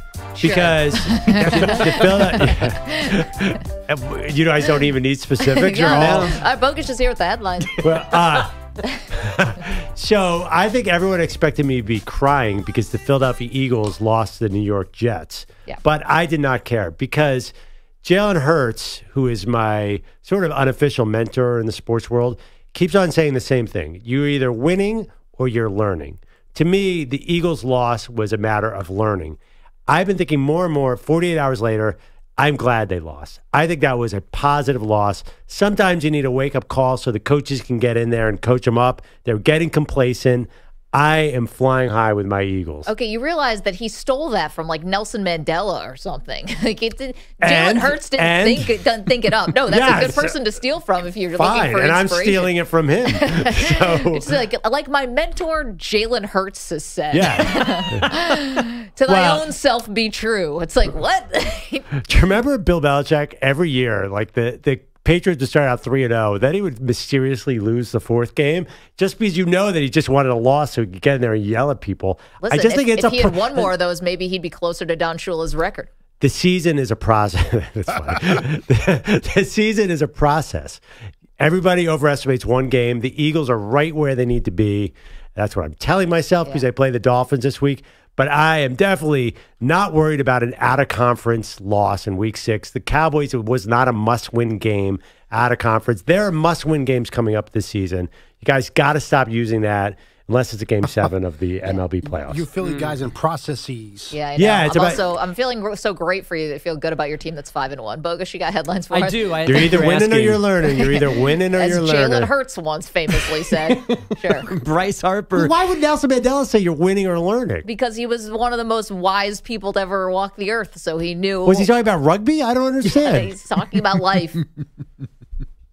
Bryce Harper is certainly good at baseball, but does he know his numbers? Harper cranked a home run on the first pitch he saw in game one of the NLCS last night on his 31st birthday. So Harper put up three fingers on one hand, one on the other as he got to home plate, then blew out the candles. To him, it looked like a 31. To the rest of us, it looked like a 13. it's crazy. I just sometimes I just do stuff, and that, that felt uh, that felt right. So thought I'd uh, step on home plate and, and do that. Um, but I just thought about it as I was running around third base. Harper also Oh, had what a guy. RBI single in the 5 3 series opening win. His team has now won its last 10 postseason games at home against NL opponents.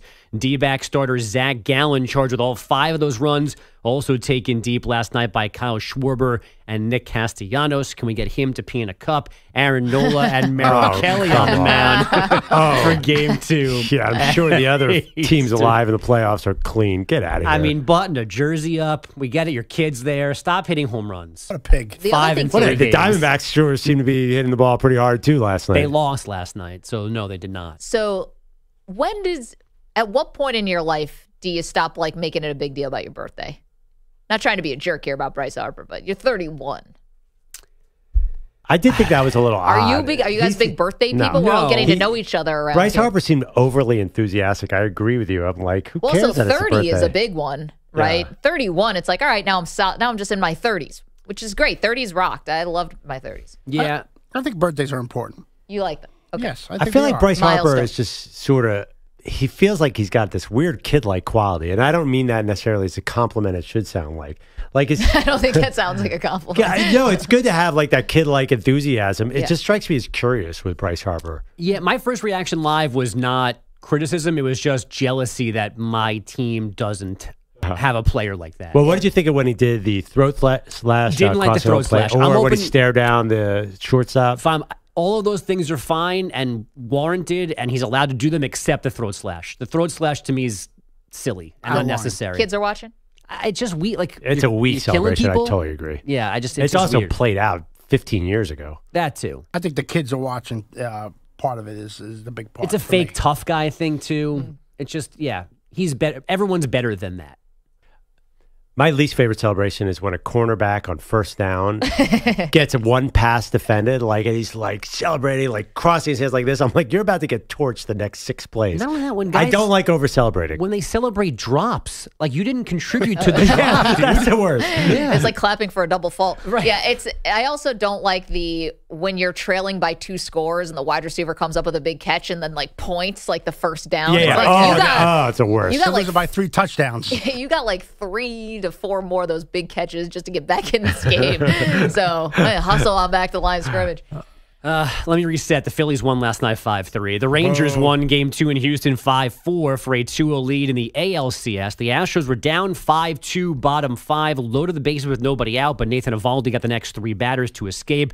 Max Scherzer back after five weeks with a shoulder injury. He starts game three tomorrow in Arlington. Get lost. It was a 2017 Cowboy win over the Chargers in LA on Monday Night Football. That means 25 teams scored 21 points or fewer in week six, the most in a single week ever. Wow. Brandon Staley accepts his team's role in that infamy. We're a work in progress, and um, this was a tough night against a good team, good good defensive unit.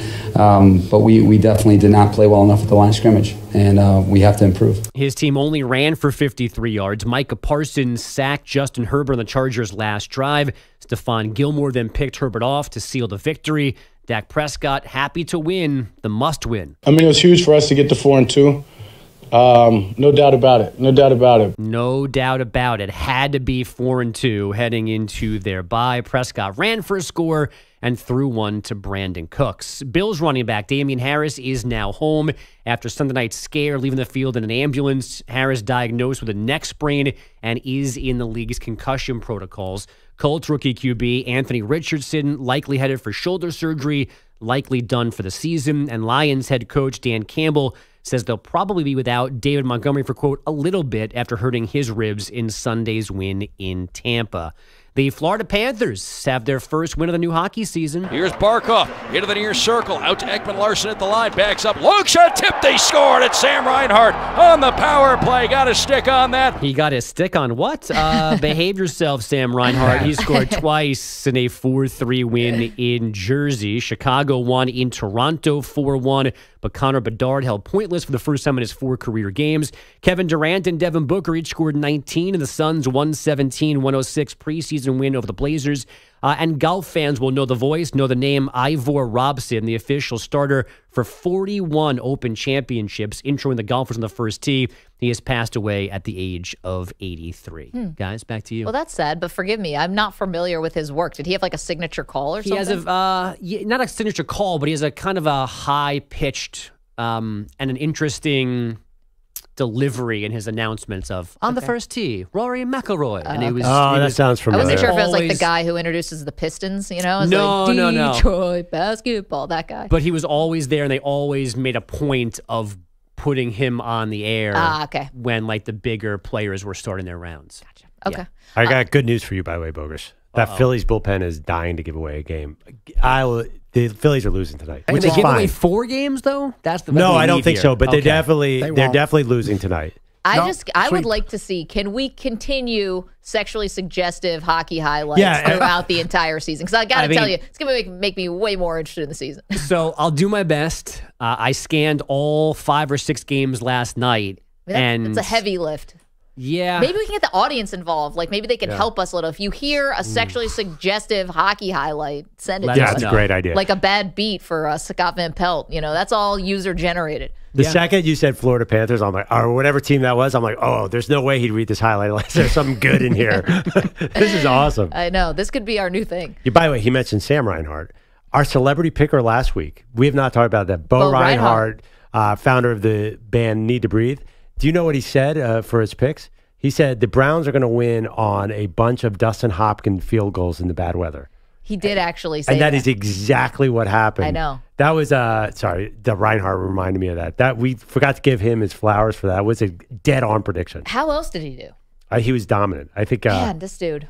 All yeah. these country music stars are he's more like rock, like uh, Uh, Christian rock. Christian I guess. rock, yeah, but he lives in Nashville. He lives in Nashville, so he's like around it. I Yeah. mean, these dudes Yeah. are so good at evaluating sports. Like the Florida Georgia line people, they're like their analysis is spot on. well, are they like better than LeBron though? That's the question. But LeBron's an athlete. Like these guys, I think you get a lot of downtime when you're on tour. Right. You're on the bus, concert at night. You got time then- to break down film. Then you so got much paid- time to watch First Take Yeah. and like listen to every radio show in the world. right. I then want my Pey- damn respect too.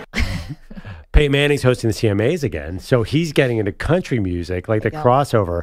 Now I love. I, I want to see more of. I didn't watch much of the shop. Nobody told me it was on when they were doing the second screen for the NFL game.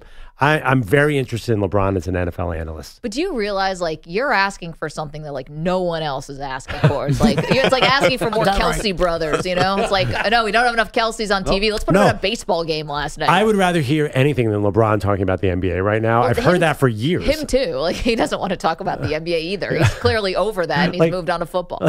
His opinion on Anthony Davis means nothing. It's been five years of that. Yeah, I mean, listen, was it in his mind was a must win for his Cowboys last night? I- Sure. I, want to hear what he thought of the defense in that last drive. Yeah, let's have him on the show. Why not? Cool. Call LeBron. Somebody Uh, book LeBron. EJ, get on that. Hello. Um, yes, you would love LeBron because he's a fan of the Cowboys and the Browns, and you're a fan Oh. of everyone on earth. and Ohio State, and somehow he's gotten involved in Oregon, and there seems to be a little bit of now there's a USC fandom. His college is all over the place. Like the Phillies? Probably. The one team he hates. But he's, no, he's definitely waiting out to see who wins it this Saturday with Ohio State, Penn State to see if he can put that Buckeye hat on, or the Oregon hat, or the USC hat. Thrifty is Oh, in and the Deion. chat. Yeah, YouTube. We'll get to Deion in a second. Thrifty's in the chat. YouTube.com slash CBS Sports Radio said, wait, y'all know Need to Breathe? Dude, come on. Celebrity picks. We do them uh, every Friday. Yeah, of course, we need- know Need to Breathe. Need to breathe. If you actually, the ESPN plays them all the time. They have a lot of rejoin music on ESPN. I'll point it out next time. I'll call everybody. Especially uh, Right. Thrifty in the chat. Hey. Call him directly. yeah, Thrifty, turn on these WNBA highlights. quick, quick, quick, quick. It's Need to breathe. oh, it's over. Uh, thank you, Bogusch, for the highlights. Let's get to our Daily Deion. Daily. Do you believe that? Deion. You believe that? All right, well, Colorado goes into their bye week off of a brutal loss. Stanford, double overtime. That's a sentence I never thought I'd say into a microphone. Uh, double overtime, they lose. They were up 29 nothing. Deion Sanders gets philosophical in his post game press conferences, Perloff. And this one was particularly brutal after they lost to Stanford. So he started talking about whether his team actually loves football because he loves football. Sadly, I love it so much, but the game don't even occupy the ability to love you back. That's a strange love, isn't it? You can just hear the pain there. I never thought about football not loving you back. It is such a brutal sport. I never thought anyone would expect love back from football considering the damage it does to your body. Wait, what's he saying here? He's saying football has not loved him back. Feels like football is giving Deion a lot of love back. Hall like Fame. Super Bowl rings, Hall of Fame, kind of an This- awesome this is coach. also very clearly a play on the paid in full line from, you know, Mekhi Phifer, where he says, you know, you know, Yes. it's you know the game don't love me, but they don't love you back though. And I feel you, A. I do, man. But see, man, I love the game. I love the hustle. Like Deion, totally taking it from paid in full. oh, okay. But still, Wait, they talk about football in that scene though? no, that scene is about uh, street life. Yeah, I was gonna say that scene is about a drug deal. Yes, yeah, yes, right, but, right. that, but that this is but this is the cadence. Everything is Yeah. the same. Man, Oh, okay. how much is he ripping off? Every coach does though. Every yeah, everyone does. I'm I not. mean, I'm not even Jalen hating Hurts him is on out hating here- on him for. In fact, I love the reference, but like that, like he's making it seem like it's original, but this is definitely paid in full. I know it's like Jalen Hurts quoting Nelson Mandela, but taking it for himself. it's like, dude, it's not you. Um, Why do you have to go after Jalen Hurts? it just brings it all full circle in this segment. Um, yeah, right. Okay. Deion's getting a lot of heat these days. If you guys notice a new trend, Hmm. that he seems to be deflecting, uh, and I never noticed this, that in his post game press conferences, a lot of the players screwed up, a lot of the coaches screwed up. There's not a lot of I screwed up in this. No, thing. well, the other thing that he's Yeah. doing, and I get why because he's played really well and it's his son. Never a criticism of Shedeur. Oh, yeah, ever, yeah. ever, ever. I like but that. you know what? I like that. To be fair though, like find me a coach that really criticizes their quarterback I in a press conference. That is it- doesn't happen. Only Brian Daboll does stuff like that. What opportunities? Even okay, he threw one pick, but I mean, he was unbelievable in the Stanford game. There's not a lot of opportunities to criticize Shedeur That's this year. true. He's That's been true. nearly perfect. Uh, okay, that's your daily Deion for today. Got a lot more to do, including uh, the hilarious moment from yesterday that had us just dying. We'll get to that in a minute. It's Maggie and Perloff, CBS Sports Radio.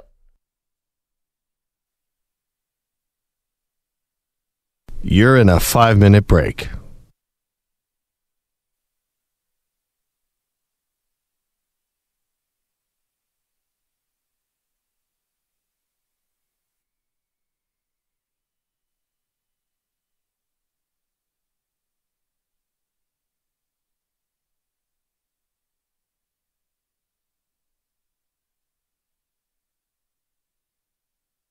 Four minutes, 30 seconds remaining.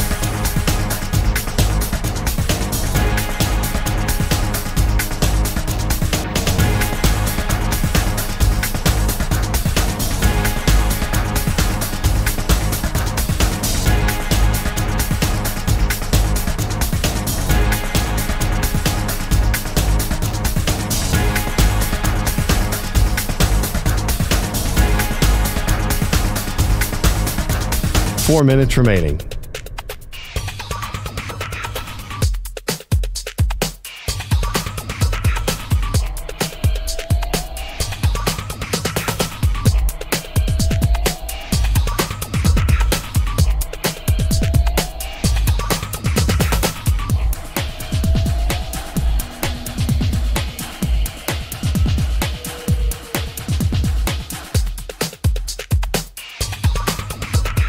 Three minutes, 30 seconds remaining.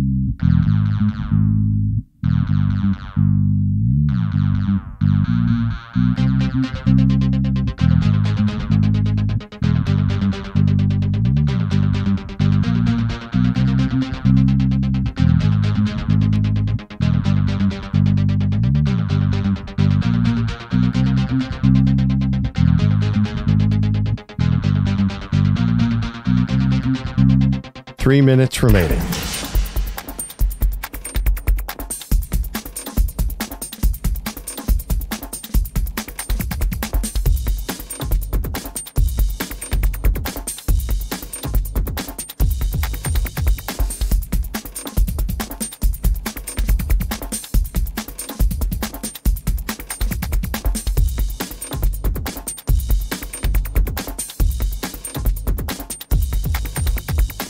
Minutes, 30 seconds remaining.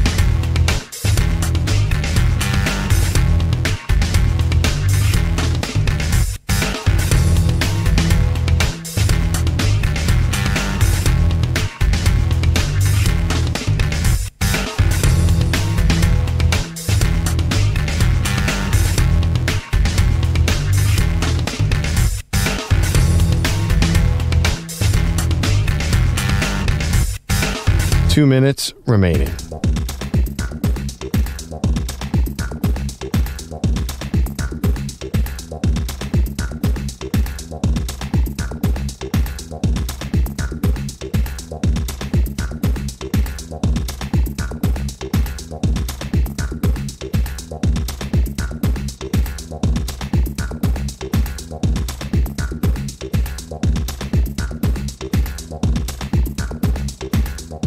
One minute, 30 seconds remaining.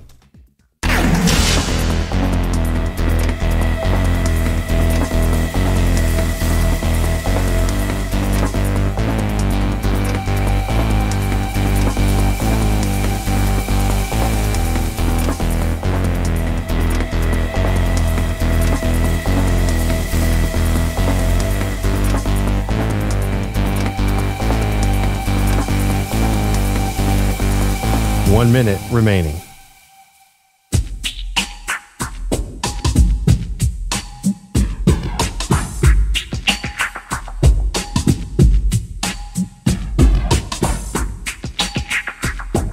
Forty-five seconds remaining.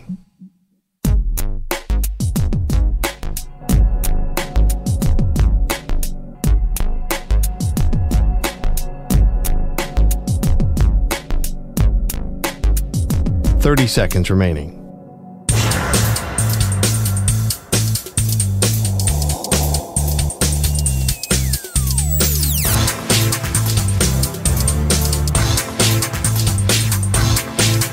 Fifteen seconds.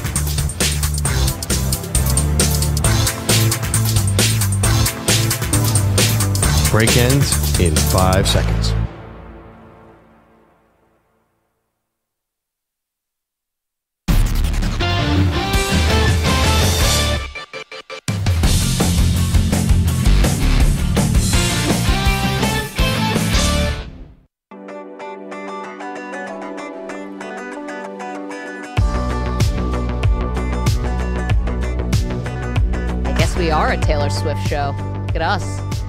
Welcome back, Maggie and Perloff, Maggie Gray, Andrew Perloff, CBS Sports Radio. Oh boy, like we don't have enough of Oh. Enough, Taylor. I think I'm, I'm reaching my max. That was a great conversation with my 13 year old and you about Taylor Swift yesterday. Yes, yesterday in the car. Yeah, it was pretty good. My 13 year old hates Taylor Swift. Doesn't just dislike her. Thinks know. she's everything wrong with American pop culture. That's because Why? your your teenage daughter is going through like a She's not, like- not like a punk rock phase, but just like a, anything that's popular, she's not gonna like. Exactly. She's in that phase. She says Taylor is the worst dancer and she dresses like a mom. That was her. uh, it's just too poppy for her. She she likes definitely like underground stuff, which is crazy. Like she's telling me about bands. Like two years ago, she was watching Dora the Explorer. I don't know what's happening. Here. It was Baby Shark two years ago, and now she's uh, get lit lounge. Uh-oh. All of a sudden, like she's she I I like bring up a song. She's like, oh, Dad, you're so old. I mean, your daughter is definitely so much cooler than you. She called Travis. Me. We asked her. So Oh. me and Maggie were on the conference call. My daughter was in the car. And Maggie goes, "Do you think?" I said, "Do you think Travis Kelce's good looking?" She goes, "Dad, he's so old. like he's like an octogenarian walking the streets." like he, walk, he goes to the game with a walker, you know. Anyway, um, this was interesting. Here was Roger Goodell, total left turn, who was talking, Speaking of heartthrobs, Roger Goodell. Ooh, Raj. Uh, he was on an NFL Live panel about uh, NFL in the United Kingdom. So this was last week, and he was asked about whether they would ever play the Super Bowl in Europe. To play a Super Bowl in a city where we don't have a franchise, that would be pretty hard to do. Um, it's not impossible, and it's something that has been discussed before. But I think being able to play it in one of our cities, um, it's a huge economic boost to those cities. Our fans live in those cities also. I think that's important. Not that we don't have great fans here, we do. And so, uh, you know, as the international series develops, maybe that's a possibility uh, as we play more games here. I mean, they add games in Europe every single year, so we know it's going to be, you know, it's going to increase. I'm sh- I'm sure they're looking at ways to put teams in Europe and expand the footprint. But the Super Bowl in Europe feels like a bridge too far to me. Why would you want to do that? Well, because what do you gain from having it? You know, you're not gaining a new audience by having it anywhere in America. So the the idea is to expand to the rest of the world by moving over to Europe. Okay, but the question is the timing, right? I Yeah. always thought you weren't going to have a big fan, you weren't going to have a lot of people watching in Europe because it kicks off at 6:40 Eastern time, which is like close to midnight in London. So you're asking people to stay up late on a Sunday, you know, to watch something they're not invested in. So ESPN reported, and I'm, I'm sorry, I'm not sure where, that they would play the game at 8:30 local, 3:30. It's five hours that time of the year, 3:30 Eastern. That's not too bad. Here's the thing about the Super Bowl, and I, I kind of believe this: it's a TV product. So what difference does it really make? I guess there's some lead up. I feel like the lead up is a little overrated. The media loves it, of course, because they all get to go there. But generally, I, I think once you're watching the game, do you care where it is? I don't care where it is, but you're going to tell me the Super Bowl is going to kick off at noon on the West Coast? Like that seems crazy. What about, you know, first of all, the build up, they sell t- they sell ads I mean, it kicks the off at 3:30. It's not that late. I don't know. Noon feels a little early for the Super Bowl to me. Now, granted, I'm 40, so I'd love it. Let's play this thing at 11 o'clock in the morning. That jives with my schedule. But I feel like they're losing out on so much advertising money in the build up, to the, in hmm. the lead up to the game Oh, that day. God, that there's nothing more boring than the six-hour pre pregame show. I'm telling you, I bet they I- sell tons of ads against it. Well, it's still okay. Three thirty. I'm not sure that's that big a difference. But as far as like the experience and having everybody at the city, I, I think the fact that who cares that it's in Miami, you know, the next couple of years, or it's in San Francisco in two years or three years. Does that really affect most of the people watching the game on TV, uh, which is the 99.9% of the audience? I get it. It's 100 million people or whatever watching on TV. But I also think it's a big lift. Like, say you're a Lions fan. Yeah. And you've been waiting for your team to get to the Super Bowl your whole life. And, or multiple generations have been waiting for this their whole lives. And then all of a sudden you get there and it's like, all right, you were already probably, if you were going to go, you already know it's going to be expensive as all get out. So now you got to do a European flight on top of that. Like, you're asking your fans to do too much there. Yeah, I mean the tickets are insane right now, so I'm not sure all these Lions fans can afford to go. That's all a good point, but I, I think if you're, is it going to water down? Is the Super Bowl going to be bad because it's in London? I think it's kind of like at a neutral site anyway, all the time. It's in Vegas this year. It's obviously not going to be the Raiders, so I just so I think at the end of the day, Super Bowl is a TV product, and that's how they view it. They don't really care that much about the location. But that there are 32 owners who all want it in their cities to be like a show off my city. Definitely. Let's get to our shot of the day. He shoots.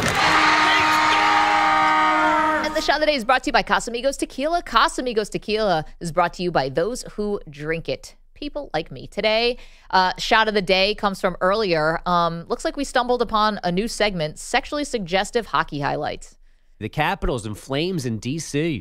So Kuznetsov is going to start it off here. And we'll see if he pulls out the move. He sure does. going to slow it down along the right side. And just going to tap at it here all the way to the net. Slow it down through the right circle. Tap, tap, tap, and score.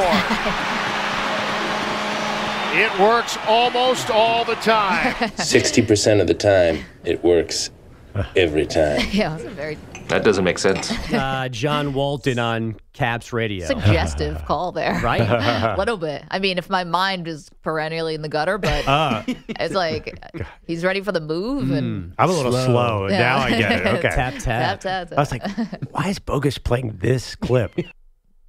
What was that line in Anchorman? It was like Panther Cologne or something, Uh, right? Sixty percent of the time uh, works every time. Uh, yeah, and this is interesting. I'm looking at hockey terms that could be confused for sexual innuendos.